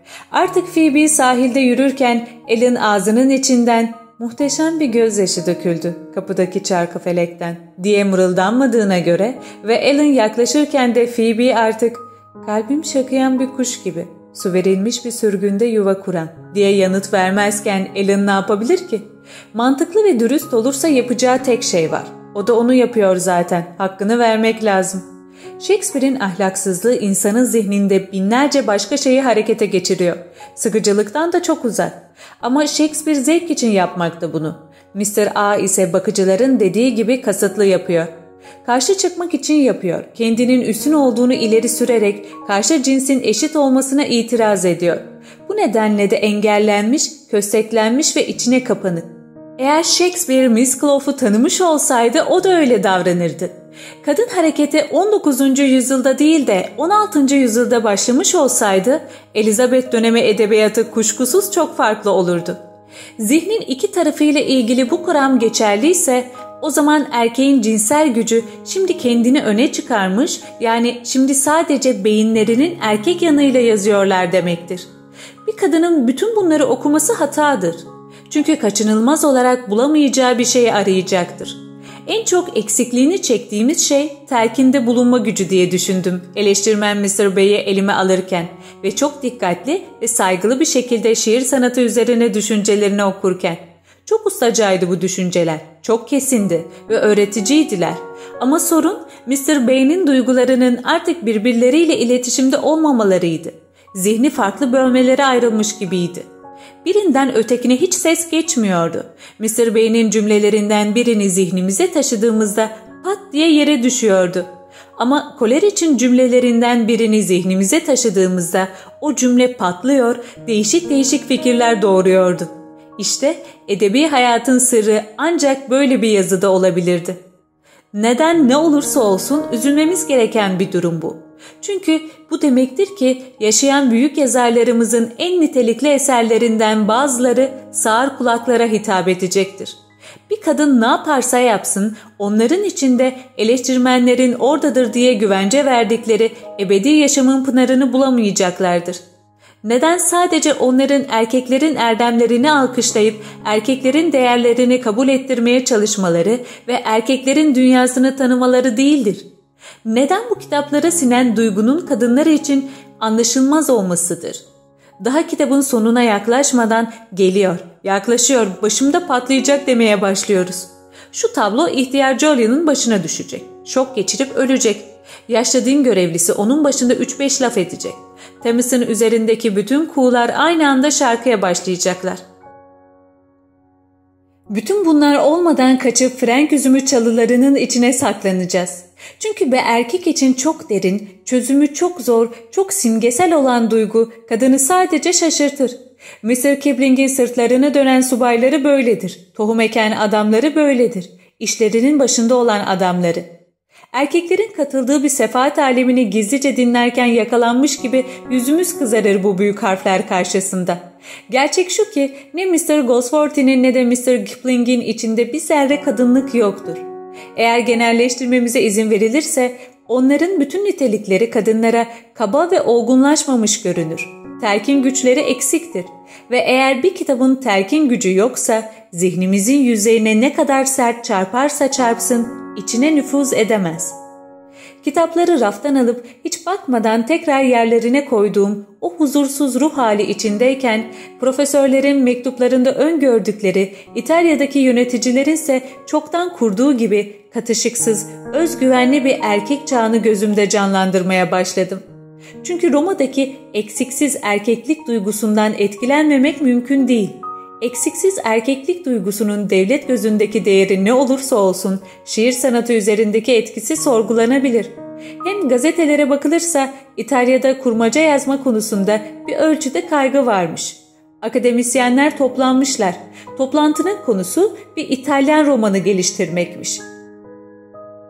Aileden ünlü erkekler ya da finans, sanayi ya da faşist kurumlarda çalışan önemli kişiler geçen gün bir araya gelerek bu konuyu tartışmışlar. Sonra Mussolini'ye bir telgraf göndererek faşist dönemin yakında kendine layık bir şair çıkaracağına dair umutlarını belirtmişler. Bu sahte umuda hepimiz katılabiliriz. Ama şiirin kuluçka makinesinden çıkacağı kuşkulu. Şiirin hem anası olmalıdır hem babası. Bu şiir korkarım ki kasabaların birindeki müzede cam bir kavanoz içinde gördüğümüz türden kürtajla alınmış ürkütücü küçük bir cenin olacaktır. Böyle canavarların pek uzun ömürlü olmadığı söylenir. Böyle bir harikanın bir tarlada ot biçtiği görülmemiştir. Bir bedende iki baş olması hayatı uzatmaz. Bununla birlikte eğer mutlaka kabahat birine yüklenecekse bütün bunların kusuru ne bir cinstedir ne de ötekinde. Bütün kışkırtıcılar ve yenilikçiler sorumludur. Lady Westborough Lord Grenville'e yalan söylediği için, Miss Davis Mr. Grey gerçeği söylediği için, cinsiyet bilincini yaratan herkes kabahatlidir. Ve yetilerimi bir kitabın üzerinde kullanmak istediğimde o bilinci o mutlu çağda Miss Davis ve Miss Clough'un henüz doğmadığı, yazarın zihninin her iki tarafını da eşit kullandığı günlerde aramaya beni yönelten de onlardır. O zaman Shakespeare'e geri dönmek zorunda kalıyoruz. Çünkü Shakespeare çift cinsiyetliydi. Keats de, Sterne de, Cowper da, Lamb ve Coleridge de. Shelley cinsiyetsiz olabilir. Myrtle'la Ben Jonson'un içindeki erkeklik bir tutam fazla kaçmış olabilir. Wordsworth ve Tolstoy'un da. Bizim zamanımızda Pürüz tamamen çift cinsiyetliydi. Hatta kadınlık yanı biraz ağır basıyordu. Ama bu kusur yakınamayacağımız kadar nadirdir. Çünkü bu iki özelliğin katıldığı bir karışım olmazsa zeka baskın görünür. Zihnin öteki yetileri sertleşir ve çoraklaşır. Yine de belki de bu geçici bir dönemdir diye düşünerek teselli buldum. Düşüncelerimin izlediği yolu size anlatacağıma dair verdiğim sözü tutarak söylediklerimin pek çoğu eskimiş görünecektir. Gözlerimde parlayan şeylerin çoğunu henüz reşit olmamış sizler kuşkulu bulacaksınız.'' Öyle bile olsa yazı masasına gidip tepesinde kadınlar ve kurmaca yazılı sayfayı elime alırken burada yazacağım ilk cümle şu olacak dedim. Yazı yazan birinin cinsiyetini unutmaması çok tehlikelidir. Katıksız ve basit bir erkek ya da kadın olmak tehlikelidir. Kadınsı erkek ya da erkeksi kadın olmalıyız. Herhangi bir derdi önemsememek, haklı da olsa sorunlarını savunmak, bir kadın olmanın bilinciyle konuşmak kadınlar için çok tehlikelidir. Mecazla konuşmamak da tehlikelidir. Çünkü o bilinçli ön yargıyla yazılan her şey ölüme yazgılıdır. Bereketi durur. Bir iki gün parlak ve etkili, güçlü ve görkemli görünse de gece olunca sararıp solar. Başkalarının zihinlerinde gelişemez. İnsanın zihninde kadınla erkek arasında bir işbirliği oluşmalıdır ki yaratıcılık tamamlanabilsin. Zıtlıkların evliliği tamamlanmalıdır. Yazarın deneyimlerini bize kusursuz bir bütünlük içinde aktardığı duygusunu edinebilmemiz için zihnin tamamı apaçık serilmelidir önümüze.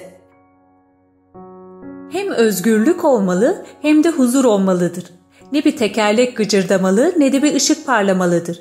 Perdeler sımsıkı kapatılmalıdır. Deneyimi tamamlanınca yazar sırt üstü yatmalı ve zihninin düğününü karanlıkta kutlamasına izin vermelidir diye düşündüm. Bakmamalıdır, neler yapıldığını sormamalıdır. Bunun yerine bir gülün yapraklarını yolmalı ya da nehirde sakince yüzen kuğuları seyretmelidir. Üniversite öğrencisini kayığı ve solmuş yaprakları alıp götüren nehri yine gördüm. Taksi adamla kadını aldı diye düşündüm. İkisinin birlikte sokağın karşısından geldiklerini görerek akıntı onları da alıp götürdü diye düşündüm. Uzaklardan kulağıma Londra trafiğinin gürültüsü gelirken o muazzam nehre sürükledi. Burada susuyor artık Mary Beaton. Eğer kurmaca ya da şiir yazacaksanız yılda 500 pound'a ve kapısı kilitlenebilen bir odaya neden gerek olduğu kararına nasıl vardığını size anlattı. Kendisini böyle düşünmeye sevk eden fikirleri ve izlenimleri açıklamaya çalıştı. Üniversitedeki idare amirinin kollarına düşerken, orada burada yemek yerken, British Museum'da resim çizerken, raftan kitap alırken pencereden dışarıya bakarken peşinden gitmenizi istedi. O bütün bunları yaparken size mutlaka onun kusurlarını, eksiklerini görmüş ve bunların onun kararları üzerinde nasıl bir etkisi olduğuna karar vermişsinizdir. Ona itiraz edip uygun bulduğunuz eklemeleri ve eksiltmeleri yapmışsınızdır. Doğrusu da budur. Çünkü bu tür bir meselede gerçeğe ancak çeşitli hatalar bir araya getirilerek ulaşılabilir. Ben şahsen iki eleştiri beklediğimi söyleyerek son vereceğim sözlerime. Öyle belirgin eleştiriler ki bunlar mutlaka yapılacaktır. Yazarlar açısından bile cinsiyetlerin birbirine kıyasla sahip oldukları erdemler konusunda hiçbir fikir ileri sürülmedi diyebilirsiniz. Bunu kasıtlı yaptım. Çünkü böyle bir değerlendirmede bulunmanın zamanı gelmiş olsa bile zihinsel olsun, kişilikle ilgili olsun, yetilerin şeker ya da tereyağı gibi tartıya vurulabileceklerine inanmıyorum. İnsanları sınıflara ayırmada, başlarına kep, adlarının arkasına da harfler koymada onca usta olunan Cambridge'de bile Whittaker'ın Almanak'ında bulacağınız öncüller tablosunun bile değerlerin kesin listesini temsil ettiğini sanmıyorum. Bir Commander of the Bath'in akşam yemeği için salona girerken bir Master Lunacy'nin arkasında yürüyeceğini varsaymak için geçerli bir neden olacağına da inanmıyorum.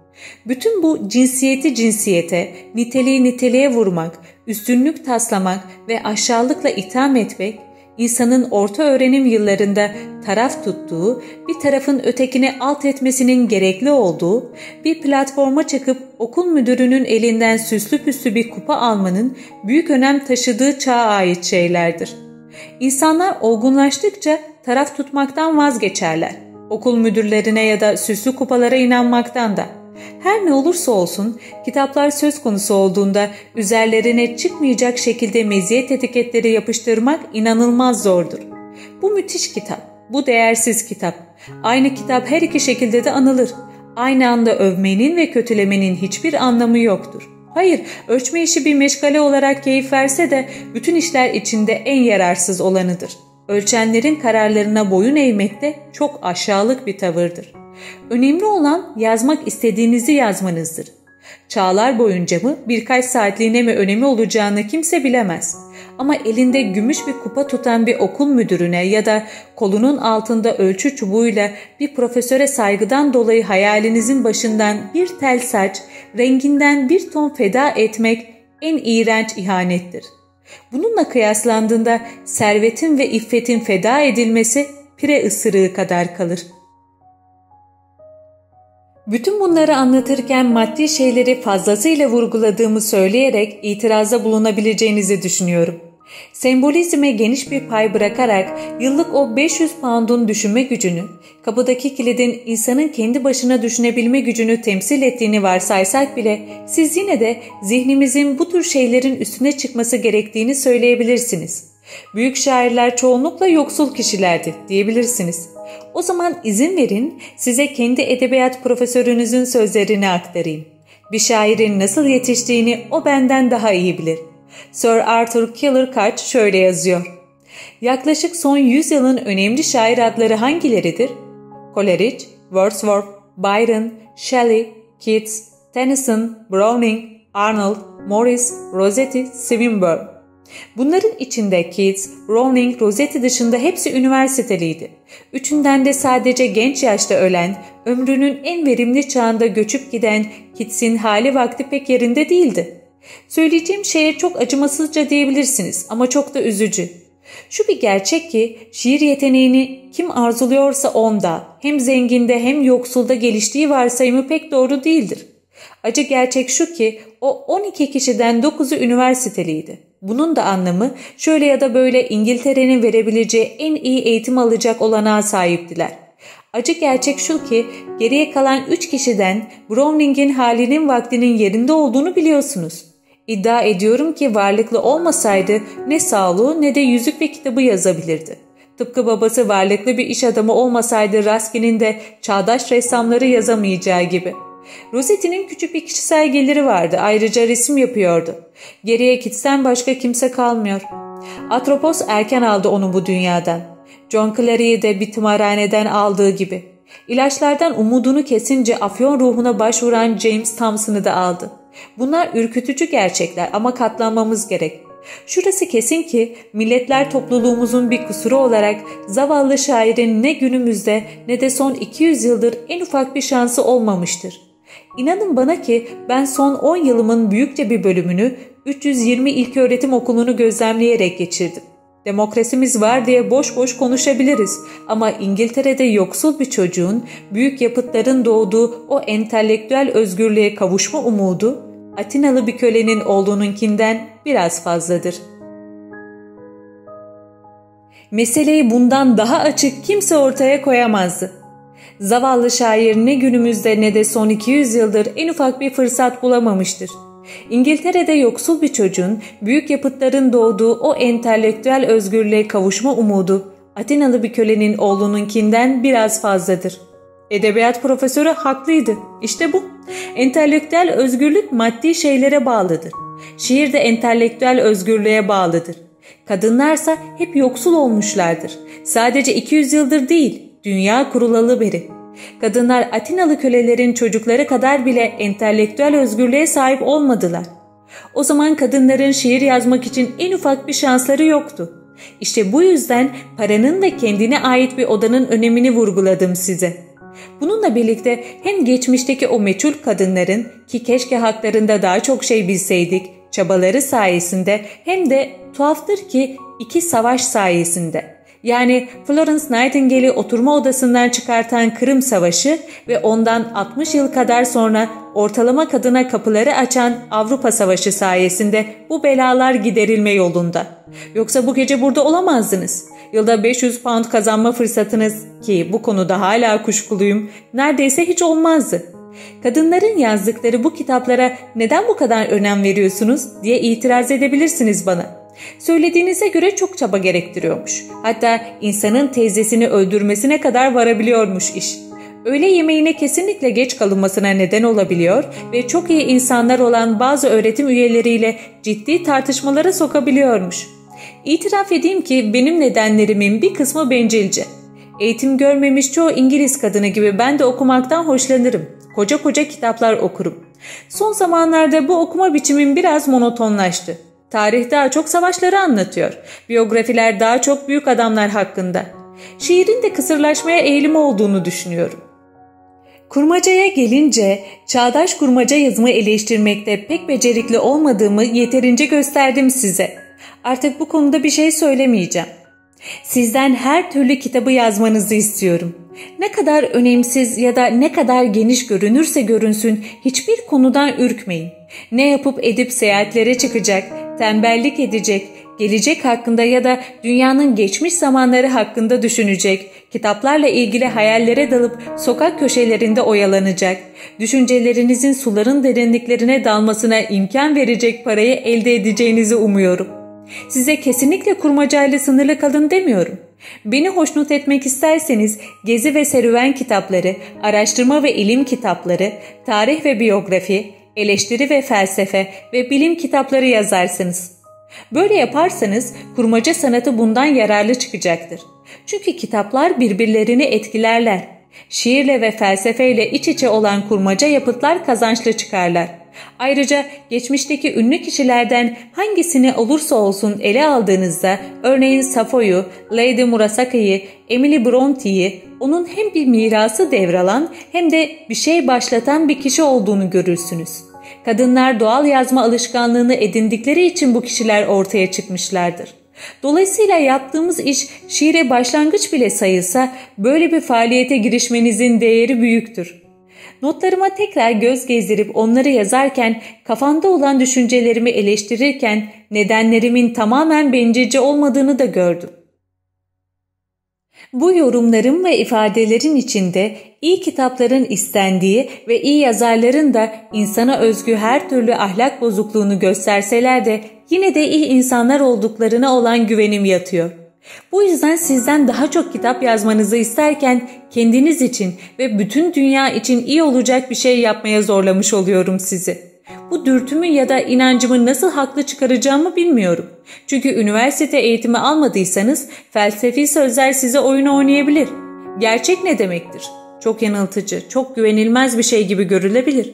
Kah tozlu bir yolda bulunur, kah sokaktaki bir gazete kağıdında, kah güneşteki bir nergiste, bir odadaki bir grubu ışıltır ve sıradan bir sözü damgalar. Yıldızların altında evine yürüyen birini bunaltır. Sessiz dünyayı konuşmalar dünyasından daha gerçek kılar. Bazen de nasıl bir yapıda olduklarını anlayamayacağımız kadar uzakta olan biçimlerin içinde bulunur. Ama neye dokunsa onu düzeltir ve sürekli kılar. Günün kabuğu çalıların içine atıldıktan sonra geride kalan odur.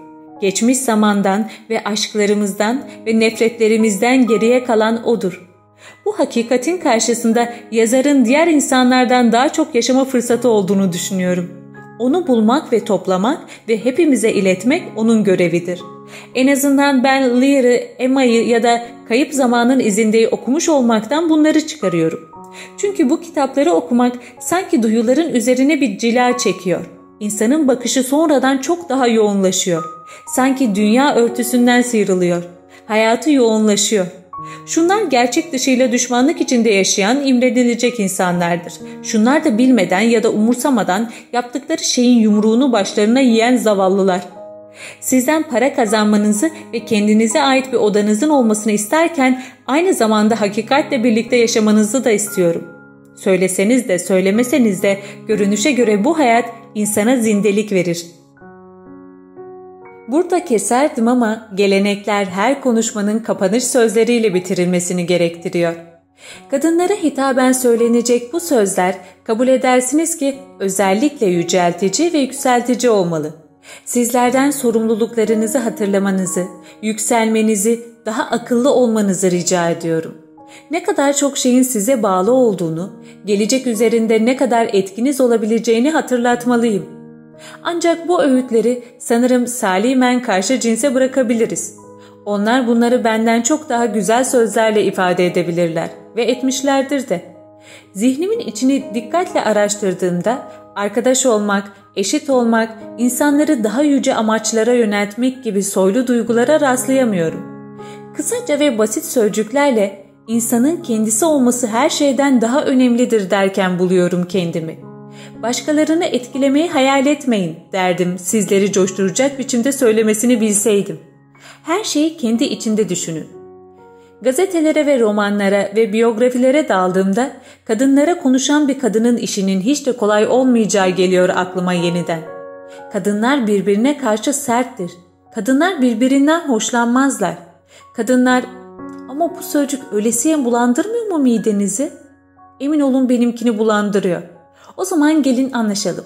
Bir kadının kadınlara okuduğu bir bildiri özellikle sevimsiz bir şeyle son bulmalı. Ama nasıl olacak bu? Aklıma neler gelebilir? Gerçek şu ki çoğunlukla hoşlanırım kadınlardan. Kalenderliklerinden hoşlanırım. Eksiksiz oluşlarından, anonim oluşlarından.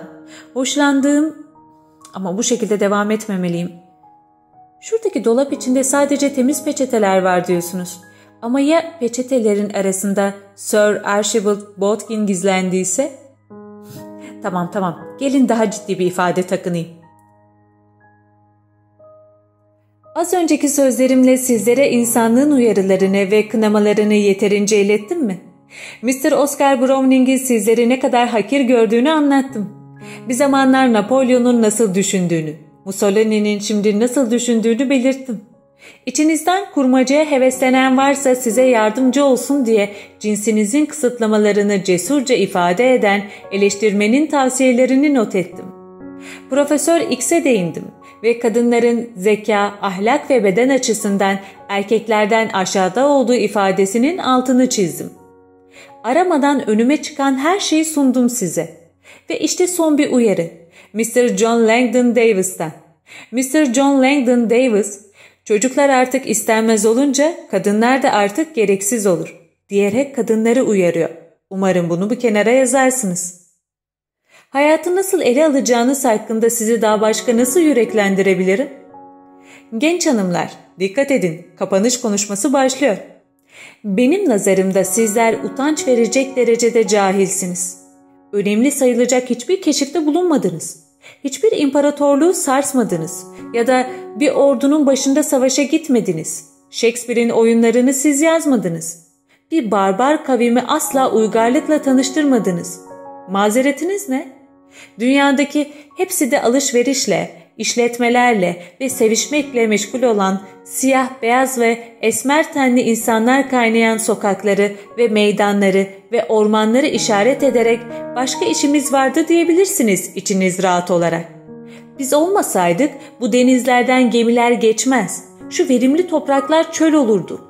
Biz istatistiklere göre şu anda yaşayan 1 milyar 623 milyon insanı doğurduk. Besledik, yıkadık ve eğittik. Belki 6-7 yaşına kadar. Sözlerinizde gerçek payı var, inkar etmeyeceğim.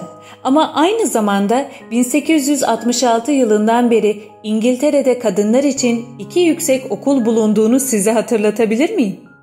1880 yılından sonra evli bir kadının yasa gereği kendine ait bir mülke sahip olma hakkını kazandığını, 1919 yılında ki aradan tam 9 yıl geçmiştir, seçme hakkını kazandığını, şunu da hatırlatabilir miyim ki neredeyse 10 yıldır pek çok meslek sizlere kapılarını açmıştır. Bu geniş ayrıcalıkları ve onlardan ne kadar zamandır yararlanıldığını düşünürseniz ve şu anda 2000 kadar kadının şu ya da bu şekilde yılda 500 pound'dan daha fazla kazandığını unutmazsanız, o zaman fırsat, eğitim, teşvik, boş zaman ve para yokluğunun artık geçerli olmadığı konusunda bana hak verirsiniz. Ayrıca iktisatçılar bize. Sitton'ın çok fazla çocuk doğurduğunu söylüyorlar. Elbette çocuk doğurmaya devam edeceksiniz ama ikişer üçer, on on iki tane değil. Böylece elinizde biraz zamanla kafalarınızın içinde de kitaplardan öğrendiklerinizle çok uzun, çok zahmetli ve son derece muğlak kariyerinizin bir başka evresine adım atmalısınız. Ne yapmanız gerektiği ve nasıl bir sonuç alacağınız konusunda fikir vermek üzere bin kalem hazır bekliyor. Benim önerim biraz fantastik, itiraf ediyorum. Bu nedenle onu kurmaca şeklinde sunmayı yeğliyorum. Bu konuşmam sırasında Shakespeare'in bir kız kardeşi olduğunu söylemiştim. Ama Sir Sidney Lee'nin şairin hayatı üzerine hazırladığı çalışmada aramayın o kızı. O genç yaşta öldü. Ne yazık ki tek bir sözcük bile yazmadı. Şimdi otobüs duraklarının olduğu bir yerde gömülü. Ben tek bir sözcük bile yazmayan ve o kavşakta gömülü olan şairin hala yaşadığına inanıyorum. Sizin içinizde ve benim içimde yaşıyor. Ve bulaşık yıkadıkları, çocuklarını yatırdıkları için bu gece burada bulunamayan pek çok kadının içinde. Ama o yaşıyor. Çünkü büyük şairler ölmezler. Onlar süre giden varlıklardır. Bizlerin arasında ete kemiğe bürünüp dolaşmak için fırsatları yoktur sadece. Bu fırsatı ona vermek sizin elinizde artık diye düşünüyorum.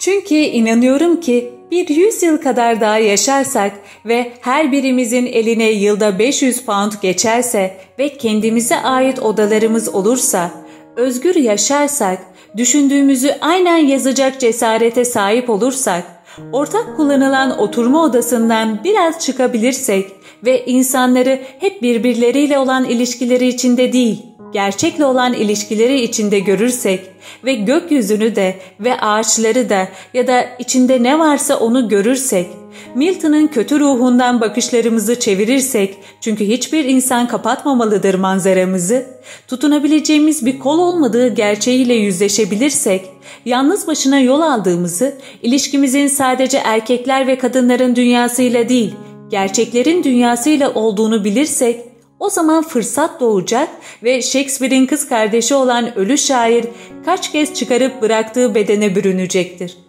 Kendisinden önce abisinin yaptığı gibi hayatını öncülleri olan meçhul kadınların hayatlarından çekip alarak doğacaktır.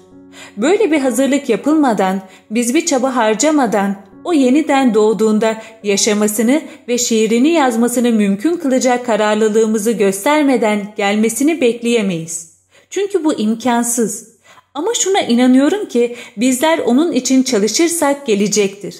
Ve yoksulluk ve karanlık içinde bile olunsa böyle bir çalışma yapmaya değer.''